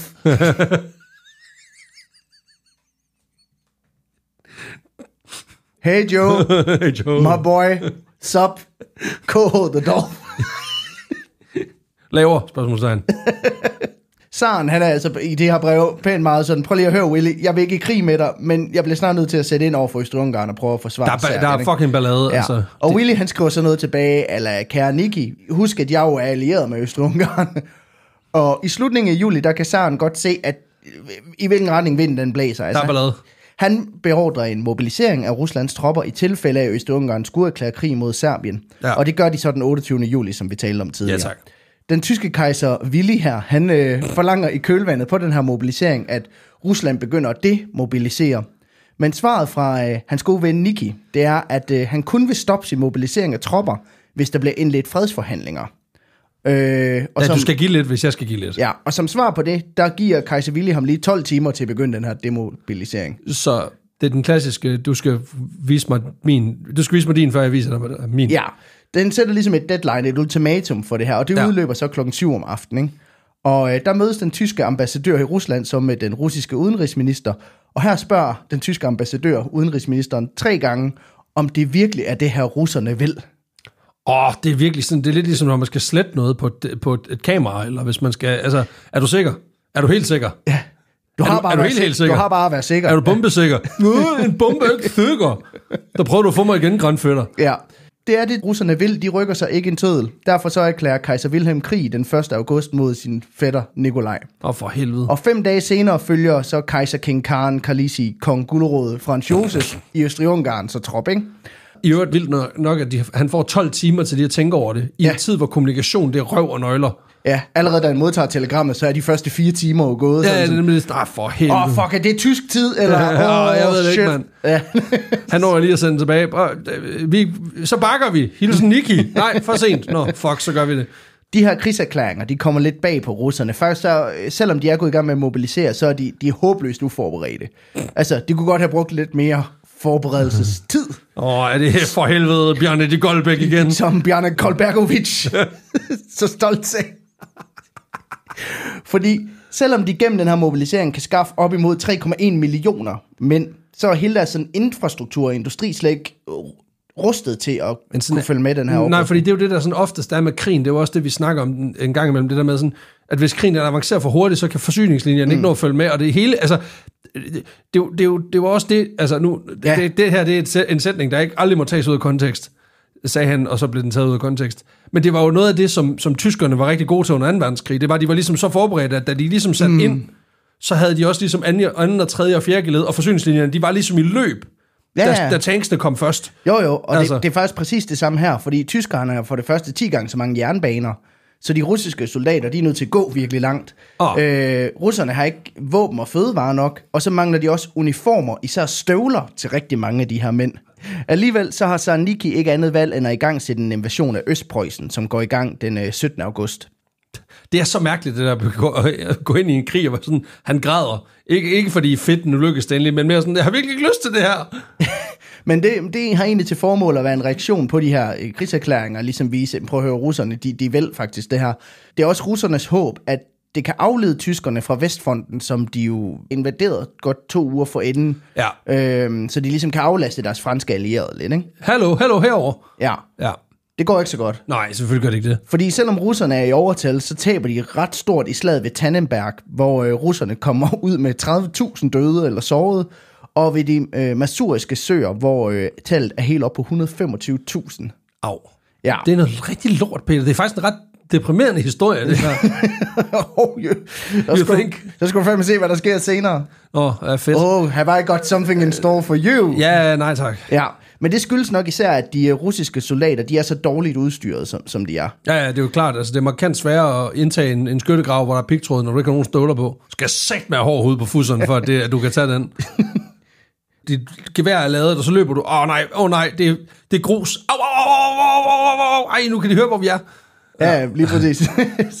For selvom russerne de starter med egentlig at have overtaget i de her øh, slag, så øh, lykkes det tyskerne i sidste ende at få slået russerne helt ud af tysk territorium igen. Lige smider lige nogle Lego Lego-klodser på gulvet, og så, ja. Ja. Så kan I jo prøve at komme løvende, hvis I tør. Det jo værre end miner. Ja, det er det. Det går lidt bedre for russerne sydpå, fordi en uge efter den her offensiv i Preussen, der er, er russerne også gået ind i Galicien, som også er kendt som det, det østriske Polen.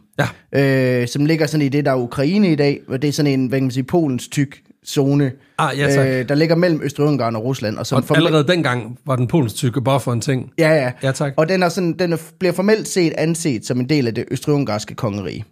Så det er en del af Ukraine i dag. Dengang var det Polen, men det var ikke Polen, for det var Østrig-Ungarn, og nu hedder det, og det hed Galicien. Ja, lige Perfekt. præcis. Jamen, Ja. godt, bare så vi er enige. Ja, her går den 3., 4., 5. og 8. russiske hær ind under kommando af Nikolaj Ivanov. Og øh, de formår faktisk at drive den østrig-ungarske hær helt tilbage til Krakow og få overtaget over Galicien. Sådan. Så en tidlig sejr og lidt ovenpå en, en, en lidt dårlig start, ikke? Ja. Dermed så er grundlaget for Østfronten egentlig anlagt her i slutningen af 1914 mod vest ved grænsen mellem Tyskland og Rusland, og mod sydvest mellem Rusland og Østrig-Ungarn. Yes. Østfronten er i øvrigt også meget længere end Vestfronten, altså Ja. hvis vi skal prøve at sammenligne. Fordi på det her tidspunkt i 1914, der strækker den sig fra Baltikum i nord og hele vejen til grænsen ved Rumænien. 1600 km lang er den. Det er en meget lang. Det er meget Og lang går igennem mange, altså mange, det er mange forskellige sure mennesker. Ja, der er rigtig mange baghaver, der er blevet gravet igennem i, øh, i, på den her tur. Ikke? Og det er fordi, at Rumænien på det her tidspunkt er neutrale. Det er derfor, den ligesom stopper der.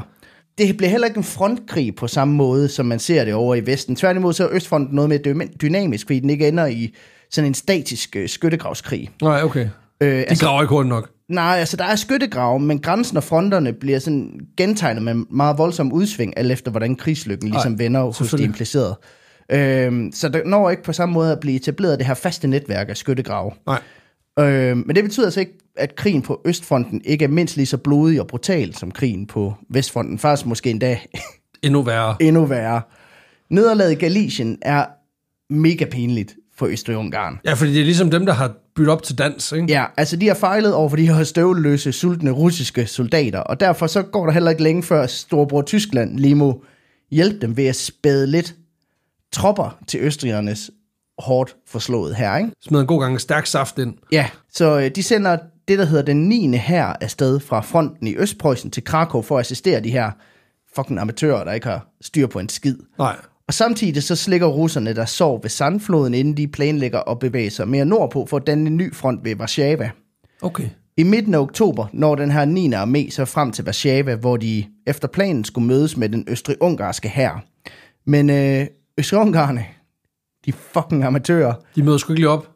Jamen, de er lige blevet banket af russerne igen ved den her sandflod, så de har måttet tage på retræte i mellemtiden. Nå, så de, er bare, de er slet ikke klar til at mødes på en marker for et årsted. Nej. Som, som var det, det altså Brøndby og FCK-fans. Samtidig så clasher den russiske hær med den, den her tyske 9. her ved Warszawa og sender dem på flugt. Alt imens, at en anden russisk armé går ind i Østpreussen igen, og russernes plan er at indtage det område, der hedder Schlesien, mens de øh, beskytter deres højre flanke med hæren i Østpreussen, og deres venstre flanke med den her hær, der er nede i Galicien. Okay. Øh, så de ligesom kan gå ind midt i, mens de ligesom også kontrollerer de to fløje, ikke? Ja, ja. Så lav et E. Ja. Et omvendt E. Et aggressivt E. Aggressivt E.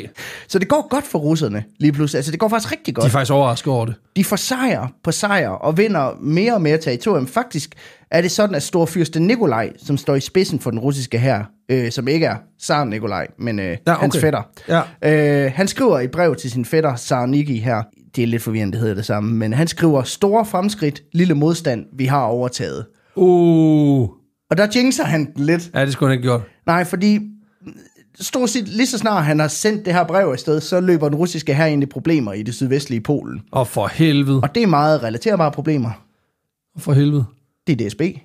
Det er jernbanerne igen, mand. Fordi under deres træde, der har tyskerne ødelagt alt infrastruktur i, uh, i området, blandt andet togbanerne. Jeg går ud fra, at de har smidt en masse blade på, så... Så, tog så, det så det er, det, russerne er kommet frem bare vurderet på, at det, det får vi ikke fikset. Det, det, kan, det, det ved vi allerede er nu. fuldstændig umuligt. De har installeret nogle signalfejl på diverse strækninger. Præcis. Hvad fanden er Øh, det? Frost også? Ja, det kommer ikke til at ske. Jeg kan godt sige det, men, men samme det sker ikke. Men også veje og sådan noget har de Nå, også okay. ødelagt. Ja. Øh, og det stikker altså en kæppe i hjulet på den russiske fremfærd. Nå, Og det gør, at tyskerne har overtaget til at launche modangreb på modangreb, og det betyder, at store dele af russernes første og anden armé simpelthen bliver slagtet. Faktisk så bliver den russiske anden armé omringet ved byen Lodz, og det lykkes kun lige akkurat at få reddet de sidste af de her mænd ud ved at indsætte den russiske 5. armé til at assistere og slå tyskerne tilbage. Det er så sygt, at de bare kan have en her mere. Ja, ja. Sådan lidt, at vi smider lige en her ind her. Hvor? Hvor? Her? Nå, der. Ja, her. Okay, hvor mange har I? Utrolig mange, faktisk. Her, der og alle Den vejen. vejen, lige præcis. Ja. Lige præcis. Heldigvis for tyskerne, så slutter slaget ved Ypres, som vi talte om øh, tidligere. Ja, tak. Så nu, er Øh. der, nu, er der, nu er der tropper. Ja, det gør, at de endelig kan tage nogle mænd fra Vestfronten og sætte sammen med den her tyske 9. her. Og øh, det gør, at det lykkes tyskerne at indtage Lodz den 12. december 1914. Og det er sådan set status ved nytår. Altså, der Ja. er løbende kampe langs hele fronten, der ændrer forholdene af grænserne hele tiden, og russerne slår ligesom tilbage til at kæmpe en krig mod både tyskerne i vest og Østrig-Ungarn mod sydvest. Og Ja. de store kampe udspiller sig primært i det, der i dag er Polen og Ukraine. Ja, det, det er jo ikke noget nyt. Nej. Det, det kender vi. Starten på 1915 bliver lige så omtumlet, som 1914 har været det. Okay. Øh, ligesom på Vestfronten er det hele egentlig på en måde uafgjort, eller status quo, kan man sige. Men de mange måneders kamp har allerede taget ret hårdt på både tyskerne, russerne og østrig Især østrigerne har det rigtig stramt Nå. lige, lige her. Deres her er faktisk allerede nu meget, meget tæt på et kollektivt kollaps. Det var fandme hurtigt. Ja, men jeg vil også lige sige, at Østrig-Ungarns forudsætninger for overhovedet at have en velfungerende her er virkelig, virkelig øh, dårlige. Ja, okay, hvorfor? Øh, jamen det, det er nok, nok også noget, som øh, konge Kaiser Klonen han skulle have tænkt på. Men et, for det første, som vi talte om tidligere, så har Østrig-Ungarn jo på det her tidspunkt indlemmet flere nationer under sig. ja. Og det gør altså, at deres her er blevet enormt multikulturel og består af både Østrig og Ungarn, og til dels også af Bosnien og andre sådan Balkan-mindretal. Altså en masse marker, der ikke nødvendigvis snakker et, et sprog. Ja, eksempel. Og som måske heller ikke har den samme, hvad kan man sige, Nationalistiske følelse af, at vi skal faktisk gøre det her. den, ikke, de har ikke den samme dedikation til projektet. Nej, det er meget... Også bare fordi, hvorfor er det, vi er i krig? Jamen, det er fordi, øh, noget med en, en fyr med en sandwich nede sydpå. Ja. Nå, okay. Det er, det, okay, du jeg kan godt høre det. det er, den er ikke god. Altså, Den er ikke god. Det er Samtidig med det, så taler de jo, som du siger, også forskellige sprog, så de fatter heller... Altså, så når bosnierne, de brokker sig, det er der jo ingen, der fatter. Men de her nationalistiske tendenser og ideologier, især hos øh, de soldaterne fra Balkan, de, det skaber virkelig stor splid i den øh, østrig-ungarske her. Ja. Derudover så er den østrig-ungarske her også totalt outdated på mange punkter. Altså deres strategier er ikke tidsvarende, og i nogle tilfælde tager, hvad kan man sige, generalerne udgangspunkt i erfaringer, de har gjort sig, inden maskingeværet blev opfundet, for eksempel. Så deres, mange af deres strategier tager simpelthen ikke hensyn til, at der er udviklet maskinvåben. Nej, det er ikke godt. Nej. Det er... Øh, Eller et så, så løber ja. du fremad, og så stikker du med bajonetten. Hvad med gatling gun, de har derovre? Lige et øjeblik. Øh, Fuck, finder- vi troede, vi kunne knife dem alle sammen. Ja, præcis. Ej, for helvede. Vi har lige købt 200.000 svær for helvede. Ja, altså. præcis. Ja. Det er også nogle rigtig billige svær. Altså, Ja. når man rasler med sablerne, de falder fra hinanden, det er ikke et godt tegn. Nej, men det, de her maskinvåben kræver ligesom, at man har en strategi, der handler om at være mobil og omstillingsparat og sådan noget, og det kan de bare, der kan de slet ikke følge med. Øh, det kombineret med de her tidligere store nederlag, det gør bare, at Østrig-Ungarne allerede her i starten af 1915 er lige så tæt på at smide alting på gulvet, som en tjener med Parkinson. Derfor så bliver det faktisk en fast del herfra, at de simpelthen bliver nødt til at læne sig op af tyskerne, for at få deres her til overhovedet at fungere. Altså simpelthen blande deres her med tyske formationer for at holde sammen på lortet. Når de bliver, sådan, de bliver omdannet til sådan en form for polyfilla, Ja, der bare lige følger huller ud. ja tysk, og og når, tyskerne de så bliver sådan lim i den her her, ikke? Nå, fedt. Det, det er en rigtig lorte. Det er, en rigtig, det er ikke særlig godt, det der. Hos russerne går det heller ikke særlig godt. Nå, gør det ikke øh, De mangler stadigvæk materiel, især våben og ammunition, men også stadigvæk jakker, støvler og alt muligt andet. De har nogenlunde styr på sådan midten af fronten, men ude på siderne, der begynder det langsomt at kollapse for dem. Og det betyder, at vores gode ven, ærkefyrste Nikolaj, der ikke er zar Nikolaj, Nå, nå øh, herføren. ja, herføren, Ja, tak. han står midt i et voldsomt dilemma. Ja. Fordi han er jo nødt til at få styr på de her to yderpunkter, men han har kun mandskab til ligesom at kanalisere kræfterne ud på en af fløjene. Ja. Øh, og han kan vælge at tage dem sydover og gøre en ende på Østrig-Ungarne, eller han kan forsøge at sikre den nordlige flanke og forsøge at holde kontrollen over Østpreussen. Ja. Og det er svært, hvad skal han vælge? Altså han sidder og overvejer begge muligheder foran ham. Du ved, jeg forestiller mig, at han har sådan to... Et spreadsheet. Ja. Ja, det er to togbaner, og så er der fem på den ene og en på den anden, og hvem skal man køre over, ikke? Ja, jeg forestiller mig det der The Office meme, hvor øh, hun kommer ind og lægger to billeder foran ham, og han skal finde forskellen, fordi han er lidt sådan, why not both? Når så han tænker, jeg kan ikke begge, men hvorfor gør jeg ikke bare begge? Ja, for Fedt. han, han prøver begge dele, Ja, fedt. øh, og det går, som man kan forvente. Ja, når man spreder smøret for tyndt ud, så kan det smage ikke af smør. På den sydlige flanke, der strækker slagene sig øh, gennem Pa- Karpaterne, hvor russerne desperat forsøger at sikre sig bjergkammene, så de kan fortsætte ned i bakkedalene bagved. Den østrig-ungarske her tilsat sådan lidt drys af, af tyskere. Ja. De forsøger at holde russerne ude af de her bakkedale. Og blandt andet så håber øh, østrig og tyskerne på, at de kan aflaste den polske by Pretzemützel, fordi de har været under russisk belejring siden efteråret. Okay. Men efter mange måneders kamp, så lykkedes det faktisk russerne endelig at få ah. kontrollen over den her by Okay. øh, den 22. marts. Efter det, der er den længste belejring i Første Verdenskrig overhovedet. Den tager seks måneder. Det er lang tid at prøve at ryge nogen ud. Ja. Ja. Øh, der er store tab for russerne involveret i det her. Det er, belejring er jo altid noget lort, ikke? Ja, 137.000 tab. Det er alligevel også mange. 20.000 døde, 120.000 soldater og ni generaler taget til fange. Fuck, det, jeg ved ikke, om det er dårligt. Det lyder dårligt. Ja, det er i hvert fald en rigtig træls situation. Også fordi byen bliver bare større og større og større af alle dem, de har fanget. Og det er sådan lidt... Altså halvdelen af af byen er jo sådan set bare russere. Ja, ja, der er jo sådan en helt Roskilde Festivalslejr udenfor, bare med krigsfanger. Ja, ja, præcis. Og dem skal de så også sørge for. Det er jo en taktik. Jeg ved ikke, om det er det, der er strategien her, fordi Det er i hvert fald en dårlig virker i hvert strategi. fald, øh, virker i hvert fald ikke. Nej, okay. Mod nord, der møder russerne også modstand i deres forsøg på at få kontrol over flanken. Her kommer de nemlig ansigt til ansigt med den tyske 10. armé, som er sådan en helt ny styrke, som består af fire helt nye korps. Og sammen med den tyske 8. armé, der formår Paul von Hindenburg at overraske russerne, som er spredt ud over hele den preussiske østfront. Russerne mister 110.000 mand ved det her slag. Det, altså, det, er, det er nogle sindssyge tal, og du bliver bare ved med at nævne dem. ja, Det øh, kan vi ikke skylle ned. Altså, nu, øh, nu har vi jo, Jo. drukket to øl, så nu, øh, nu åbner jeg altså lige den sidste. ja, lad os tage den sidste Mega ølpause. søde sidste øl. Hold da kæft. Den vil ikke op. Øh, vi skal faktisk til Holland. Ja, Holland, fedt. som jo ikke er så, så involveret i den her, men øh, og så alligevel. Det er øh, surt. Nu har vi drukket mm. øh, meget, meget, meget stærk stout de første to. Men det her, det er en, øh, det er en øl, jeg elsker rigtig, rigtig højt, rigtig godt kan lide. Den, øh, den kommer fra hollandske Tommy Chef. Mm. Han er øh, surt ølsbrygger, sådan lidt efter belgisk tradition, men man kan jo ikke kalde det øh, lambic og gøs, fordi han jo er fra Holland, og ikke fra Sendedalen. Øllen hedder Olas, mm. og er en, øh, jamen, altså en øh, spontangæret øh, øl, som har ligget på træfadet i nogle år, og så er der blandet to øh, druetyper i. Det ene, det er den, der hedder Olas Riesling, som mm. er en, jeg mener faktisk, en ungarsk Riesling, sådan afart. Og så er der en anden øh, sort, der hedder Kek Frankos, som er en, vist nok en ungarsk version af den øh, vindruetype, der hedder Cabernet Franc. Ja. Så det er en rød drue. Okay. Så du har en lys Ja. drue og en rød drue. Og det er også derfor, den er sådan lidt rødlig, tenderende til brunlig udtrykket. Skål. Den dufter virkelig godt. Yep. Skål.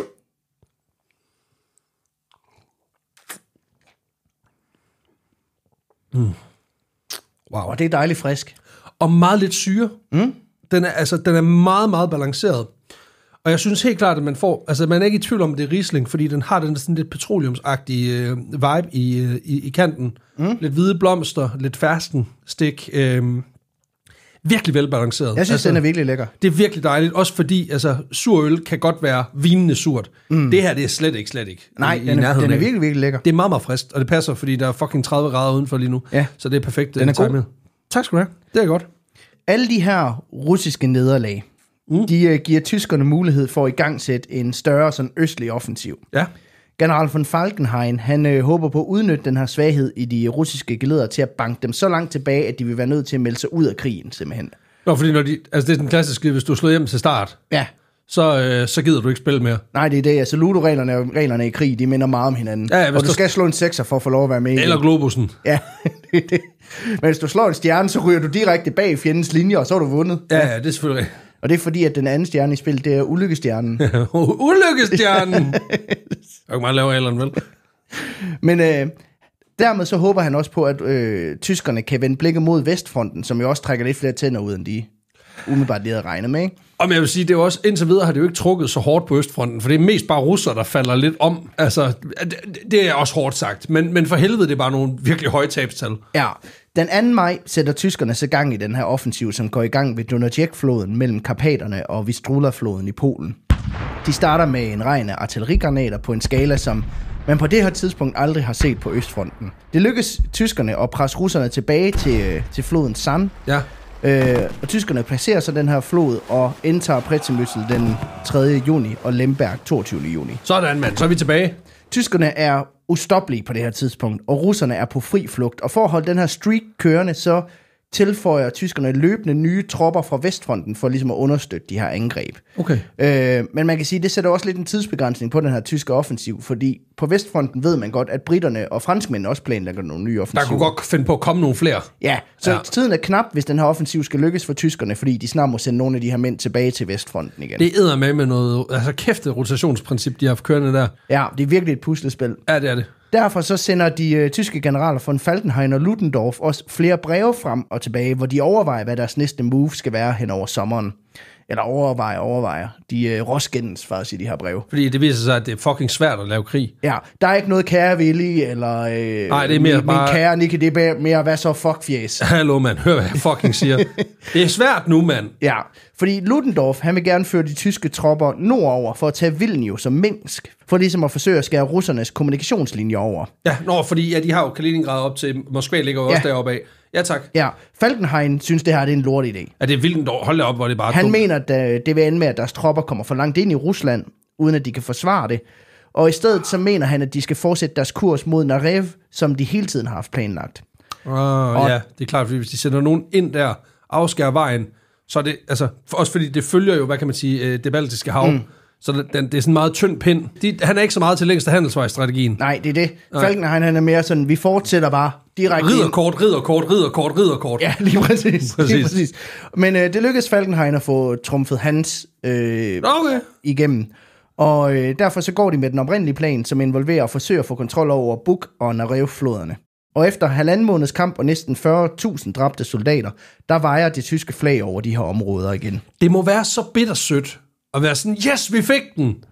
Prøv lige at kigge bagud. Hold da kæft, der er mange lige. Det, Hold det er kæft, vi har drysset på vej herhen. Ja, det, altså, det er den, det er den, altså, det er den ufor, altså, det var ikke den slags tyske drys, vi havde regnet med, må jeg sige, nødt til at sige. Under de her sommeroffensiver, der lykkedes det tyskerne at gøre det af med næsten en million russiske soldater. Okay, det er også mange. Altså enten øh, dræbte eller såret, ikke? Ja. Og Falkenhayn er faktisk ret sikker på, at russerne vil overgive sig i kølvandet på de her sommeroffensiver, fordi de lider så voldsomt tab. Ja, fordi han tæller jo. Og Ja. ja. altså, de kan ikke blive ved med at... Falkenhayn han pointerer faktisk, at det vil næsten være dumt for russerne at fortsætte krigen. oh well, Så selvfølgelig fortsætter russerne krigen. have you met my friend Oleg? Han er stiv hele tiden. Det er fordi ikke ordet konsekvensberegning, det findes ikke på russisk. Nej. Det ved jeg ikke, om du er klar over. Nej, nej, det, er det hedder bare mere vodka. Ja, ja, præcis. Det, det, de to er meget tæt på hinanden. Ja. Sådan lidt ligesom, at man mener, at øh, på oprindelig, på oprindelig arabisk, øh, der, der er rosiner og øh, jomfruer, det er næsten det samme. Og det er, jo, det er jo ikke det, altså, det er jo det, der gør, at det for eksempel er, Ja. er skrækkelig tanken om, at du får 72 jomfruer Ja, efter ja der er nogen, nogen fra Al-Qaida, der er blevet lidt skuffet efterfølgende. Ah, det ved jeg ikke, de har fået en sweet treat, uanset hvad. Det er bare sunmade. Det kommer op. Og det er lidt det samme her. ja.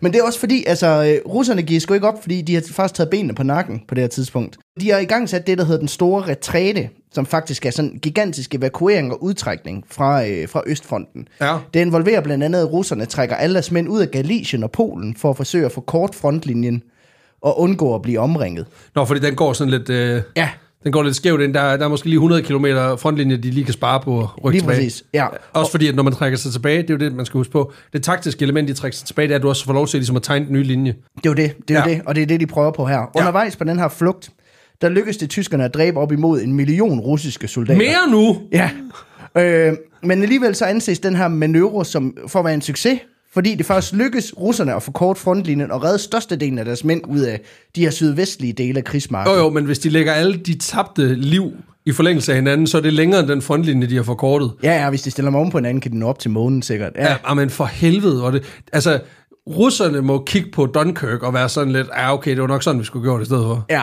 Fuck, det er dårligt. Men øh, det blev også et ret hårdt slag for moralen hos de, Nå, virkelig? hos de russiske soldater. Den her retræte pisser general Falkenhayn ret meget af, så han sender faktisk en besked til ham af Ludendorff, hvor han anklager Ludendorff og Hindenburg for ikke at have dedikeret sig fuldt ud til den her offensiv. Altså, de simpelthen har holdt tilbage, fordi de var sure over, at de ikke fik lov til at gå nordover mod Vilnius. Nå, så han mener, at de kunne godt have slået flere russere ihjel. Ja. Så han, de er vidderligt kommet og sagt, Han "Herre, kigger, han, kigger på gjort en, det. han kigger på en million og tænker, those are rookie numbers. altså, Gotta, go, gotta get those numbers up. ja. Okay, øh, han lyder som en fucking nar. Paul von Hindenburg, han øh, indrømmer så også, at øh, han faktisk har tilbageholdt nogle tropper, Nå. i tilfælde af, at Ludendorffs forslag til den her offensiv skulle blive en, øh, en realitet. Nå. Og det er sandsynligvis noget af det, der har gjort, at, At det kun var en million. at russerne kunne lykkes med at lave den her retræte, og rent faktisk komme ud af det som en nogenlunde øh, succes. Jeg synes, at ord som nogenlunde er mere beskrivende end succes. Det er ikke en succes, at du mister en million af din egen befolkning. Det, simp- det må simpelthen aldrig være en succes. Nej, men de får gentegnet den grænse, de gerne Det vil jeg og skide på. Jamen, det er ikke sådan, russerne ser på Nej, det det. kan jeg jo godt høre, men det er jo igen det, der sker, når risikovil- eller risikovurdering og vodka er det samme ord. Ja, ja. Altså, for helvede. Jamen, de spiser rosiner i himmeri nu. Ja, det er præcis.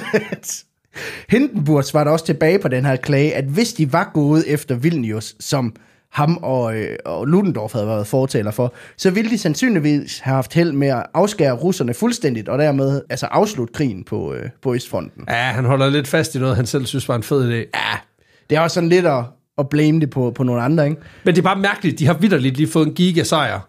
Og så er de sådan lidt, ja ja, men du er også en dæk. Jamen, jeg er da også en dæk, så, med det? Så bitcher de i, Ja, præcis. i kommentarfelterne på sociale medier, ikke? Ja. Præcis. Hold nu kæft.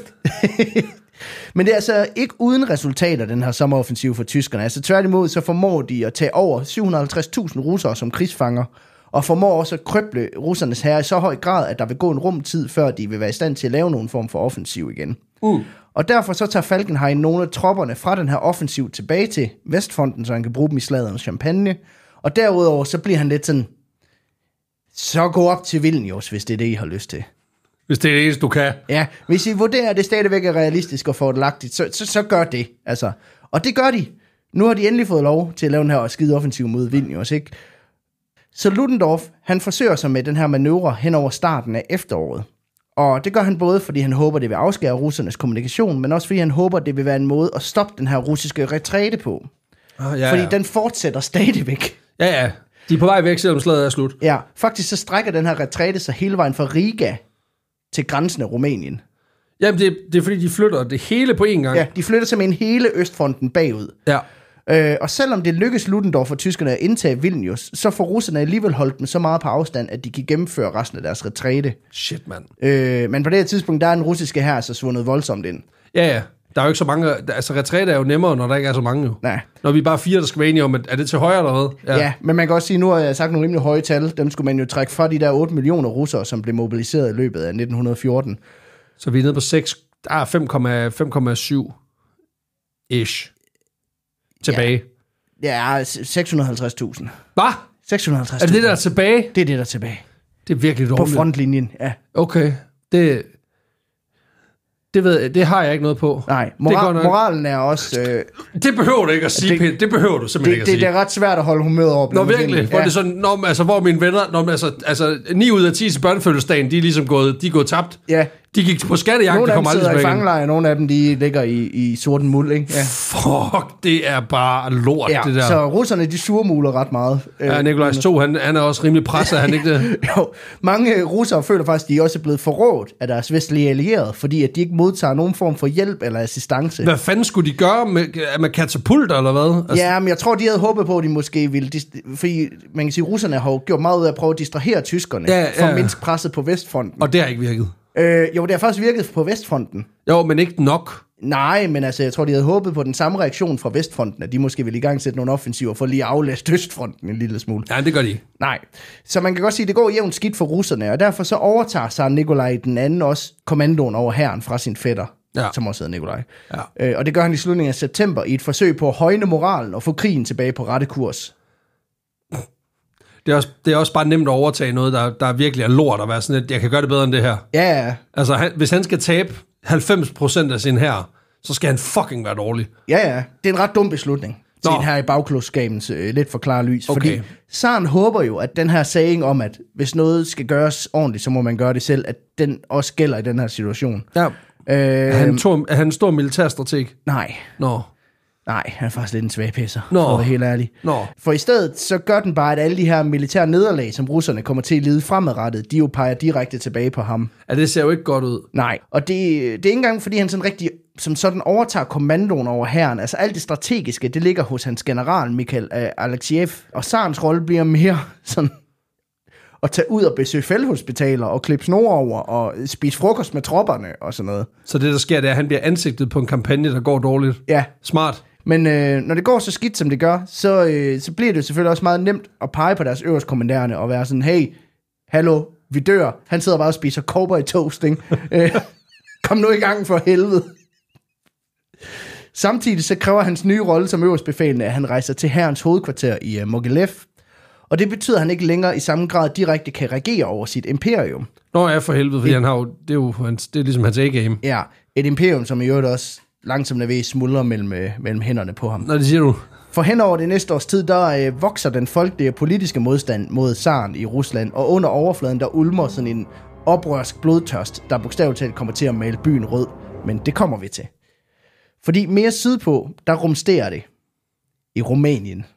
Nå, for helvede. Rumænien har, har siden krigens start, som jeg sagde tidligere, været neutrale, og det skyldes, at landets konge, kong Karol den Første, egentlig har haft ret gode relationer til tyskerne og den tyske kejser, sandsynligvis fordi de også er i familie med hinanden langt ude.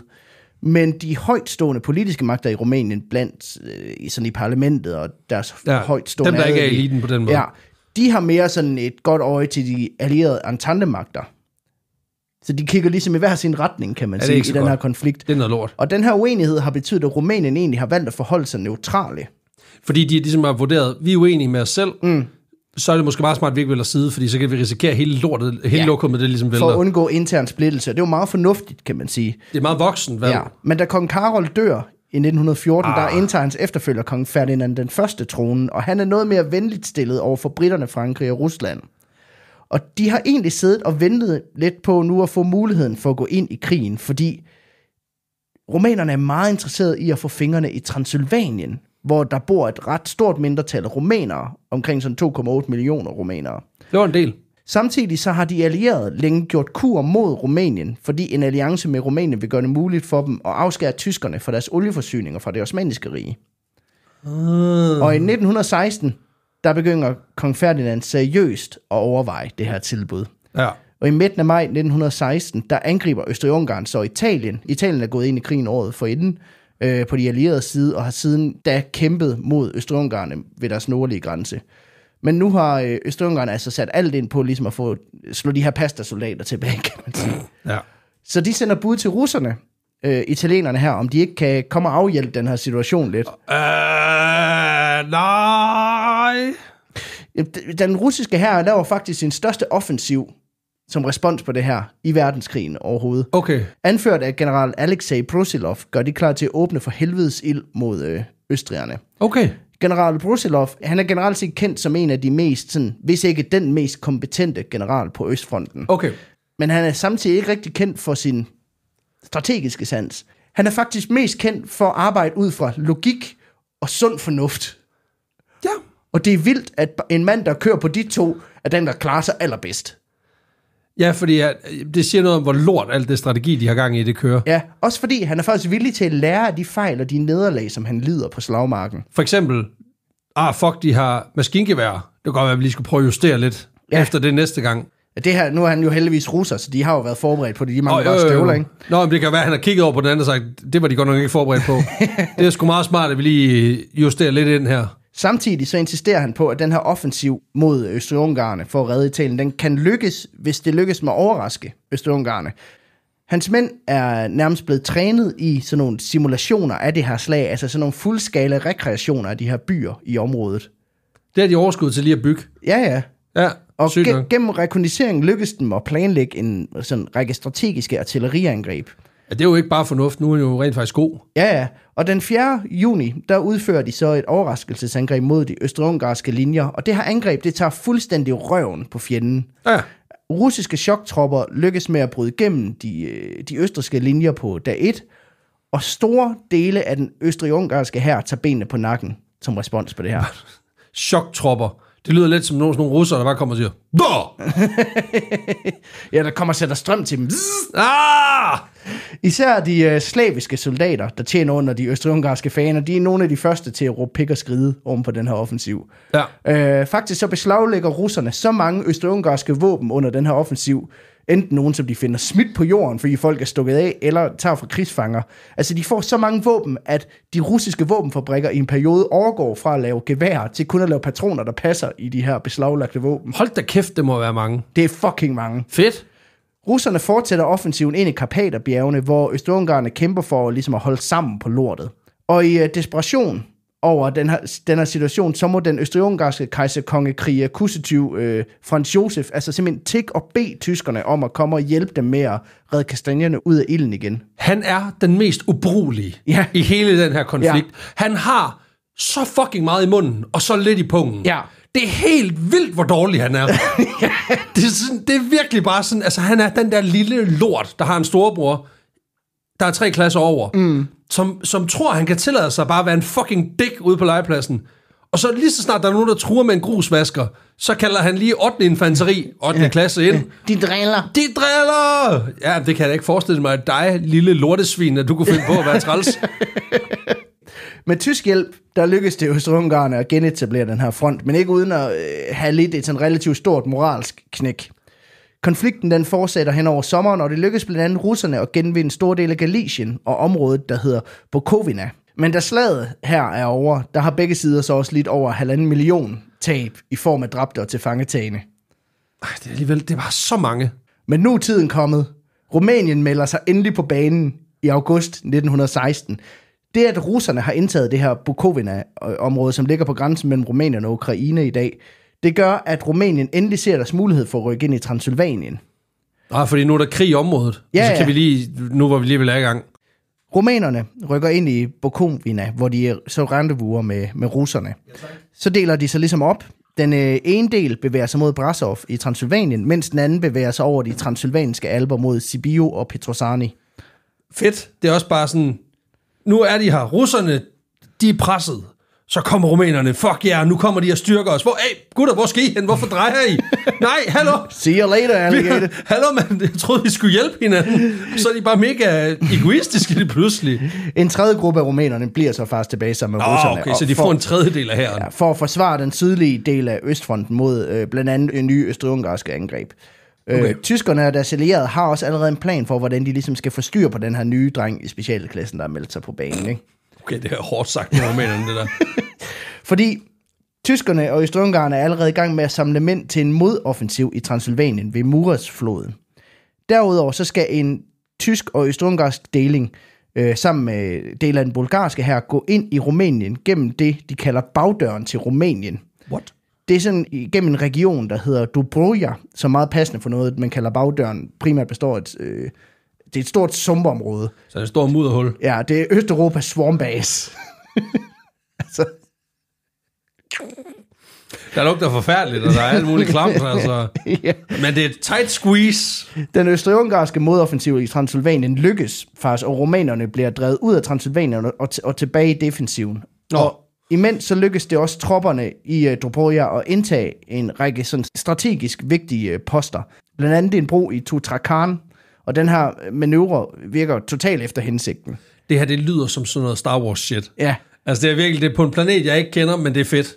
Ja og de er gået igennem Dagobah, Ja, som jo er Star Wars-systemets swarmbase.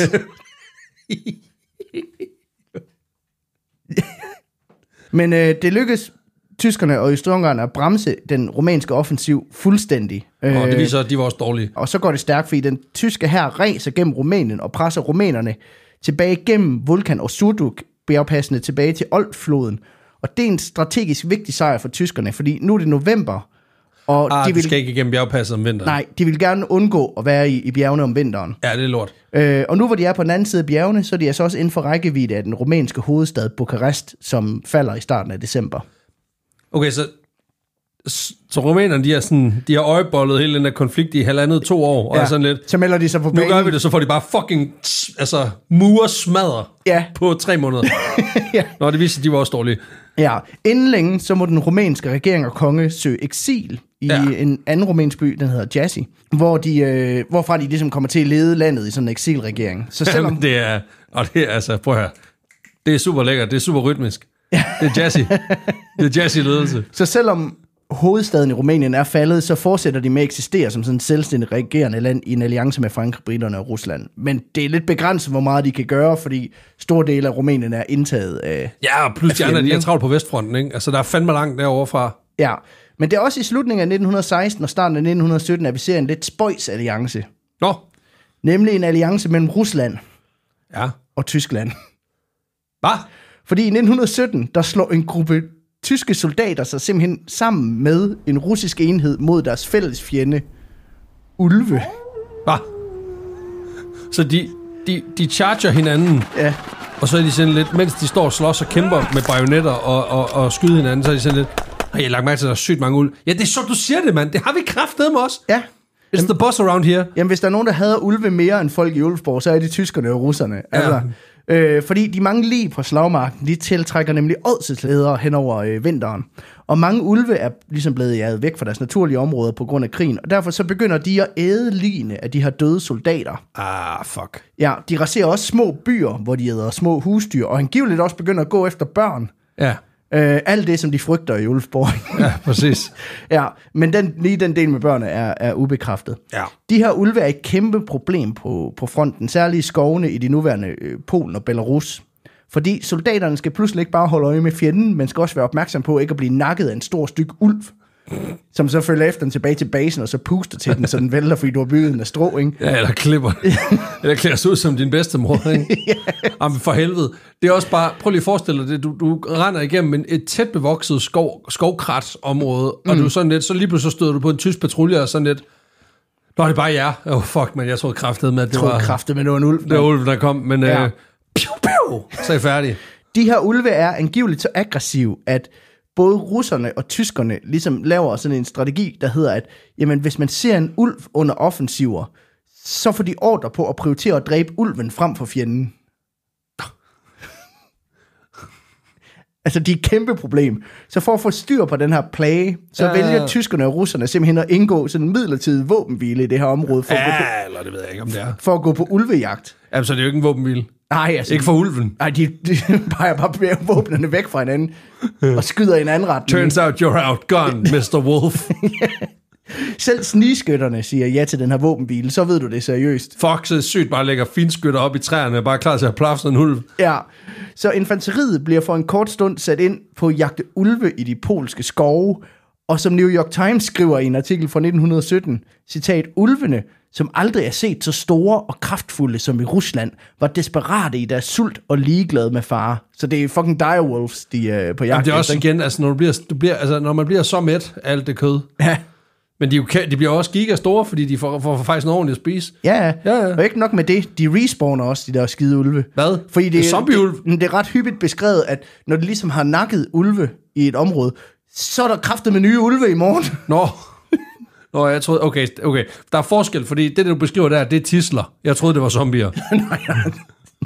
Zombie Okay. direwolves, det vil være... Jamen, jeg tænkte, det kan godt være, at du skulle dobbelt det lort for at, for at sikre sig, at den, den ikke kommer igen. Nej, men uanset hvor mange ulve den her mærkelige alliance dræber, jo flere kommer der, jo mere sultne de bliver, jo mere frygtløse bliver de også. Okay. Så til sidst, så beslutter både tyskerne og russerne sig for, at der må være nogle skrappere midler, der skal til for at håndtere de her uvågne ulve.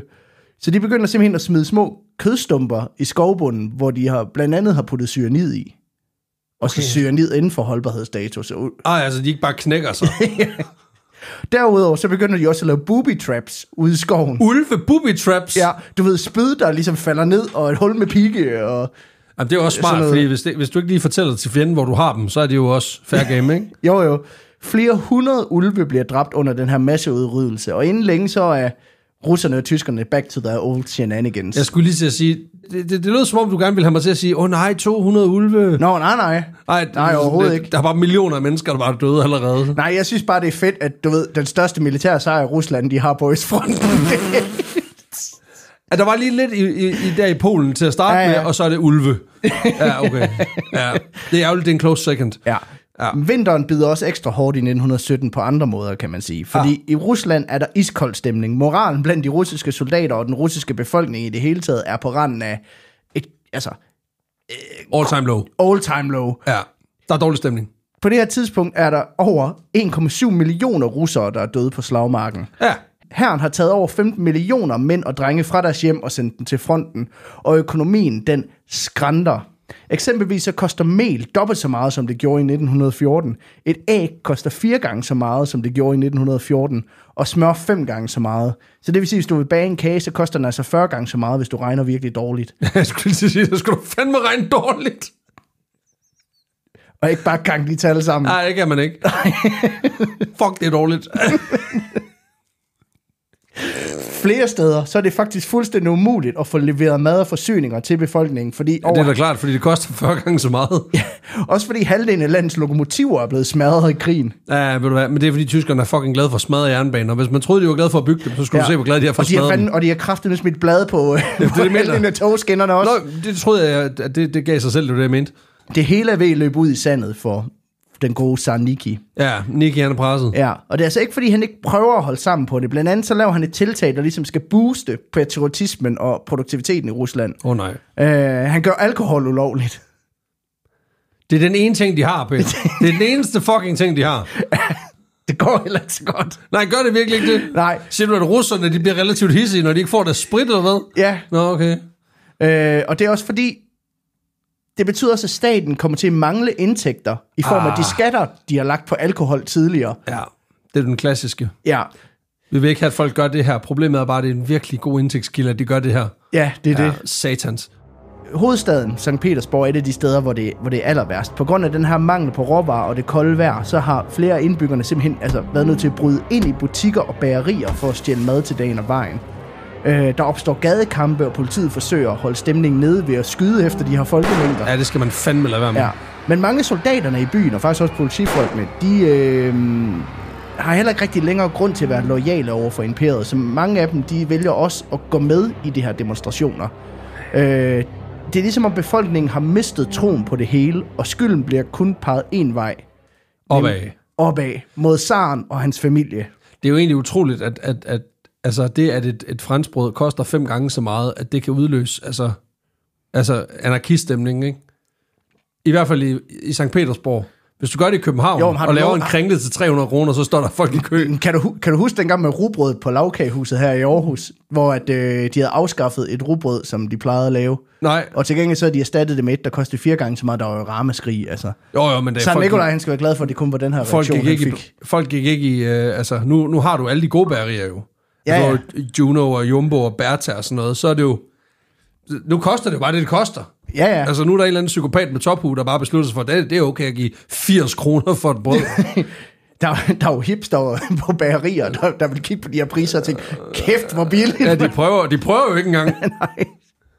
Så Nikolaj har brugt meget af det forgangne år på herrens hovedkvarter med ja. At øh, spise frokost og i en specielle lokaler og spise kopper toast og sådan noget.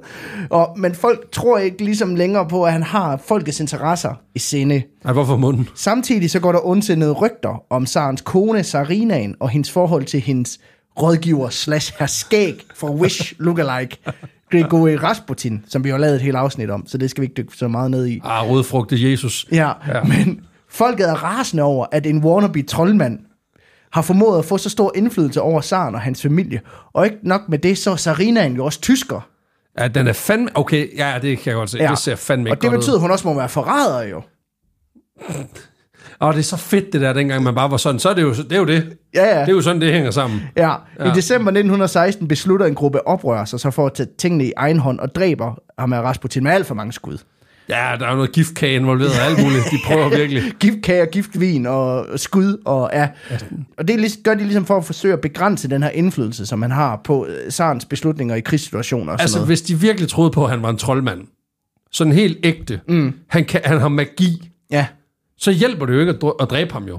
han vender bare tilbage som Rasputin den hvide, ikke? Ja, præcis. Hvad, er det, sådan- altså, hvad, hvad, hvad er det for en logik, du har? Hold nu op. Altså, hvis han var en troldmand, så havde han jo horcruxes. Ja, ja præcis. Selvfølgelig har han det. Ja, ja. Ja, ja, det ene af dem, det er hans dumme skæg.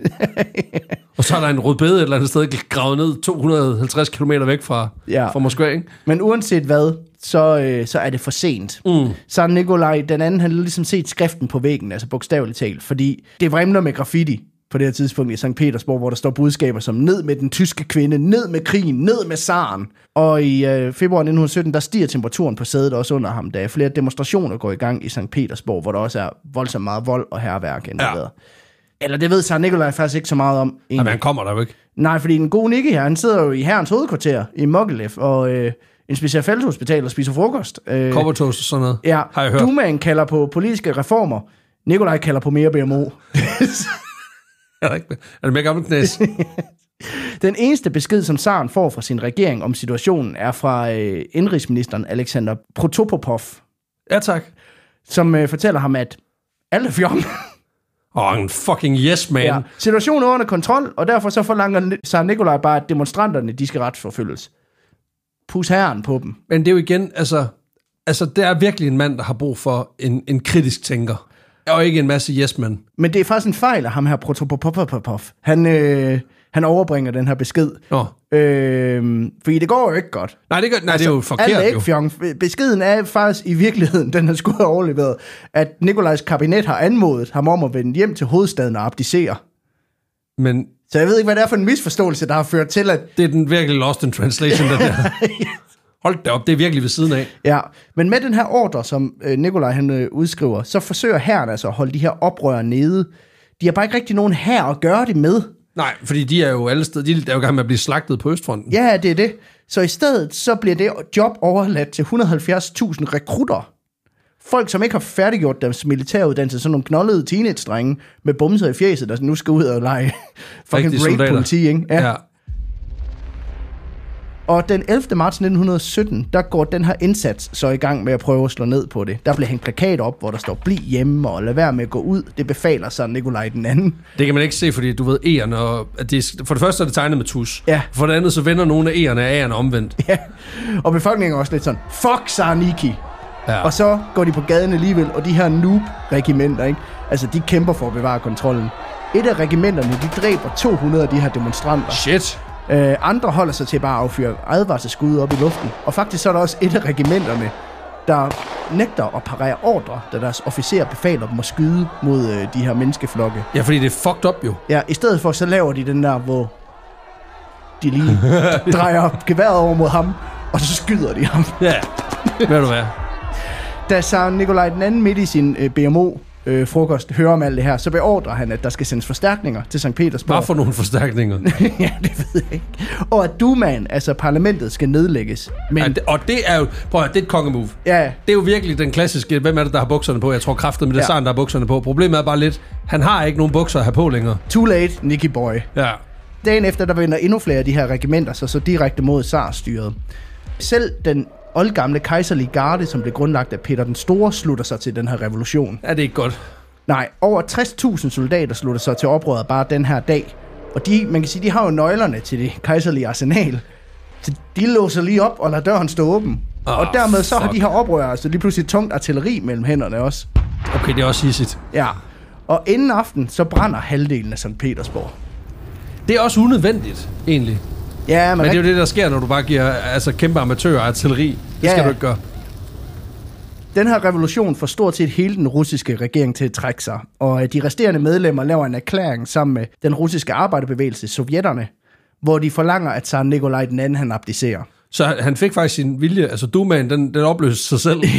Tsar Nikolaj, han ser heller ikke andet valg, end at gøre, som han bliver befalet. Så han abdicerer den 15. marts 1917. Faktisk fire dage forinden, der får han også lige en blodprop.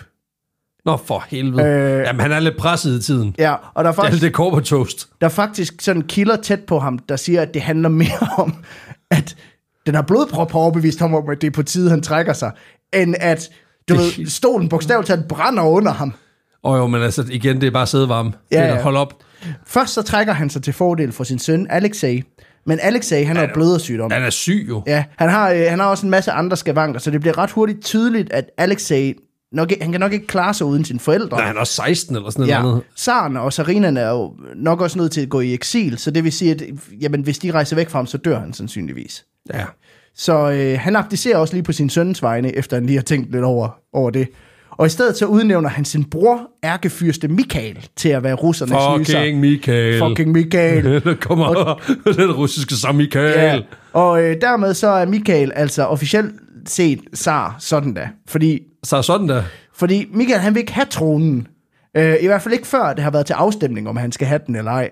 Øh, Han er virkelig dårlig til det der øh, aristokrati. Ja, og dermed så bliver Sar Michael en af de kort siddende regenter i verdenshistorien, fordi han sidder mindre end en dag. Han ved bare ikke, how to sar. Altså, han er virkelig dårlig til at sar.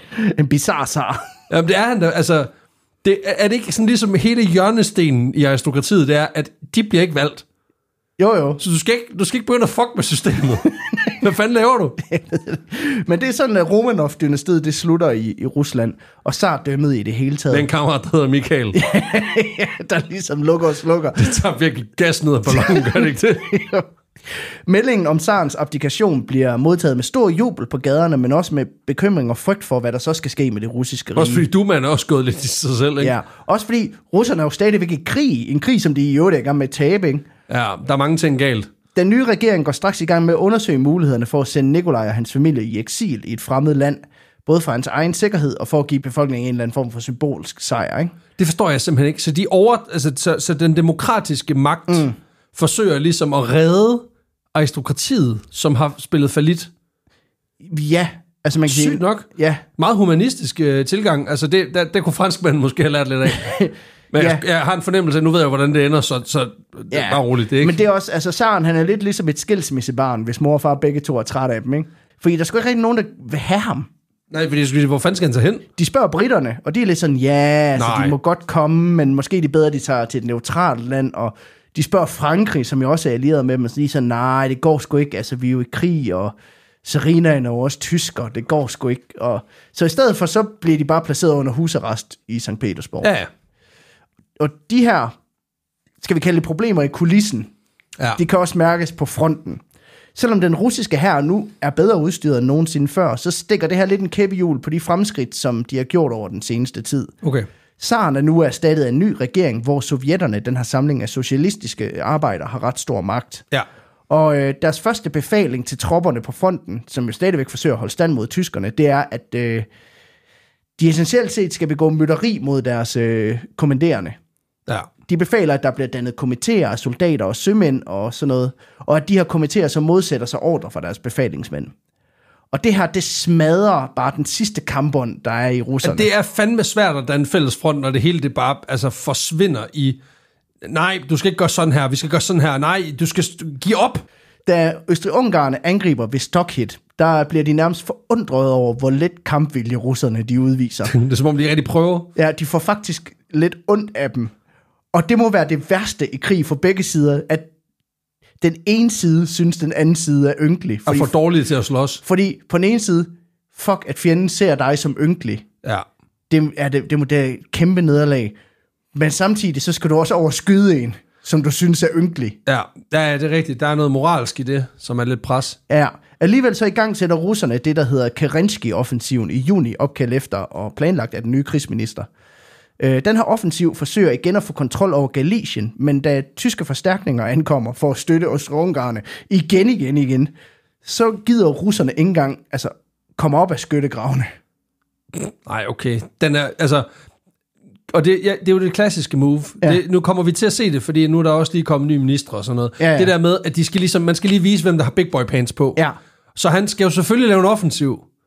Det er bare meget stort brød. Ja. Og det er i forvejen dyrt, det brød. Det det. Så øh, det var en dårlig idé. Ja. Ja. Inden længe har tyskerne fået kontrollen over Riga i september, størstedelen af Letland og nogle af øerne ud for Estland. Finnerne, de udnytter også Ruslands svaghed til at igangsætte processen for selvstændighed. Ja. Og samtidig så ulmer ilden igen i Rusland, for i kølvandet på revolutionen i februar er der nu bøvl med de venstreorienterede bolsjevikker, anført af Vladimir Lenin. De er dybt utilfredse med regeringen og kalder direkte på en arbejderrevolution. En revolution, der skal dreje Rusland i sådan en mere socialistisk retning, fordi bolsjevikkerne mener, at den her sovjetiske arbejderbevægelse ikke bare skal være en del af regeringen, de skal være regeringen. Ja. De her sovjetter, der allerede sidder i regeringen, de er anført af en gut, der hedder Trotsky. Og han synes umiddelbart også, at ideen om militær opstand er ganske fin, fordi det vil betyde, at han får noget mere magt. Og øh, det står pludselig klart, at der er optakt til Ruslands anden revolution på et år. Ja. Men det her det er den store af dem, ikke? Det er den store af dem. Ja. Den 24. oktober starter der små voldelige opgør rundt omkring i St. Petersborg, men inden længe så blusser den røde revolution op i fuld figur. Og inden for to dage har bolsjevikkerne besat både regeringsbygninger og vinterpaladset i St. Petersborg. Og dermed bliver Lenin leder af verdens første kommunistiske stat. Det er mere en filosofisk diskussion, fordi det er i hvert fald, nu, nu har jeg nogle, øh, nu gik jeg jo i gymnasiet med nogen, der var, mm. der var både trotskister og øh, leninister og alt muligt andet.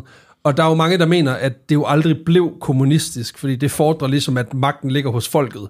Og der var Lenin jo meget sådan, jeg holder lige den her hat af guld.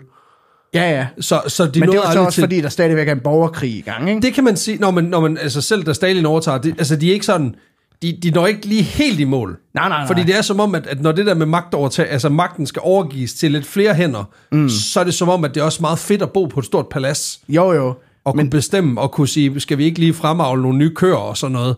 Det kan jeg jo ikke få lov til, hvis jeg bare er en del af folket jo. Det er klart. Ja. Men den her magtovertagelse fører i hvert fald til, at der bryder åben borgerkrig Ja, i Rusland. Mellem Lenins røde bolsjevikker og alle andre, der har det mindste mod sovjetterne øh, og deres planer om kommunisme. Ikke? Og det bliver en øh, konflikt, der i sig selv kommer til at involvere tab af menneskeliv i millionklassen. Præcis som tyskerne havde planlagt. Fordi det her ved jeg ikke, om du ved, men den russiske borgerkrig og hele oktoberrevolutionen, det var jo drømmescenariet for tyskerne, da de besluttede sig for at sende Lenin afsted for at lave ravage.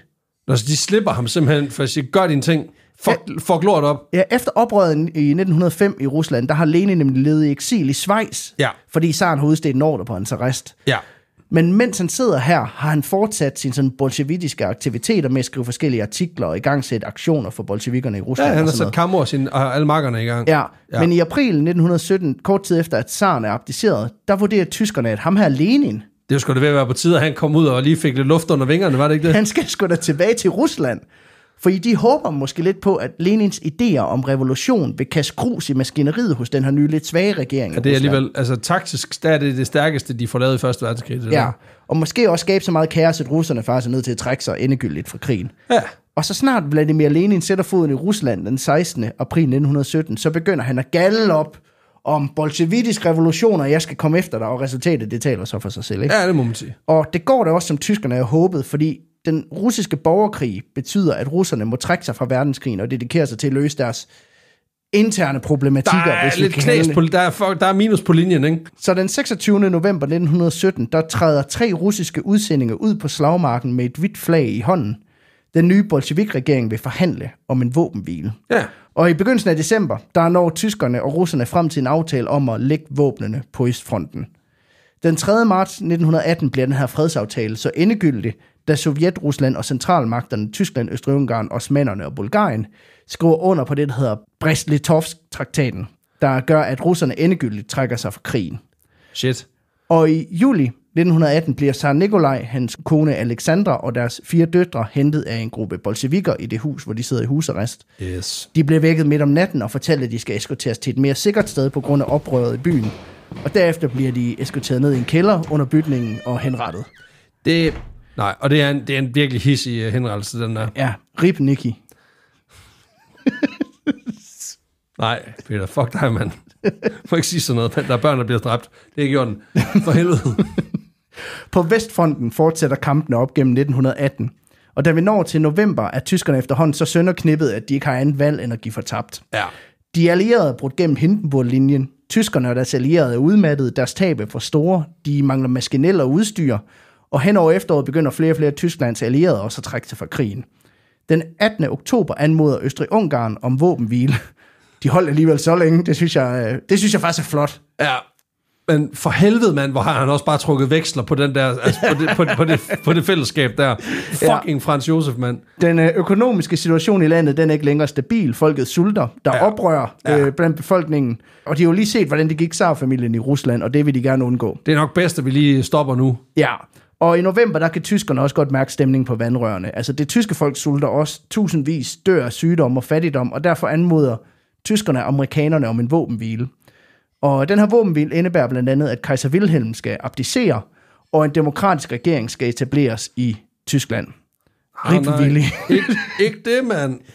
Det øh, skriver tyskerne så under på den 11. november 1918. Ja. Dermed så slutter Første Verdenskrig, eller den store krig, som den blev kaldt dengang, de vidste jo ikke, der kom en tor. Nej. Øhm, eller måske gjorde de det. Fordi da Versailles-traktaten endegyldigt bliver underskrevet i 1919, der kommenterer den franske general Foch, at han er... Den kender. det hedder han. Jo, det gør det ikke mindre sjovt. Nej, Han kommenterer, han- at han er meget utilfreds med den her traktat, Åh. fordi, citat, det der er ikke en fredsaftale. Det er blot en 20 år lang våbenhvile. Og plus minus en fejlmarken på et par måneder, så havde han fuldstændig ret. Ja. Første verdenskrig bliver vidt omspændende og får store konsekvenser for selvfølgelig Europa, men også for resten af verden. Den fører til, at fire store imperier falder fra hinanden. Ja, det russiske, det øh, østrig-ungarske, det tyske, og det... Øh, mm, jamen, det er jo ikke det franske. Hvem fanden, hvem, hvem Det osmaniske. Det osmanniske? Vi har bare slet ikke talt om det. Nå, okay, så de ryger, de ryger også. Ja, ja, Ja. det er klart, der kommer Atatürk, og så gør han det bare fuck, så gør Ja. han det fucking fedt. Den koster over 17 millioner mennesker livet på både Vestfronten og Østfronten. Fuck, mand. På, I alle de andre steder, som krigen også når ud til, altså blandt andet Togo, Tanzania, Mexico og Kina. Og øh, da Lenins røde her tager sejren i den russiske revolution i 1923, der opstår Sovjetunionen så som en ny supermagt i Europa. Tyskland må se sig selv være knækket midt over, både af krigen, men også af de krav, som de allierede har stillet i Versailles. Ja, der skal betales lidt ekstra, ikke? Jo. Den er fandme dyr, de der reparations. Ja, det indebærer blandt andet, at tyskerne skal påtage sig den fulde skyld for krigen, Ja. Øh, derudover mister Tyskland 13% af sit territorie og 12% af sin befolkning til de allierede, som frit sådan hapser stumper af det gamle tyske rige og giver dem til dem, de lige har lyst til. Fuck ham, Kaiser Kalisi, dernede. Altså, det er jo, at jeg siger ikke, at det var ham, der startede, men det var lidt ham, der startede. Ja, han, han, havde, han havde også noget at sige det. Han slipper overraskende billigt det her, altså i det her. Ja, blandt andet så betyder det også, at de mister halvdelen af deres jernproduktion, tyskerne. Ah. Som ellers har været sådan en ret stor og vigtig del af deres økonomi. Jo, men også fordi, at, at det, er jo, altså det er jo i forlængelse af, at de jo var pissegode til at producere ting i, i Ruhrdistriktet. Ja. Og Krups øh, som jo bare virkelig, altså bare tonser derud af. Og der er de sådan lidt, måske er det meget smart, at de ikke lige gør det. Ja. Fordi de må netop ikke, det, det handler om, at man gerne vil begrænse deres evne til at kunne mobilisere. Ja, lige præcis. Ja. Ja. Deres her blev også begrænset til maksimalt 100.000 soldater. Altså, puny army. Stupid Germans. Lige præcis. Ja, tak. Og øh, tyskerne har intet andet valg end at skrive under på den her aftale. Og den her traktat, den vækker forarvelse i Tyskland op igennem de næste øh, par årtier. For på et felthospital i Pasewak ligger en ung tysk soldat. Han er blevet blændet i et sennepsgasangreb på Vestfronten og ligger og kommer sig over det her. Og synet begynder så småt at vende tilbage, da han hører om tyskernes nederlag. Og angiveligt så chokket over den her nyhed så stor, at han bliver blind endnu en gang. Oh, wow. Ja, så det skal han lige komme sig over. Hans sorg og bitterhed og de svære år, der ligger forud for Tyskland, kommer til at danne ramme om en destruktiv ideologi. Men han skal nok rette op på det hele, så sandt som hans navn er Adolf Hitler. Der kom en, Det er fase 3 nu. en Thanos-agtig cameo For til helvede. sidst. Goddammit. Det bliver også de 300.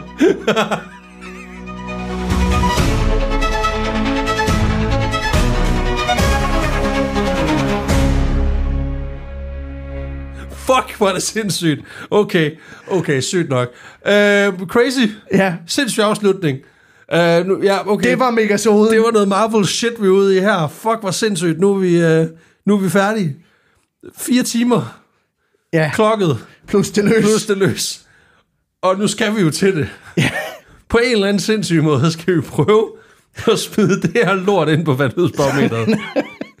vi har vores fem kriterier. Vildskab, lolfaktor, unikkens indflydelse og extra spice.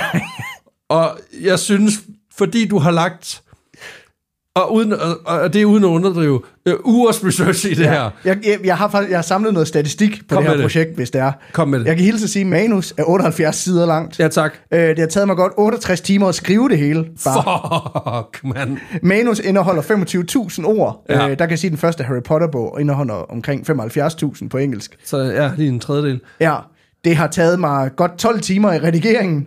Ja. Øh, plus Du er jo ikke færdig nu, jo. 80 timer i, øh, Ja, i, i research, måske. Ja, det er sindssygt det her. Det er, det er, tung, det er tunge skyts, og det er bare for at sige, nu hvor vi alligevel er her, mm hvis du gerne vil støtte vores arbejde, så er der noget, der hedder tier.dk. Lige nu er vi ambassadør for Zetland. Du går ind på zetland.dk-vv, skriv dig op. Vi får 200 kroner for hver sign-up. Du får en unik episode, hvis du gør det. Og et fantastisk medie, det der hedder Zetland. Og for helvede, så benytter vores samarbejdspartnere, fordi det er det, der gør, at sådan, en som, at, at, at sådan noget her kan ske. Og at Peter, han kan bruge 80 fucking timer i researchen og skrive 72 fucking sider. I salute you, my friend. vi skal på en eller anden måde, vanvittigt nok, have den her på vandløbsbarometeret. Yeah. Øh, og fordi du har lagt alt arbejde, så vil jeg gerne starte Ja. med at sige, hvor vildt synes jeg historien om Første Verdenskrig, den her. og jeg synes, alene på tallene, mm. er der et spørgsmål. Nej, det er en tier for mig. Jeg synes også, den er vild. Ja. Øh, det, det, det virker sådan lidt omsonst Ja. ja. at sammenligne Første Verdenskrig med John McAfee. Præcis. Men det er jo sådan, det er. men nu- jeg siger ikke, at vores vanvidsbarometer ikke giver mening. Nej. Men jeg siger lidt, at vores vanvidsbarometer ikke Men, for, men Ja, fuck, fuck det, vi gør det. Øh, LOL-faktor, jeg, jeg giver synes, også den 10, er, ja, jeg synes, ja, det kan, det kan jeg selv. Øh, LOL-faktor, jeg synes jo ikke, altså, i, i, i sin grundessens er det ikke særlig sjovt. Der er nogle virkelig sjove elementer. Der er virkelig mange sjove detaljer i det her. Altså, jeg synes, ideen om, at vi laver de her koncerter, ideen om den her sandwich, ideen om, at man, nu, nu prøver vi lige at invadere det her, vi ved ikke, hvad fanden vi laver, at Rumænien lige melder, melder ind, og er så dårlige til det. Vi har julefreden, vi har alle mulige sådan mm. små, sjove bistik. Problemet er bare, at grundessensen er usjov. Ja, 17 millioner mennesker dør. Og af den grund, så er det en toer for mig. Ej, jeg vil godt give den, jeg vil godt give den 4. Nej, men ja, øh... Øh. men det er bare... Det... Og det er, jeg vil sige, det er tabstallene og, og brutaliteten, der trækker ned. Nå, virkelig. Ja. At sendumsgassen, den giver lige lidt ekstra, ikke? Ja, ej, den trækker kun op. Okay, din, din syge fuck. ja, Så har vi indflydelse. ja, men tier. Ja, altså Jamen, det bliver det nødt til. Det bliver, siger- det bliver det simpelthen nødt Man til. kan jo ikke komme udenom, at Nej. det har været en kæmpe... Altså, det er jo noget, der har permanent sat sit mærke på hele Europa, ikke? Lige præcis. Så har vi jo uniqueness. Jeg giver den en femmer. Ja. Og det er, logikken er simpel. Der kom en toer. Det river fem fra. Færdig arbejde. Der er jo nogen, der faktisk argumenterer for, at 1. og 2. verdenskrig er den samme krig. Altså, at der simpelthen bare ja. var de her 20 års våbenhvile i midten. Øh, fordi Ja. ja. man kan sige, rigtig meget af det, der Men- kom ud af 1. verdenskrig, fører direkte ind i 2. verdenskrig, men rigtig mange af de problematikker, der fører til 1. verdenskrig, er også det, der spiller Ja, ja, ja. ja. ind i 2. verdenskrig. Så det er jo noget, man diskuterer nogle steder, om det egentlig essentielt set er den samme krig, der bare plusser op igen. Ja, Og det er jo, det er jo hvad det er. Men jeg, vil også, jeg, jeg, jeg er med på en femmer. Det kan, det kan jeg godt ja tilslutte tak. mig. Og så har vi så Extra Spice. Jamen igen, det er en tier. Den, ja. Ja. det, det kan ikke være andet. Nej, Altså, der, der er, altså når selvskassen bliver opfundet, det er det originale Extra Spice, mand. Altså, for satan. Ja. 76 ender vi så på. Det er faktisk overraskende lavt, men det er jo igen det der med, at hvis ikke den er så sjov, mm. så, så falder den bare. Den taber terræn. Sådan er det bare. Ja, ja. Altså, og, og, og på en eller anden måde, øh, jeg er ikke overrasket over, at den ikke kommer til at top the charts. Jeg ved, at der vil være nogen i kommentarerne, I må gerne skrive ind på Spotify på episoderne og så videre, der vil sige, hvorfor fanden, øh, bla bla bla, øh, den skal sgu da være på 95, det er den vigtigste historie. Ja, men det er bare ikke den sjoveste historie. Det er ikke den sjoveste, vigtigste historie. Nej. Og på den måde, så er vanvidsbarometeret jo, hvor Fucked. broke det end er, Ja, også lidt rigtigt. ja, ja. ja. Helt sikkert. Og det er det, der er så magisk. Det er jo derfor, at 100 er svært. 90 det... er mega svært. Fordi du skal både være vigtig, du skal også være grineren. 2. verdenskrig og 1. verdenskrig er ikke særlig grineren. Nej, det er der jo nogen, der synes. Okay. Jeg har hygget mig gevaldigt. Ja, ja, jo, jo, jo, det skal du også. Man skal kraftede, men der skal være noget til, der skal være noget øh, og, til latter, lattermusken, når man skal gå igennem så frygtelig meget. ja. Så øh, Men det var simpelthen megasoden. lige præcis. Fire timer endte det med at tage. On chat. Og en chat. Lige til dit fucking face. Tusind, tusind tak, Peter. Fordi Det var det er, nej, men seriøst, altså uden pis, vi har lavet det her i seks år. Det her, det er en af grundene til, at det var dig. Jeg snakkede faktisk med en veninde om det forleden, det der med, mm. hvordan vidste du, at det skulle være Peter, der skulle lave det her? Hvor jeg sådan, jeg kunne ikke forklare det, det var en fornemmelsesting, og jeg har ikke fortrudt det et mikrosekund. Så tak. Selv Motherfucking tak. Jeg synes, det har været mega fedt at lave det her projekt. Altså, jeg, jeg håber virkelig også, at man kan mærke, at jeg har puttet enormt meget sjæl i det, fordi jeg har brugt for det første oceaner af tid, men også oceaner af kræfter i at tænke, hvordan, hvordan formidler man overhovedet den her historie? Og der er selvfølgelig enormt mange aspekter af krigen, vi aldrig nogensinde har beskæftiget os med. Oh, yes. Altså alene det her med, at osmanderne, som blev nævnt lidt i en bisætning, øh, Det falder også lige sammen. men det er det her med, at jeg er nødt til at prøve at finde en struktur for, hvordan man formidler den her historie Selvfølgelig, øh, selvfølgelig. mest struktureret. Jeg synes, det har været mega fedt også at prøve at lege med noget lyd. Øh, prøve at bruge nogle af de kompetencer, jeg har fra mit dayjob, øh, Præcis. til også rent faktisk at sige, jamen, og, og vise, at vi faktisk kan lave den der third year-agtige øh, podcast, Og at det nogle gange faktisk er et bevidst fravalg, at vi ikke gør det. Præcis, og man kan sige, er det her foreshadowing til, at det her det også var noget, vi kunne finde på at gøre i anden konstellation mm. fremadrettet nu, hvor du har mere tid, og hvor vi kommer til at prioritere mere tid til at producere, fordi vi har vores eget studie og den slags. Det kan vi jo ikke afvise. Øh, det kunne sagtens være. Så øh, hvis I kan lide det, så må I hellere gerne skrive det til os på vores sociale medier. I kan fange os ind på Facebook, vi hedder Vanvittig Verdenshistorie Podcast, eller inde på Instagram, Vanvittig Verdenshistorie. Ellers så lyttes vi ved igen næste søndag. Ha' det fucking sprødt.